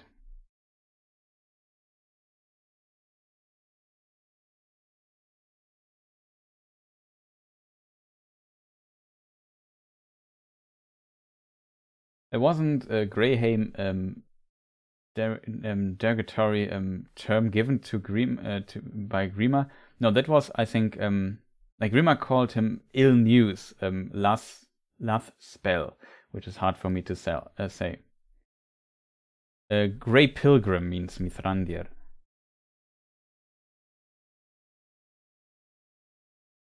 I think it's um, Greyhame is I think what um, Eomer um, calls him Gandalf, Eomer exclaimed. Gandalf Greyhame is known in the mark, but his name, I warn you, is no longer a password to the king's favor.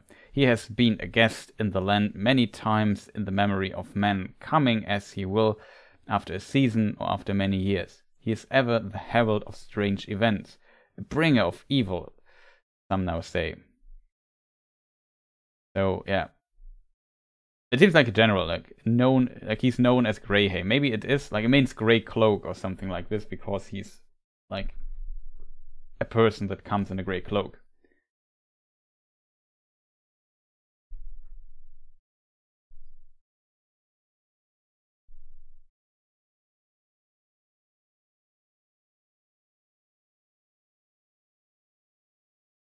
let's face it, if, if if Chris had to be one of the Istari, he had to have walked into the library of Mysterious, hence he wasn't seen again by mortal eyes. Yeah, that could have. Uh, that's that's true. That sounds true, though. Yeah, uh, might have been. No, I I'm very bad at like uh, memorizing text passages completely, especially poems and so on. I'm very good at like finding stuff because I'm I usually there's one like how I memorize stuff to find it fast in in books, especially if I have the digital version of the book. I usually memorize like one significant small phrase of like two or three words and then I find it fast and can read it. But I'm very bad at memorizing complete texts. I don't know why that is, but um, so I can't um, quote, for example, the Gil-galad po- poem out of my memory, even though I've read it many times. I'm not really good at learning um, poems.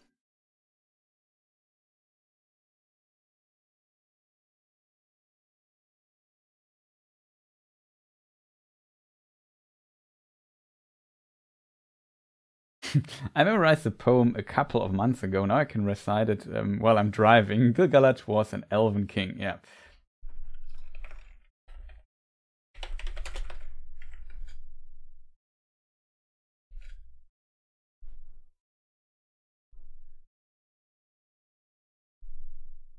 Gandalf really awesome by far. Yeah, Gandalf is also a pretty cool name. I like the character, of course, such a iconic character, and um, I don't know, he's just. I would say um, like in the classical big popular franchises of our time with Lord of the Rings, but if we would also include Star Wars, I think um, he's up there with Yoda or something. So, and in a way, potentially, Lucas was also a bit inspired by Tolkien's writing to some extent. I made a video about this some years ago. Like in a very early version of um, the script for a new for the first Star Wars film, new, that was later titled A New Hope, I think. The beginning was just called Star Wars. Um, there's a passage that is originally the um, Good Morning passage from um, The Hobbit, just with Obi Wan and Luke, uh, or he was at this point not uh, not called Skywalker, but um, Starkiller, I think.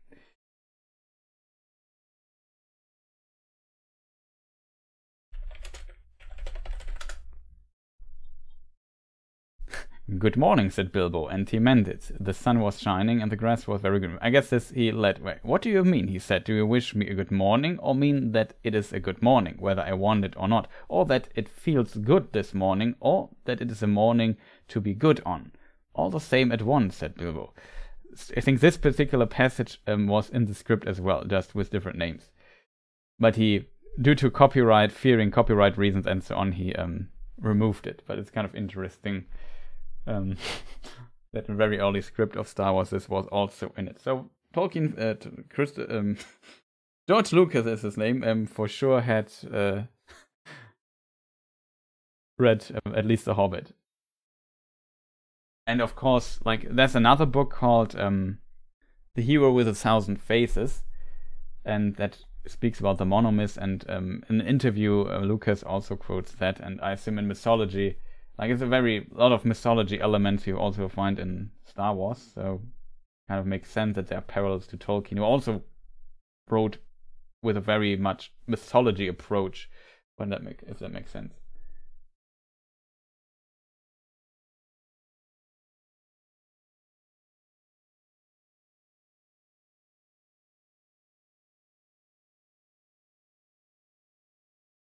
Actually, I'm really good at that sort of thing. I have more Tolkien poems memorized than I'm willing to admit. No, actually, I'm willing to admit that. I memorized most of them because that's sick. That's actually really sick. But I'm very bad at memorizing texts, especially by word. Like, I always need my book and I can find stuff fast and reread it again and hopefully answer questions. I usually am very good at memorizing what is written, you know, like a lot of details and half sentences and stuff. And so I can make these streams easily out of my head a lot of time and tell you what it is. And then I memorize two words or so that I memorized along with uh, what was written in the book, and I can just find it and read the, the passage to you. It doesn't work always, but sometimes it works. Obi-Wan fell so Luke could be um, the hero alone, Gandalf fell so Frodo could be the hero alone, yeah. I only memorized um, the Durin uh, poem, which is quite long, but um, I like it a lot. A film the harper sadly th uh, sing, yeah. It's the second line. I think.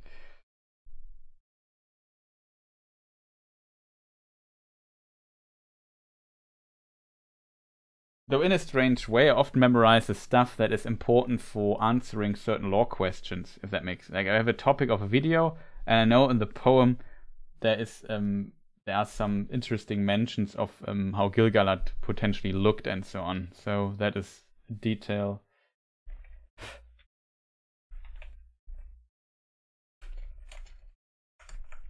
Um, I have to memorize.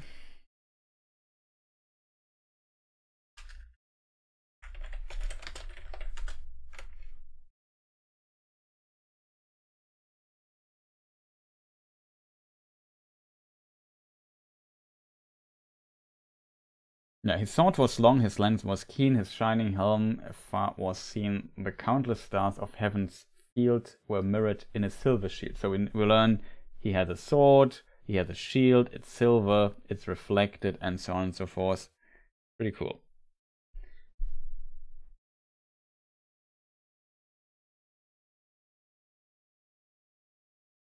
the stream goes ever on and on. Yeah, that would be my the poem I should write.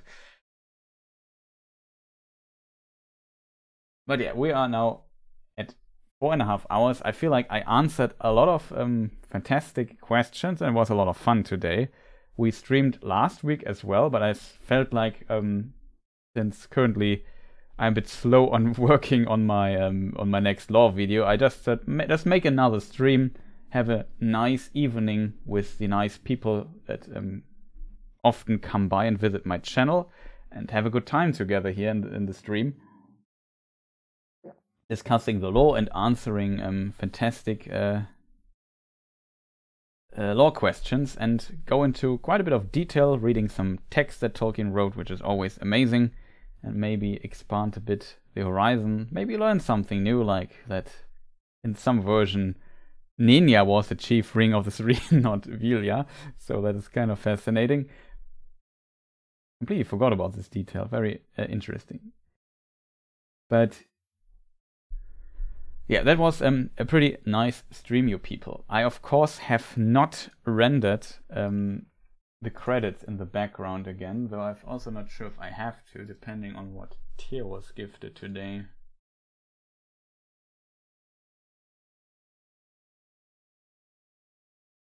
Oh, just two fully things. Even have to would add, have to add this to the video. I also have to add Birchman. Let me just open Adobe Premiere in the background and try to um, not get to stuttering too much while doing something that's completely unrelated to what I'm actually doing. Thanks. Enjoyed the show. May your um, Amy receive you uh, at day's end. I hope so too. Yeah, very curious what next year is going on on this channel. Um, well, it's not too surprising that there will be lore videos on this channel. Uh, surprise. Um, I don't expect a new season of Rings of Power, so we should be relatively Rings of Power free next year. I think. And with that, um, for those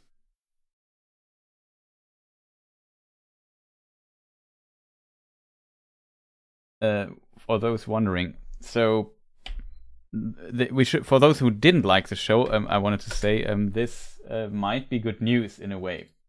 So I still um, kind of uh, miss this stuff. And Priscilla TV is in it. Okay, that's good.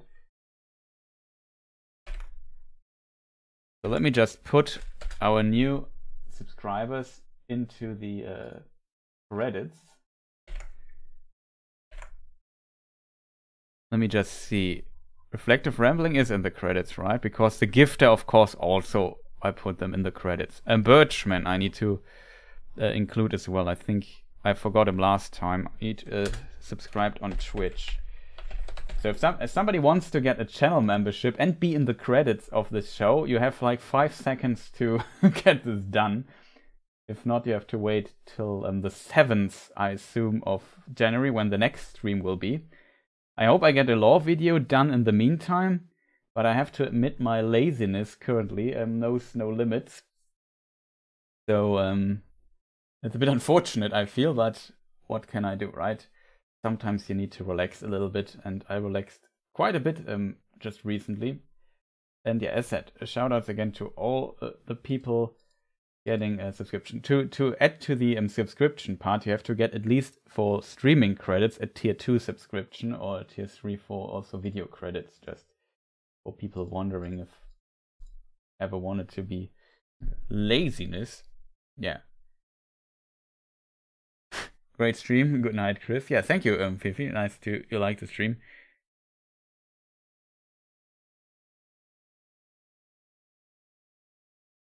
Uh, this was a really intense year, I have to admit. Like, I worked a lot this year. I think I never worked that, that much in my life.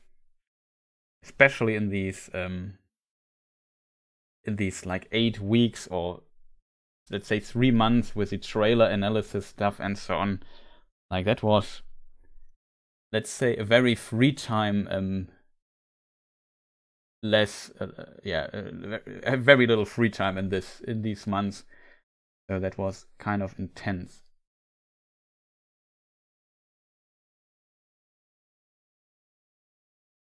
Yeah, I agree on that. Like, I felt it was a really good year. Like I said, it was probably the best. Uh, no, probably it was the best year I had on my channel. I think I had the most watched hours on this channel I've ever seen. That's really impressive. I would just love if the views would just go up and my subscriber numbers would just go up a little bit further. That I would appreciate quite a bit, and maybe we can achieve this next year. it would be great to see 50k next year, or maybe even more than 50k. But um, yeah, sometimes um, sometimes you don't get what you want. That's basically um, the problem with it. So let me just render this here. I hope I didn't do any mistakes. Oh, I did a mistake. The mistake was called, I spelled Birchman wrong. Let me just, where's my thing so I can copy the name that's Birchman42. Shoutouts to you, man. Last time I've wanted to shout out you at least. I forgot even that because I'm an idiot. But it happens. Um, the best, I guess.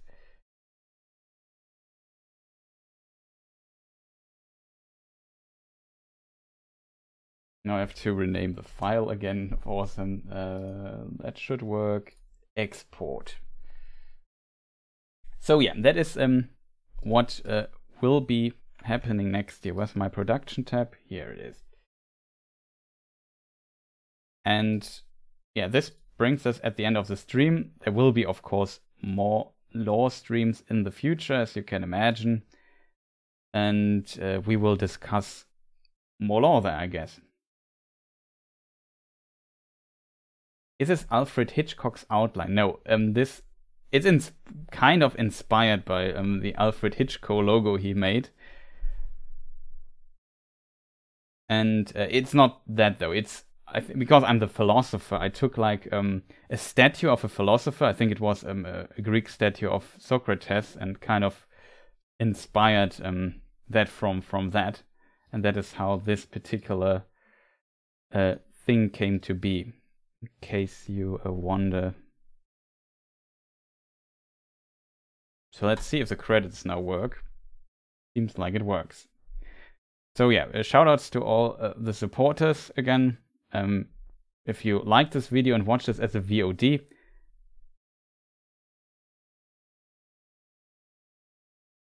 there's a there's also Aristoteles and so there are multiple statues.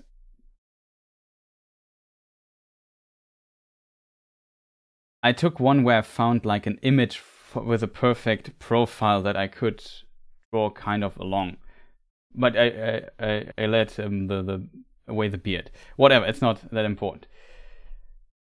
Yeah, good night and um, have a have a good transition into the next year. I wish you a fantastic um, year 2023 when we will reach it, and I hope you have a good year. It was a tough year 2022. Again, shoutouts to all the artists um, that allowed me to use the artworks. Uh, no, the Thinker is a very specific statue, the one um, you took uh, Nighty Night. Okay, and um, yeah, um, the it's it, it's a, it was a tough year for a lot of people. I hope next year gets better. Uh, fingers crossed. and yeah, for the channel, it was a fantastic year. I hope I can keep up with this year next year. That's a bit uh, of my worry that this year, due to the Rings of Power boost stuff, um, worked out pretty well at the end, but overall it was a really tough year for me. It started really like number wise not that well at the beginning of the year and took me quite some time to um, bring the numbers back to where they once were. And it was quite frustrating year as a result. I worked had to work a lot to make that happen, and uh, yeah, in the end it worked out. But I would like wish a more relaxing year that is a bit more smooth. So far, stuff on the channel runs smooth, so I have to admit very happy with that. Uh, next year, I will try to most likely, except for streams, because I don't see the benefit of streaming in 4K resolution. I will um, lore videos and stuff might appear in 4K resolution. I already started with this. Who is Elrond though? The last uh, all the episodes will be in 1080p though because I produced everything in 1080p and I want to make one big all-in-one video out of it and then changing um, the resolution of nine hours of video that is already produced is just a nightmare of work, so I don't want to do that. That's why that will stay in 1080p. But uh, Galadriel, I might um, up uh, the next Galadriel video will be produced in 4K. So just that you know about this technical stuff, upgrade a bit of my hardware, so this year was pretty neat. And yeah, as said, if you watch this as a VOD, press the like button, maybe subscribe if you are new, and welcome, much appreciated. Leave a comment and so on on the other videos. Check out my other stuff. Um, I hope I can produce a few more videos. I also plan next year to do more stuff on the German channel because the German channel did pretty well this year, considering that I only have like five videos or so on it. Um, it did pretty well, I have to admit, and um, yeah, surpassed my expectations by far, which is pretty good. So that kind of tells me I should maybe invest more time also on this channel. Would like to do some gaming content as well, but as you probably notice, when you do a lot of lore content, I don't have time to make gaming content. But there's that. Even though it's very late, as said, my sleeping schedule is ruined anyway, I might look a little bit into Cyberpunk again to maybe try around with some build stuff. So I might continue on Twitch for like an hour or two, and um, then before I call it a day. So uh, if you like some gaming content or so, maybe check the Twitch channel uh, as well. Which I know maybe I'm live in a few minutes. Maybe I decide against it. Something like that. No, that is wrong. That's I think how I spell it. Um, yeah, link is in chat in case you're interested, but give me a moment to to set the stream up. Um, yeah, there I might continue and uh, we just experiment a bit with some builds or so. Maybe we make another run in whatever game. I don't know. There's still some stuff I want to uh, continue with on the gaming channel and use the time a bit, my laziness time bit to play some video games. Won't start a new game today though, I guess, but who knows. Um, is there anything left to say, Chad? I don't think so. So again, as said, fantastic um, transition to the new year and have a great year 2023. Fingers crossed that it will be a good year. Thank you for watching, for all your support. Shoutouts to all your people. It was really fun today. And good night to those who finally have to go to sleep. So see you people next time. Goodbye.